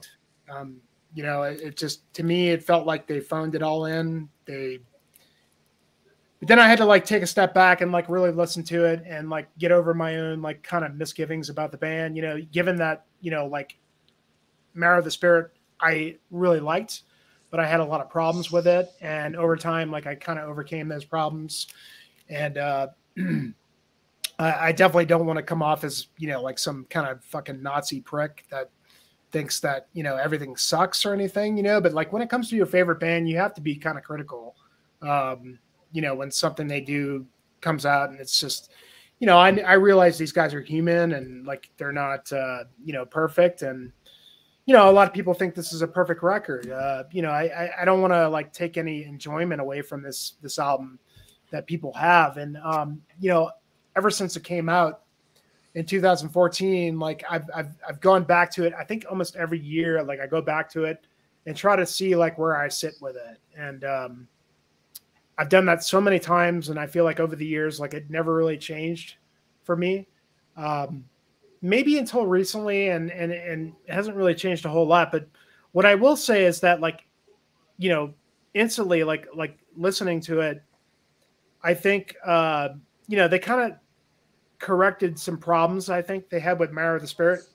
Largely the production. I think the production is fantastic. It sounds really good you know, I feel like they kind of went back to what they were good at, you know, in terms of like their sound. Like it, it, it didn't feel to me like they were trying to like, you know, not to say that they were trying to be a black metal band or whatever it was on Marrow of the Spirit. I don't want to say that, but it just kind of felt that way to me listening to it. That it, it wasn't, it didn't feel like it was natural anymore. Like it felt like they were trying to figure out something to we need to put out a record. Let's put this out, and here it is. And you know, even though like there was a lot of great, great stuff on Marrow of the Spirit, but on this one, it really even felt like that more so. Um, you know, because again, it's another four-year rate for uh, the Serpent and the Sphere. Um, but uh, I think you know probably what kind of jaded me about this record is seeing them live. I saw them live twice on on this record. Oh wow, okay. And honestly, like I felt like the songs on here just I don't know, they just didn't didn't feel, translate. Didn't no, translate. Like I mean, like like I feel like it was them for sure, um, but it just didn't feel to me like a you know, um, you know, for example, you know, they started off with "Birth and Death of the Pillars of, the, of Creation," which is a really good song, and it really oh, yeah. has that good good build and good. Like, I mean, the sound is good, like right off the bat. Like, I mean, it sounds amazing. Um, I had, I had some problems with the fact that they, you know, I love uh, the guy from Mus- Musk Ox that does the interludes, like fantastic oh, contributions. Yeah. I love the interludes, but I couldn't help but feel like, man, y'all had to hire somebody to do that. Why didn't you guys just do it yourself? I mean, like, y'all are, I mean, you're the best at doing that kind of stuff and you had to bring somebody else okay that's fine it's it's it's a stupid gripe you know fanboy gripe that i have but i just it bothered me that they couldn't just handle that themselves and not have to it just it, it spoke to me in saying like you had to bring somebody in to you know kind of bridge things together and um you know maybe i'm full well, of shit you know it's just my I, own gripe um can I interject but, a thought there, though? Sure. Mm-hmm. So, as a guitar player, one thing I will say is that playing classical guitar is quite a bit different from playing acoustic guitar. And in other, as far as recording, Sure. be- because you really got to be pretty damn precise. And maybe John just didn't feel his chops were good enough on the classical side to pull them off, whereas he's great on the steel string, not the nylon string. Right, Nylon but I mean- string's a lot less forgiving. Right, but did they write those songs, or was that Uh, just hey, Well, come- that's a that that's a good hey, question. man, I come in and do some cool acoustic interludes? You know. well, to- you have the you have the CD there. Look on the CD. I don't Well, know. yeah, I mean, yeah, I, I could. Um, but well, let me finish real quick. Yeah, mean, yeah. And and so, I mean, there's a lot to like on this this record. I mean, it's kind of like classic Agalloch. It's kind of back to what we want to hear from them, you know. And like, I just feel like the songs, like when we get into like Dark Matter Gods and Celestial Effigy, uh, the Astral Dialogue, all I mean, they're decent songs. I just feel like there's something missing. Like it's not the compositional genius that we've heard like previously. You know, like I mean, I feel like they had some good ideas, but they weren't really fully fleshed out. And mind you, like I said, being uber critical, uh, but like especially when it comes to Veils Beyond Dimension, which is like again, like there's some good good ideas there, but it just feels like Mhm. weird and it does especially when they played it live, it just didn't work for me. I mean, uh, and Plateau of the Ages, which is like the big epic, you know, closing track, starts great and it's got some great ideas, but I felt like they they became like a victim of repeating themselves.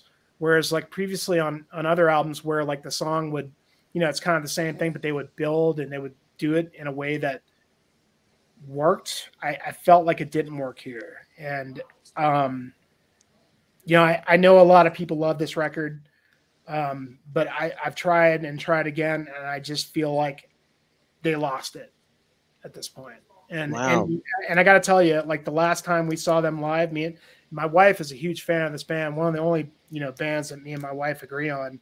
Um, you know, seeing them play live uh, that last time, it was the end of the the U.S. tour, the last tour Mhm. they did. What And, uh, what year was this? 15, 16? it was like 15. Yeah. 14? Okay, And, um, 15. I got I got to be honest, man. You could feel it. You could feel that they were just. It just was not the same. It just Well, felt they were not. we'll talk jiving about that. Yeah, I, mean, think there was some tension. I think there was tension in the band though. Yeah, had been building for there a while. was. And, I mean, and, and that was obvious, but I just felt like that bleeded into these songs. You know, Yeah, that's And it just, it just, it's it's not a bad record. It's still a good record. It just, it's you know, like I'm I'm I'm guilty of having to hold them in such amazingly insane regard that like this just missed the mark and to me felt like completely like like they just lost it like they they didn't know how to pull some of these really good ideas that are on here it just fell flat for me unfortunately so you know, I'll bring up the porcupine tree anal- analogy where I know you're a big fan of, of fear, but I really started to feel like after the success and amazingness of in, in absentia, which granted was a lot more streamlined for radio to a degree, but also still retained Steve's patented gift for melancholic songwriting and these hooks and lilting British sounding songs. He then went and did Deadwing, which had a lot more progressive stuff, and with the exception of two songs on there, Shallow and, and Halo, which I don't like either of those songs anymore. Hey, uh, Deadwing has some of the most beautiful songs Steve's ever written, like Mellotron Scratch and fucking Glass Shattering Arm and uh, Half Light, and you know, there's some uh, beastly songs on there. When we got to um, Fear, with the exception of Anesthetize and Sentimental and maybe uh, Way Out of Here, I just, man, that that album started to turn me a little bit. And by the time we got to the incident, yeah, there's a couple good songs on the incident, but overall, I'd never picked that album up. And I don't know if it was just because Steve was burnt out. And, you know, as I said to you, Jimmy, John predominantly, who I think is the predominant songwriter overall, John set a really high standard, man. And he almost painted himself into a corner in a lot of ways. Mm-hmm. yeah How Well, many times, but how many times could he keep writing 16, 15, 14 minute tracks that Well, were that's the thing. I mean, interesting. like you there's know, the moments. There's the moments here, you know, and, and I'm gonna make I'm gonna make a really really awful analogy, or maybe Okay. it's a good analogy. I don't know, but like this is the best analogy that I can make about the serpent and sphere. Okay, I don't know if you guys have watched Rings of Power. Okay, No. but uh, I've okay, heard about it. Okay, so like if you're a Tolkien fan, like mo- like oh, okay. if you're a big fan, if you watch Rings of Power, here's what I'm going to say: the the actors are fantastic, the visuals are amazing, the concept is there, Ah, uh-huh. but the writing is awful. okay. Yeah. And, Huh. And and I don't know if that's a good Huh. analogy for this. It's just the best that I can come up with, and I hate to say, and maybe the writing isn't. I mean, look, I mean. That's just my opinion, you know, because I I don't was- I was think gonna say, maybe- a lot of people love this record. know, Right, like- right. The, but the I've, writing been, I've made been a fan of this band for so long, and for me, this one, I mean, they lost it, you know, and and I hate the fact that they went out on this, and I still will say that it, it I mean, it's still a good record. I listened to it today, and I was like, man, it's not as bad as I have given so much shit to this record. I was wondering about that. Yeah, I was wondering. it's really not that bad. It's really, but it just, it really just misses the mark for me, you know, as a fan of the band. And I look, and it's fine, you know, like, look, these guys are human. Like, you can't fucking release a masterpiece every time you come out with a record, you know, it just, but I could definitely, like I said, going back to it, like seeing them live that last time, I could feel, I could tell that they were not, they weren't on the same page, you know.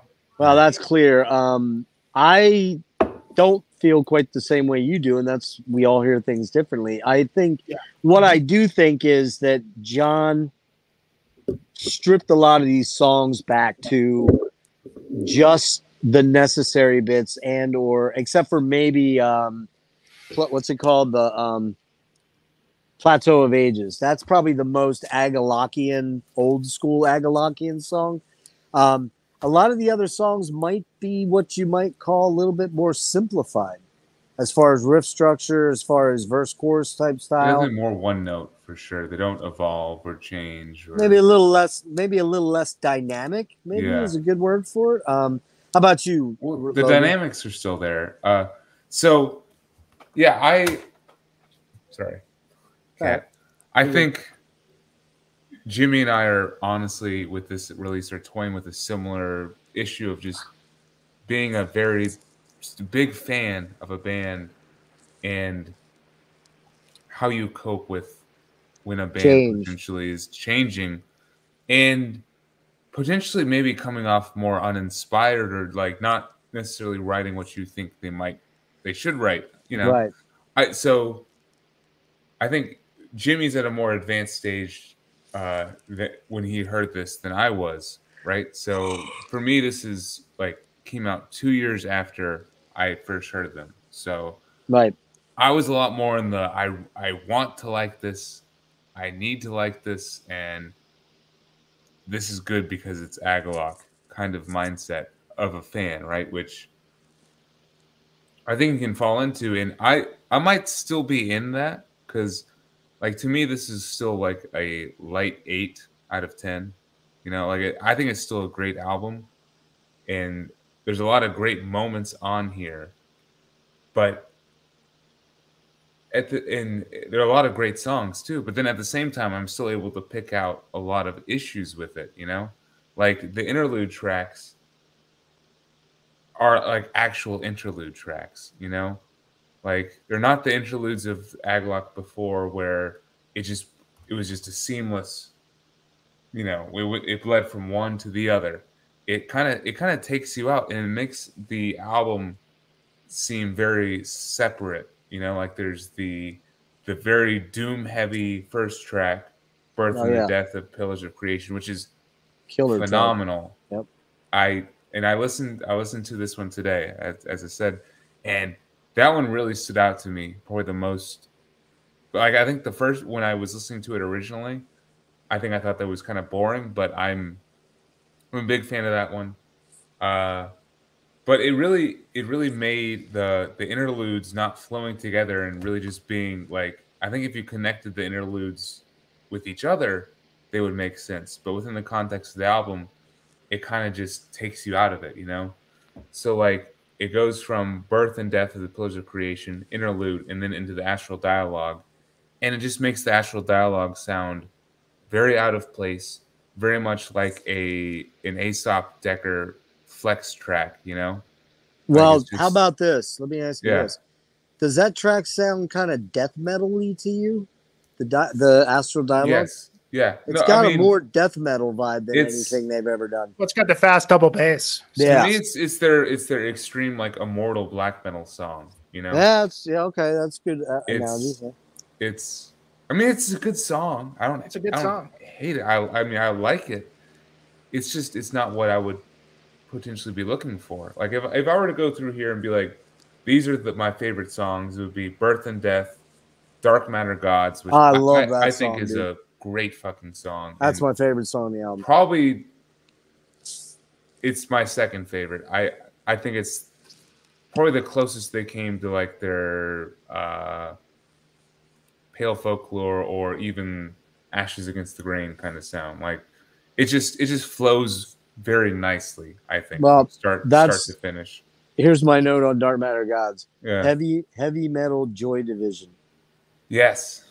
It's it's very it's a very cool song, you Yeah. know. And It's killer. Celestial Effigy is pretty awesome too. Lead single, I think worth mentioning. Uh, but I think Aesop Dekker kind of takes the joy out of it a little bit with his like he he plays like these really fast sixteenth notes on the hi hat, and there once again it's awesome. It's all great. It's all good, but I think it kind of detracts just a little bit from it sounding like Agalloch and it, it sounding like the more simplistic drumming, which I think we keep coming back to that, you know. Right. And then Veils Beyond Dimension, I think, is kind of similar to the Astral Dialogue in that it's it's a more forgettable kind of uh trying to be black metal, trying to let Aesop Dekker show off kind of song. It's and once again, still good, still a great song. It's just, you know, not specifically Agalloch, but then Plateau of Ages, I think, is a is a great way to end. And I think, like Jimmy, I get your uh, cr- criticism of that song, for sure. But I think you have to look at, at it in the concept, you know, within the within the concept, within the context, within the context of the album, and I think it fits the album perfectly.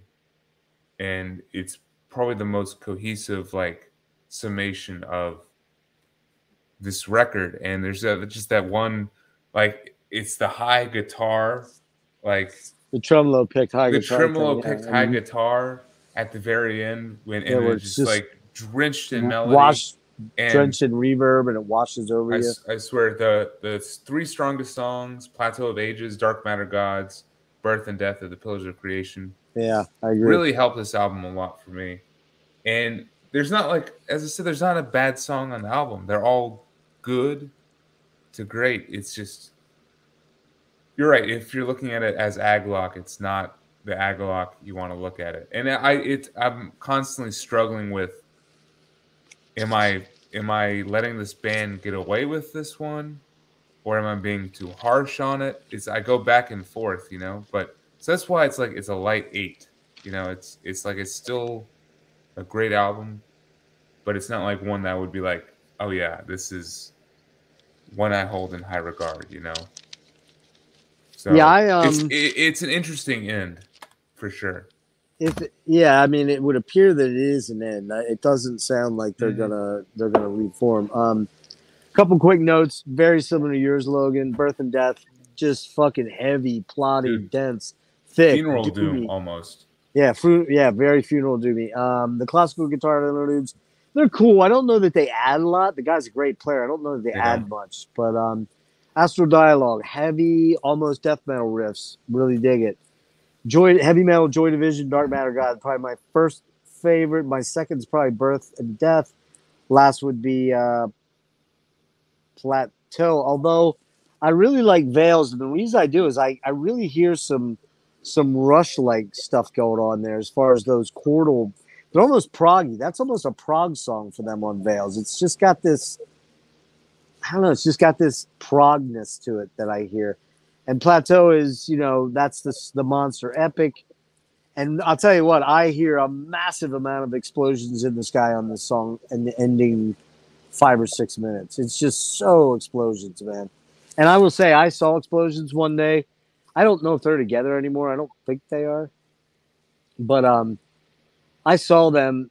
Was coming back from New York and seeing uh, Steve Wilson's band with Aviv Geffen, Blackfield, and we drove by. We were heading to my buddy's place in D.C. We drove by the 930 Club, which sadly doesn't really do rock shows anymore.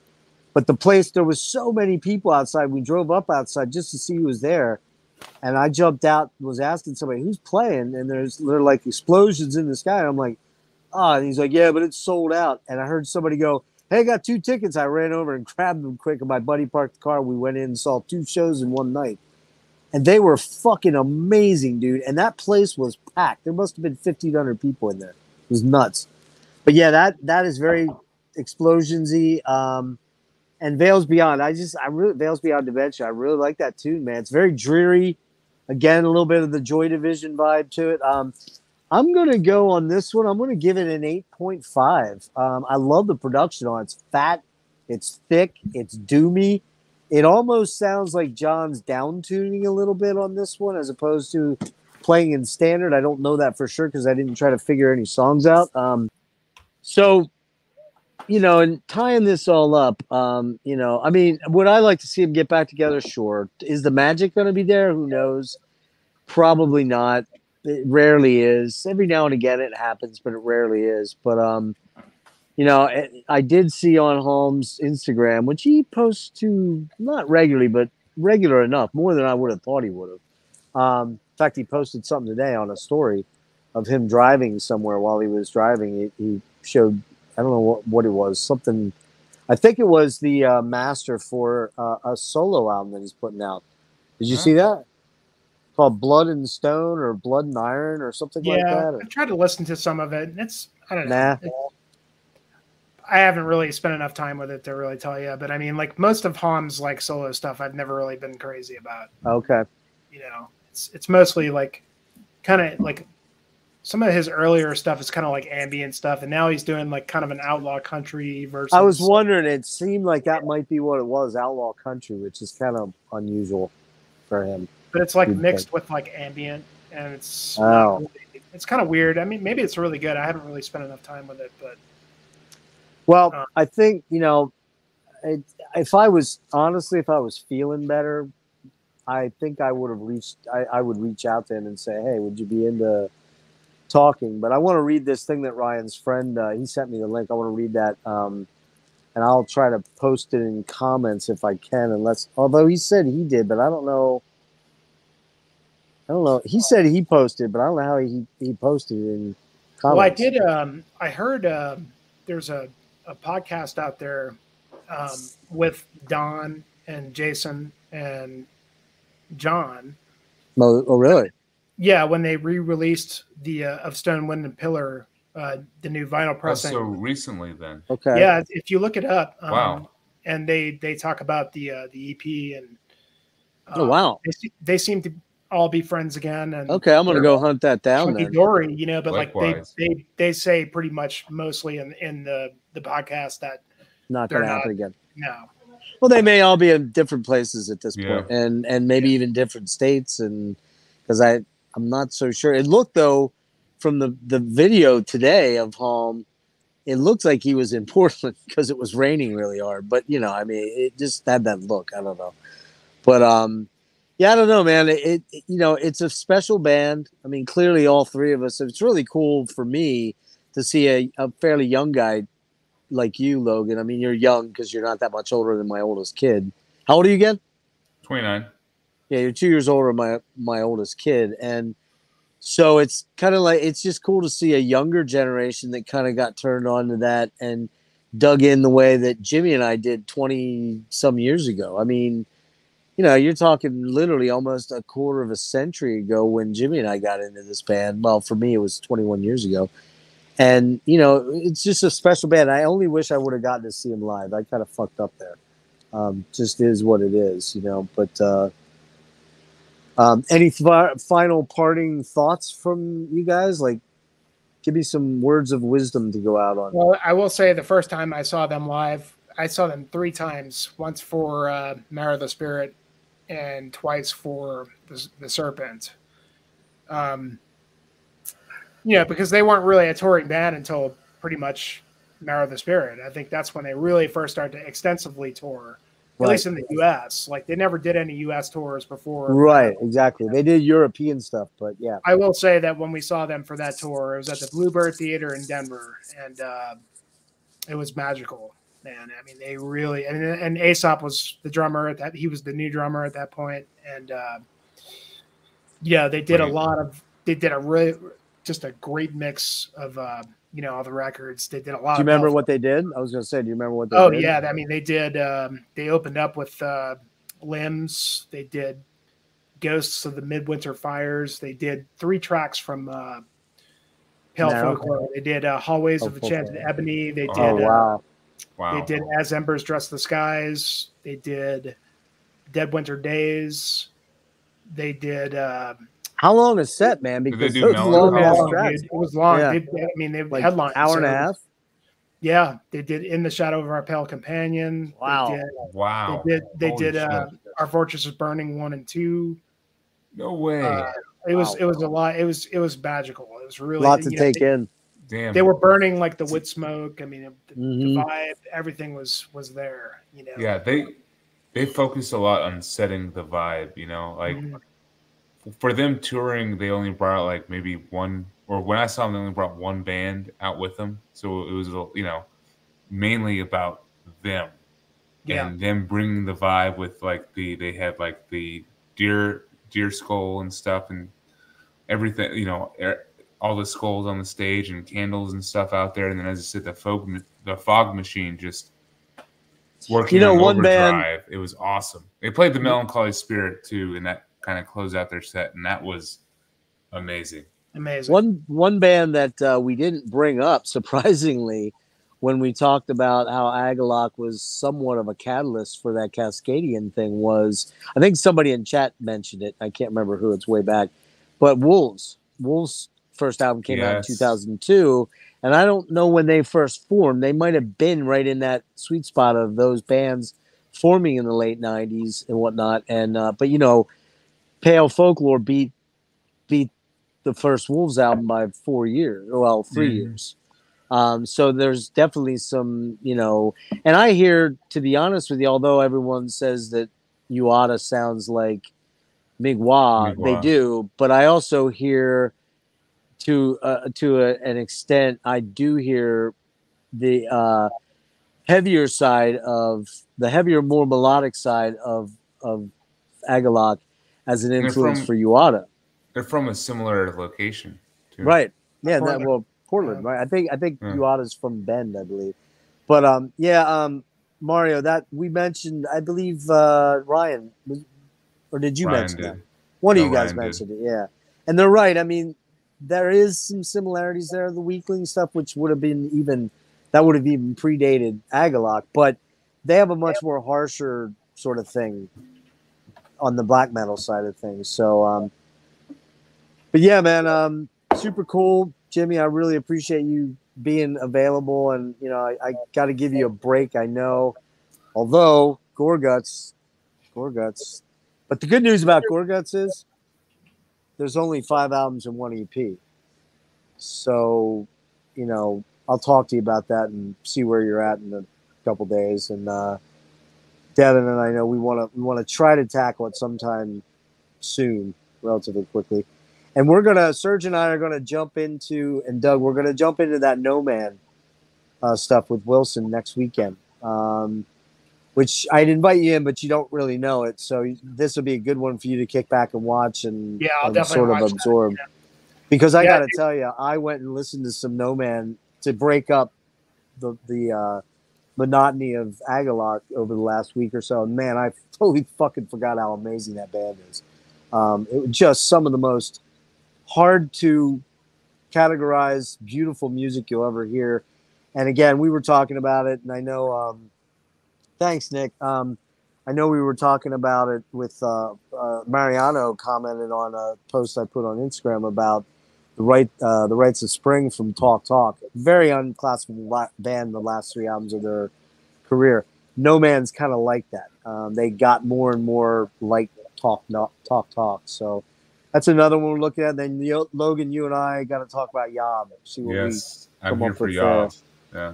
We. Yeah. Yeah, So, well, I will say, man, thanks for doing this one because you know this is a, a very important band for me, and uh, you know I, I really enjoyed just like hearing you guys, Logan. I really enjoyed hearing your. Uh, oh yeah, awesome. uh, Thank you. Dude. I think you had a lot of really cool stuff to say about the the band, and um, you know, Logan, just one of those Logan, things you stepped up hardcore tonight. Really, I, I was Hey. super impressed with what everything you brought, and Ryan brought some cool stuff. I felt bad. Oh, I yeah. feel like I feel like I scared Ryan into being way more concise than he wanted to be, but he also was looking at the time. I think he had plans he had to get into it. You know, nine o'clock out his Yeah, way. he so. usually doesn't hang out for two, you know, like big, big, long, you know. Yeah, we- things, we had him for about three and a half hours, so that was Yeah. that was super cool. But it, but it was very meaningful for him to join because he was really really stoked about doing this. So well, you know, thanks for Yeah. inviting.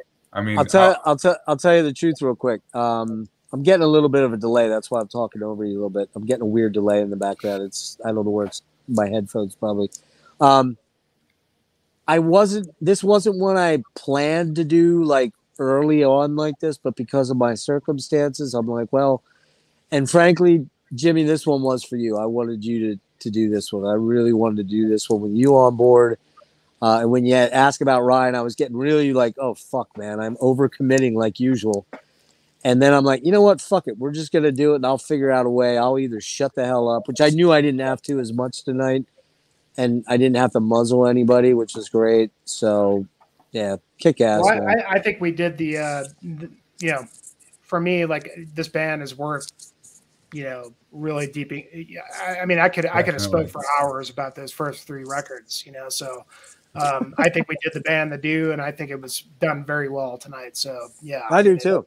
Really worked. I mean, Yeah, very very cool. And I'm sorry that Eli, if you're watching out there, if you're still at work or whatever, I'd imagine by now you're out of work. It's 11 o'clock your way. Um, sorry you didn't make it, dude.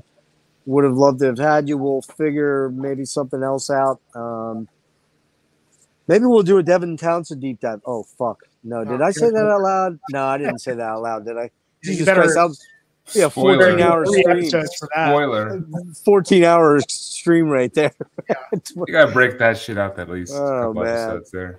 yeah. But dude, Jeff, thank you for hosting. I think as Jimmy said, this is just was a very meaningful and just important, like you know, discography for me to discuss. And I think whenever, like, because I'm I'm still fairly new to like being on streams and being on like Right. the the YouTube community, and whenever like I would think about hypothetically doing it, this is one of those bands that I would always like fantasize about. Like I I would just love to talk about Agalloch and how much they mean to me and how much their music just stands out, you know, in in the scene. And it's just cool to have the platform to actually do that. So Jeff, I, I appreciate you and, and I Hey man, I'm really just had a you lot of fun on this stream, man. It was fucking killer. I know you've been doing a lot lately. You've had a lot of late nights, and you're up late again tonight. And you're probably pretty beat, and uh, I'm yawning too, so that's unusual for me. Even though I got I, I, I hate to say this, guys. I think I got up at 8:30 yesterday, Oh, 8:30 at night. I tried to fall. I fell asleep around noon for about an hour and a half, but there was shit going on here at my place, and so I'm. That's why I fell asleep right before the stream. And when I woke up, it was like three minutes of it. I was like shitting bricks. I'm like, I, I kid you not. I was so out that when I woke up, my heart was racing, and I was like, "What do I do? I don't know how to get on." Like I forgot how to open up Streamyard. I'm like, "How do I?" I'm going into YouTube trying to find the links, and I'm like, "What the hell?" I could not clear the cobwebs for a little bit. It was weird as hell. So, but yeah, man, I appreciate all your input, guys. It was great. Again, thank Ryan for me. Uh, if you speak to him, Jimmy, tell him it was great having him on, Okay. and um, I'm going to read that article and probably crash here soon. So, Nick, thanks for joining. Frederick, thanks for joining. Uh, who else do we have? Anybody? Kevin, thank you, man. Mariano, Pedro, all you guys. Thanks a lot for your input. It was cool. And uh, you guys have a good night. All right. You guys rock, man. It's a lot of fun. Thanks a lot. Cheers, everybody. Cheers. Cheers. Peace out, guys. Good night. All right, hang on one sec, guys.